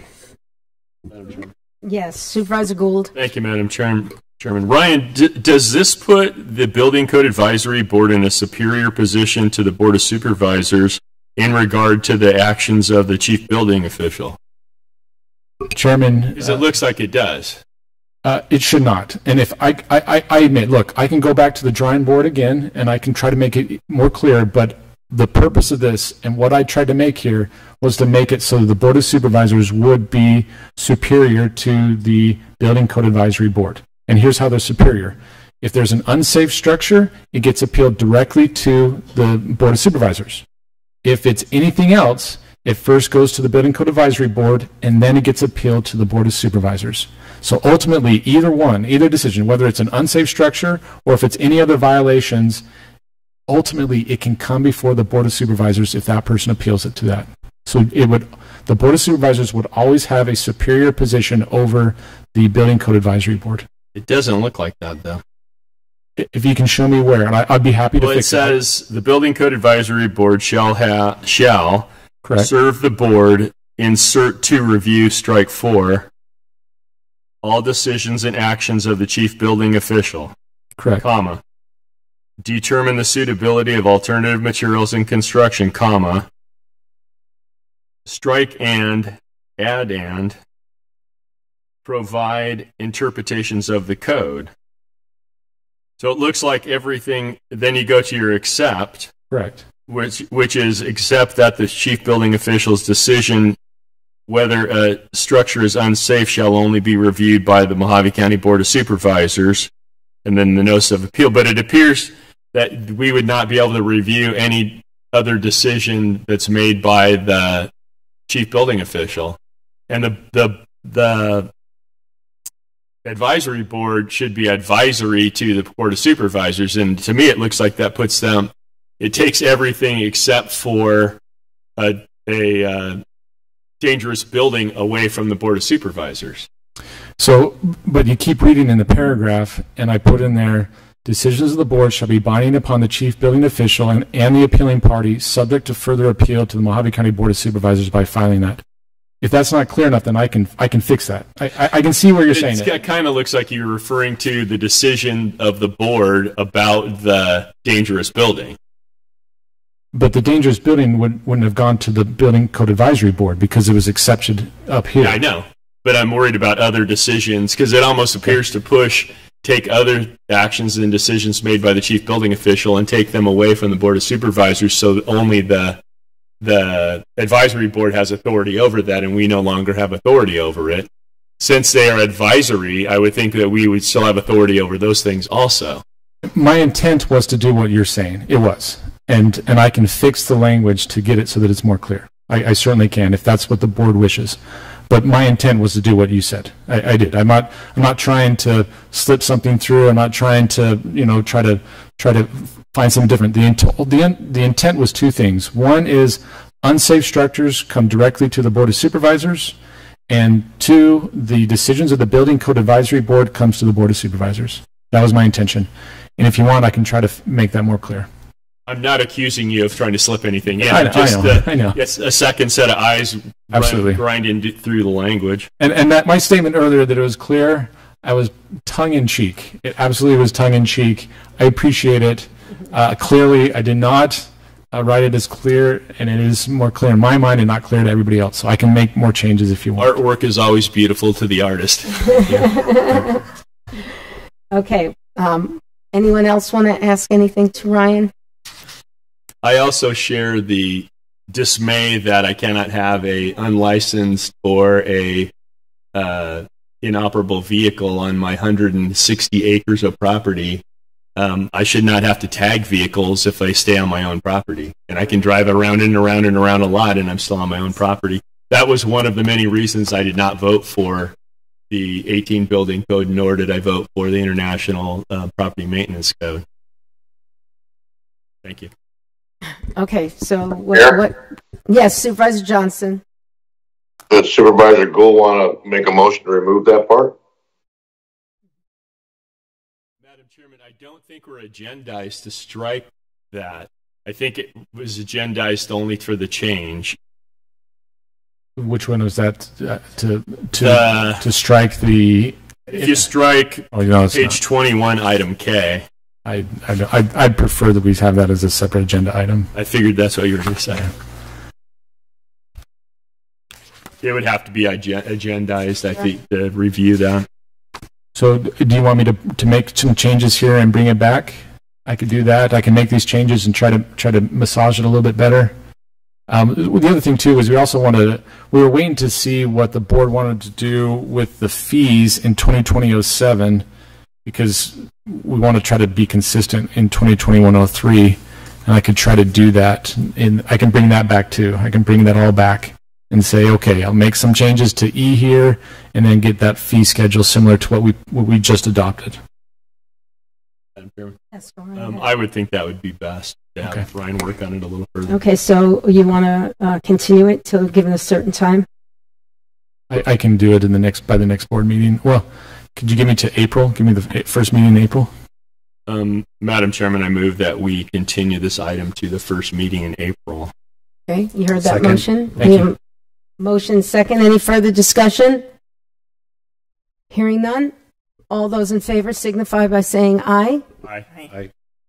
Opposed? Motion carries. We are on the regular agenda now. Number 61. From Tim Walsh, Development Services, discussion and possible action, approve the adoption of Board of Supervisors Resolution Number 2024-075, which amends Mohave County Resolution Number 2020-178, specifying the functions and duties of the Building Code Advisory Board. This amendment makes the finding or decision of an unsafe structure only appealable to the Mohave County Board of Supervisors. I have two people signed up to speak. Again, Mr. DeShazer. Again, Chuck DeShazer, Topock, Arizona. Um, on this issue, I have a couple of things on the background information. Uh, you have, it, I don't know if Ryan did it or Gilbert did it or whoever, but it, it sure looks like a third grader with a crayon from, you know, trying to reset resolution 2020 uh, whatever to 178 to 2024-075. I don't know if it's amendments to existing resolution or a Freudian slip when in whereas the Board of Supervisors wishes to amend the functions and duties of the Building Code Advisory Board so that the funding, not findings, of the or decision of an unsafe structure are only appealable to the Mohave County Board of Supervisors. It needs to be finding, not funding, on that front page. And in the other amendment to this, under Exhibit A on the second page, it appears that we have a chief building inspector and a chief building official all within the same paragraph. Do we have different people or is it titles? You know, I'm not really opposed to removing the building code advisory board from anything that is happening here. It's just that really poorly done as far as whether we have officials, inspectors, or officers as chief building. Okay. That's where I said on it. Okay. Um, Mr. Esplin, do you want to? I don't know where the, where the errors are. The first one? The first one Is on. Yeah, Exhibit A. It has to do with funding or decision. The whereas, the third line down. Probably a Freudian slip at this point, but I'm just seeing if I have the same one. Okay, so I'm looking. Oh, yeah, you're right. Okay. okay. Okay. I know the county loves funding everything, so all about funding. Uh, I see. I, I I was looking at an older version, and uh, so uh, certainly I can make that to be finding. Okay. And then on the sec, the next page where it talks about Exhibit A in the very top paragraph, the paragraph reads building official, and then in the amendment in red that it talks about chief building inspector. I don't know if that's the top inspector or there's a difference between those or it's just misworded or I can I can make that change as well. Or if there's a chief building officer, which would be a third option. Thank you.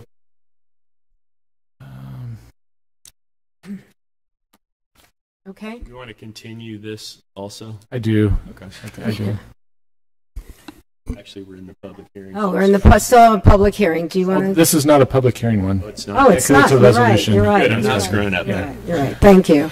Okay. Um, Jennifer Esposito. Thank you, Chairman. Uh, my objections are the same as Mr. DeShazer's. The inconsistency of language is a typographical error. It's not that, that I object to taking that the particular intent of this. It's just that, as written, it needs to be fixed and cleaned up and brought back. So thank you. Thank you. Okay, you want to make the motion, Supervisor Gould? I move that this item be continued to the first meeting in April. I will second. Motion second. Any further discussion? Hearing none, all those in favor signify by saying aye. Aye. Opposed? Motion carries. Number 62, this is uh, to approve the adoption of Board of Supervisor Resolution Number 2024-031 to abandon the public use rights while retaining the public utility use rights within the portion of TW1 and undeveloped dedicated public right-of-way lying between Olympic Drive and Flightline Drive.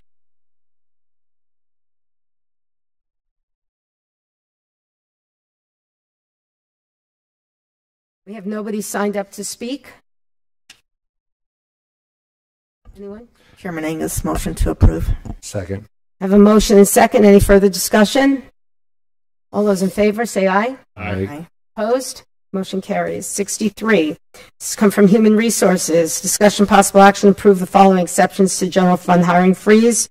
Approved on August 21st, 2023. The clerk of the Superior Court, courtroom clerk, development services, office assistant, and Justice Court, Kingman Cerbat, Justice Court Services Assistant. Motion to approve. Second. Motion second. All in favor? Aye. Aye. Opposed? Motion carries. Number 64, District 1. Madam Chair, no action required. Thank you. Okay, we'll move on then to 65. This is brought by me, and it's a funding agreement for an ARPA project. I make a motion to approve. Second. Second. I have a motion and a second. All those in favor? Aye. Aye. Opposed? Motion carried. 66. Discussion and possible action, receive an update and review the status of Mohave County Public Lands and Recreation Commission. I, I asked um, Mr. Elters to bring this back. It's been a long time since we talked about it, and little by little, the appointments from the supervisors have come in, and now we do have five. Um, I think there may have been a little bit of misunderstanding about going forward. Uh, as Mr. Elters explained, you want to explain what you thought? Well, let me let me go on. That we have people who have specific specialties that might help and assist this particular board with specific projects like like power or solar, you know, things like that. Um, but I don't know if that was. I think that gets it a lot more complicated. I, I would prefer, and I'm, that's why I'm bringing it to the board, that we go ahead and start um, making a, a date for these people to meet. And then when they get the administrative part of it, they'll, they'll elect a chairman, and uh, we need to appoint somebody from development services, like we did for the first uh, commission, uh, and then a supervisor. I think we talked about it, uh, and I think I'm I'm not sure that we decided, but I think you you offered to volunteer to be on that that commission and because because of a lot of the public lands issues and uh, that's what i'd like to do just keep this thing moving forward because it seems to be just stuck yes Madam Chair, um, when the board approved this, they approved the bylaws, and the bylaws in in them said five people appointed by the board and these five specialty people. So as the bylaws are written right now, you would have to have seven people appointed to move forward. So it would have to be an item to revise the bylaws before you could just move forward and have them meet. but could we appoint those people after we meet they meet for the first time They can't meet until there's seven people on the board because the way the bylaws are written, you won't have a quorum until you have seven. seven people including the person the the supervisor it's not seven voting people. Your bylaws said the, the bylaws that were approved said five voting people, one each from um, supervisors, and five that were of a special. Is that what ha- was that the intent I believe it was. okay I so got one to a point, so you might, what's that mean? However, you you guys could bring back an item to change those bylaws, but until they're changed, you have to have seven people in order appointed. to get this going what do we have to do next meeting Madam Chair, board members, um, I sense your frustration because I told you when I discussed it with you. Yes, I'm frustrated.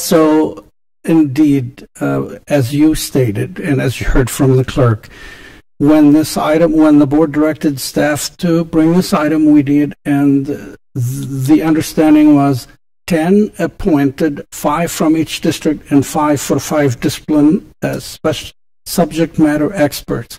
So we have the five from each district, but clearly we need seven to have quorum. So if I may, I'm going to make a suggestion to you.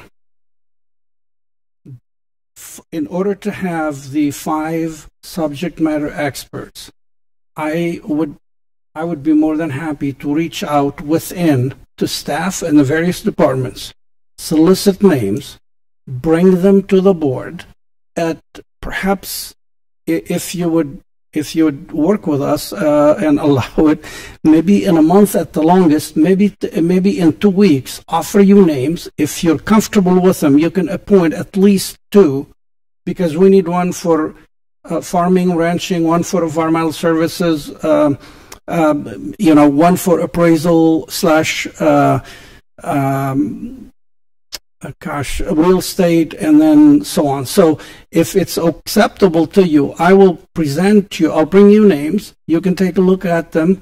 We'll do our best to vet them before we present them to you. If it's acceptable, at least you point point to to get us up and running, and then we can go from there and appoint additional members uh, until we have full quorum. Is, is that an acceptable option? Who, who was supposed to do this in the beginning, according to bylaws? We were supposed to bring the people in?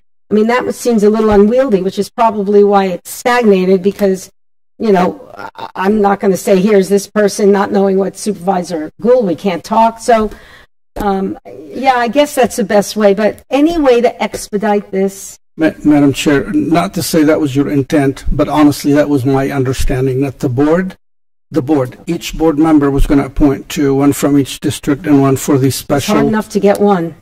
Um, no, I, I'm with you. I, that's why I said it was, I, I don't know that it was your intent, but that was my understanding. And that's why I'm jumping in and saying, with your permission, I'll reach out to staff. We'll, we'll solicit, we'll bring you some names. We'll do our best to vet them and we'll try to cover the five subject uh, matter expert areas and bring you some names to where you can appoint them, at least to get enough for seven to get a quorum uh, in place so you can start, they can start meeting, and then we can continue to appoint until we have full quorum.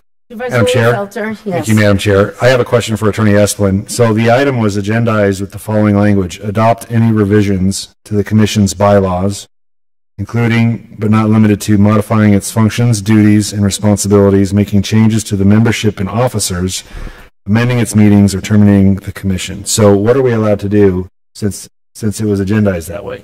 So you're allowed to adopt, um, you're allowed to adopt any revisions you want to make to the bylaws. So you can do that today. We can do that today. Yeah. Yeah. Because it was agendized that way. Yeah, That was my on there. understanding. So if she wants to make a motion to take it down to five, we could take it down to five. If that's what you wish to do, you'd be amending the bylaws, which is permissible today. Yeah. Or we could terminate and start all over again and try to do it right the next time. Uh, you could terminate the commission if you want that. We put that on there too. Well, I, I don't want to terminate it because we have told people and people are waiting patiently, and I don't think that that is a, the right thing to do. Being that I think at least some of us thought it was going to be put together with the initial five and then the, the supervisor and somebody from development service like we did last time, and that was always my intention to mimic what we did last time. Um, so it got kind of fuzzy, and that's okay. So if we could take it to five with a supervisor and a staff member that the manager appoints, the county manager appoints, would that be something that this board could um, work with? And then when they meet and do their, you know, their, their, their administration of who's going to be chairman and stuff, and then they can decide how they want to go forward and which specialties they want to go forward with. And I have a question. How do we determine which supervisor is going to be in, on this board? How we did it before is somebody just, um, just volunteered. So Supervisor Lingenfelter volunteered, but I don't know that it was put out to any of the rest of us. I think, well, I think we talked about it, but if you have another idea of how to do it, Madam Chair, if I may, um, I would certainly throw my hat in the ring for that. It doesn't have to be me. Um, what I threw my hat in the ring for is Um, half of that new Baaj monument was within District 1. And then also there's um, at least a 70,000 acre uh, wind farm proposed up in the north section of the county. Um, and then also there's some lithium mining in the wiki in the Wikieup area within District One. Um, so I would want to be on that for those reasons, but I'm certainly not opposed to hearing anybody else's interest as well. Does the real estate member have to be a current realtor or can they be a former realtor? I'm looking at the bylaws right now. I'm trying to see. Um, Chairman Angius? Yes. I just wanted to put out there that uh, Supervisor Johnson has been involved in our public lands for as long as I can Mhm. remember. I don't know if this was presented to him as a possibility that he might be able to chair this as well, for the same reasons that Supervisor Lingenfelter Right. is uh, concerned. Would- Supervisor Johnson, would that be something you'd be interested in doing as well? Uh, if you need me, I would. And to clarify for Supervisor Gould, I think if they identify as a real, be accepted. I'm sorry, I did not understand what you were saying. Supervisor Are, Johnson, I- are you getting the echo? Okay, we, let's start again. I'm sorry, there seems to be some static on the line. Can you repeat that one more time? Uh, sure, I would, I would be, be considered if you need me to do it. Uh, you're probably gonna have the meetings up in the Kingman area, so it might be easier for, you know, Supervisor Lingenfelter or Supervisor Bishop or somebody up there closer. I just want to let Supervisor Gould know that on the Realtor thing, I think if you identify as a Realtor, you could qualify. And- and To answer the question real quick, um, it's it, it doesn't specifically have to be a realtor. It's just an assessor, appraiser, knowledge representing the private property interests of Mohave County. So it could be a current realtor, it could be a past realtor, somebody that has knowledge in the area of assessor appraisal of private property. Knowledge of assessor or appraisal? So assessor or appraisal knowledge, you know, representing the private property interests of Mohave County. I think at the time we were talking about putting the, literally putting the assessor on the board is what I think that meant. Madam Chair? Yes. If I may make a comment, um, in respect to Supervisor Johnson's longstanding uh, presence on public lands issues, I would absolutely defer to him if, if he wants to do it. Um, if he doesn't, I'd be happy to still do it. Everybody tries to get out of it. Okay.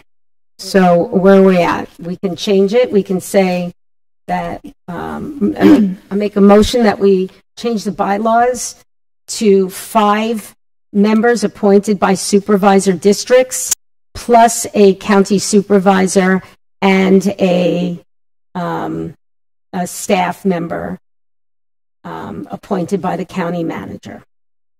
Second. Okay, we have a motion second. Any further discussion? All those in favor say aye. Aye. Opposed? Motion carries. Um, so would we have to, when we come back, would we have to, who, how do we decide which supervisor? Or should we have put that in the motion? Probably should have put that in the motion. Yeah. We can make another motion? Okay. So being that I do think the meetings will be up in Kingman, but if there's issues that Supervisor Johnson has been working for years on, like the uranium, then, you know, you can come up or come in via Zoom. Would that work for you, Supervisor Johnson? Sure, whatever I can do to help. Very good. Okay. So I make a motion that we appoint Travis Lingenfelter, um, the supervisor representative to our Public Lands Commission.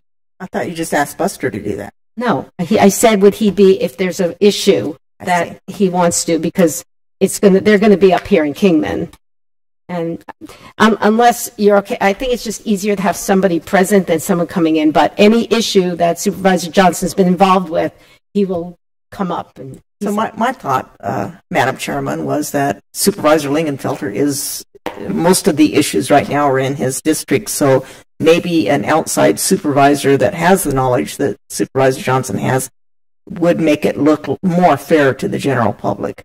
rather than a, a supervisor that has um, uh, more involvement. Well, there can be an argument made that that's what you want. You want a supervisor where their their their land, they're representing people, and that they have the biggest skin in the game. So I, I don't know if I agree with you on that one. But I made a motion to appoint uh, Travis Lingenfelter as the representative from the Board of Supervisors. Do I have a second? Second. Motion is second. Any discussion? Hearing none, all those in favor signify by saying aye. Aye. Aye. Opposed? Aye. Okay, four to one.